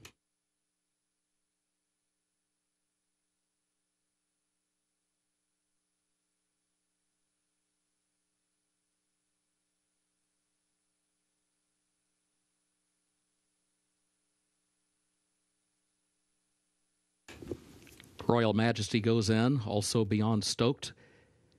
Gorilla Trek moves into line, and now Frontline Warrior. Carl with a gnarl will be the last one to load. Comes forward now, moves in at the post. And they're off. There's Pure Poetry from the inside. Pure Poetry comes right out for the lead. Incinerator comes away in second. St. Armand's Key now comes forward, moves up in second, just off the leader's flank. Incinerator drops back into the third position. Beyond Stoked is fourth up on the outside. Moonlight fifth back toward the rail, entering the first turn. Royal Majesty in tight toward the rail in sixth. Gorilla Trek is seventh. Frontline Warrior three wide moves up a couple of positions from eighth toward the center of the pack.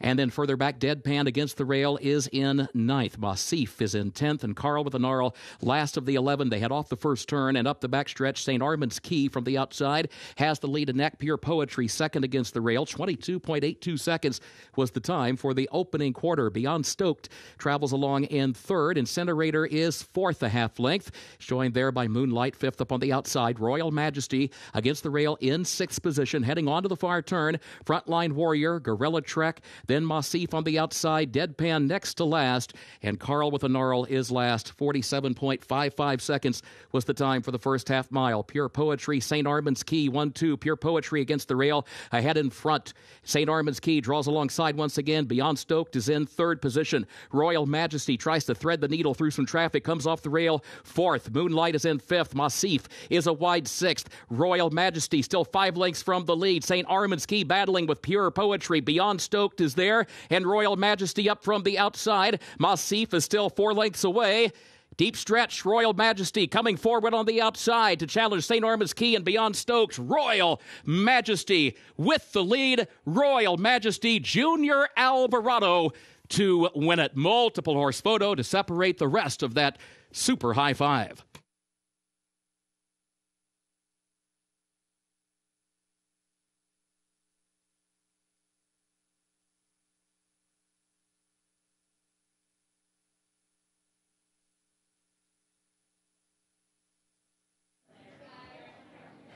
Royal Majesty, lightly raced but full of talent today. We can see Junior Alvarado at this point just angling out to about the three or four path and asking for more from the five Royal Majesty. And he just blew around the other horses that were to his inside, the 10 and the 8. They start to fade. It's going to make it a very close finish for second, but no doubt about the winner, the five Royal Majesty, taking the 11th and final.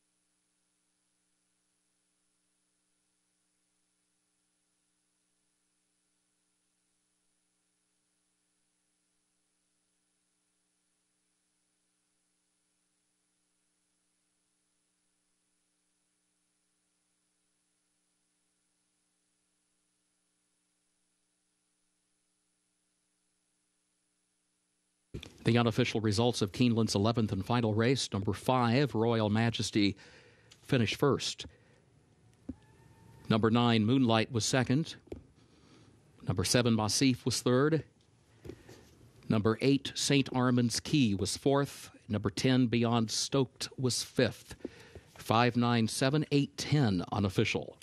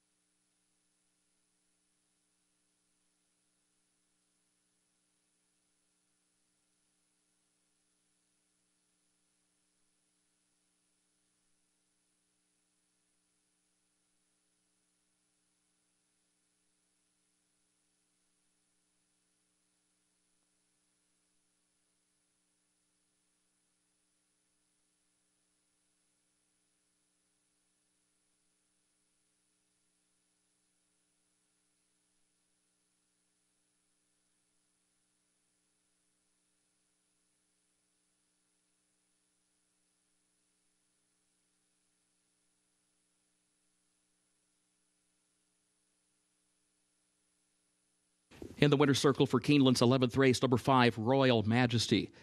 Owned by Besilu Stables of Ben Leon Jr., trained by Bill Mott, the jockey Junior Alvarado. Royal Majesty, a three year old son of Frankel out of Crown Queen by Smart Strike, bred in Great Britain by Besilu Stables LLC.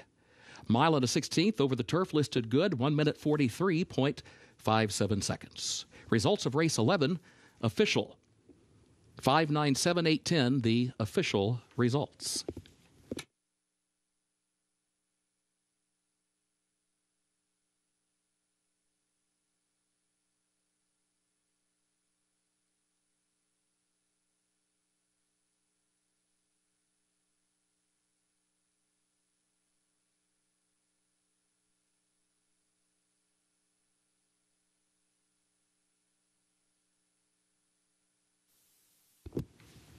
In the winner's circle, the trophy presentation for the Catch the Moon.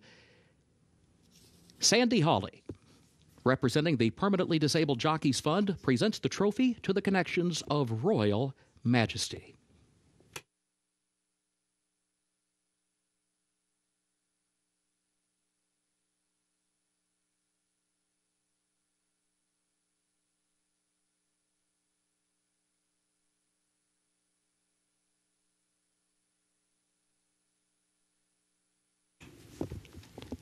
Pick six pays on six of six with a consolation five of six.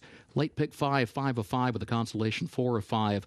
There will be a carryover for the Toyota Super High Five, $9,926 the carryover when live racing resumes tomorrow, 1 p.m. Eastern. The second floor grandstand, including the sports bar and the mezzanine bar, remain open for another 30 minutes.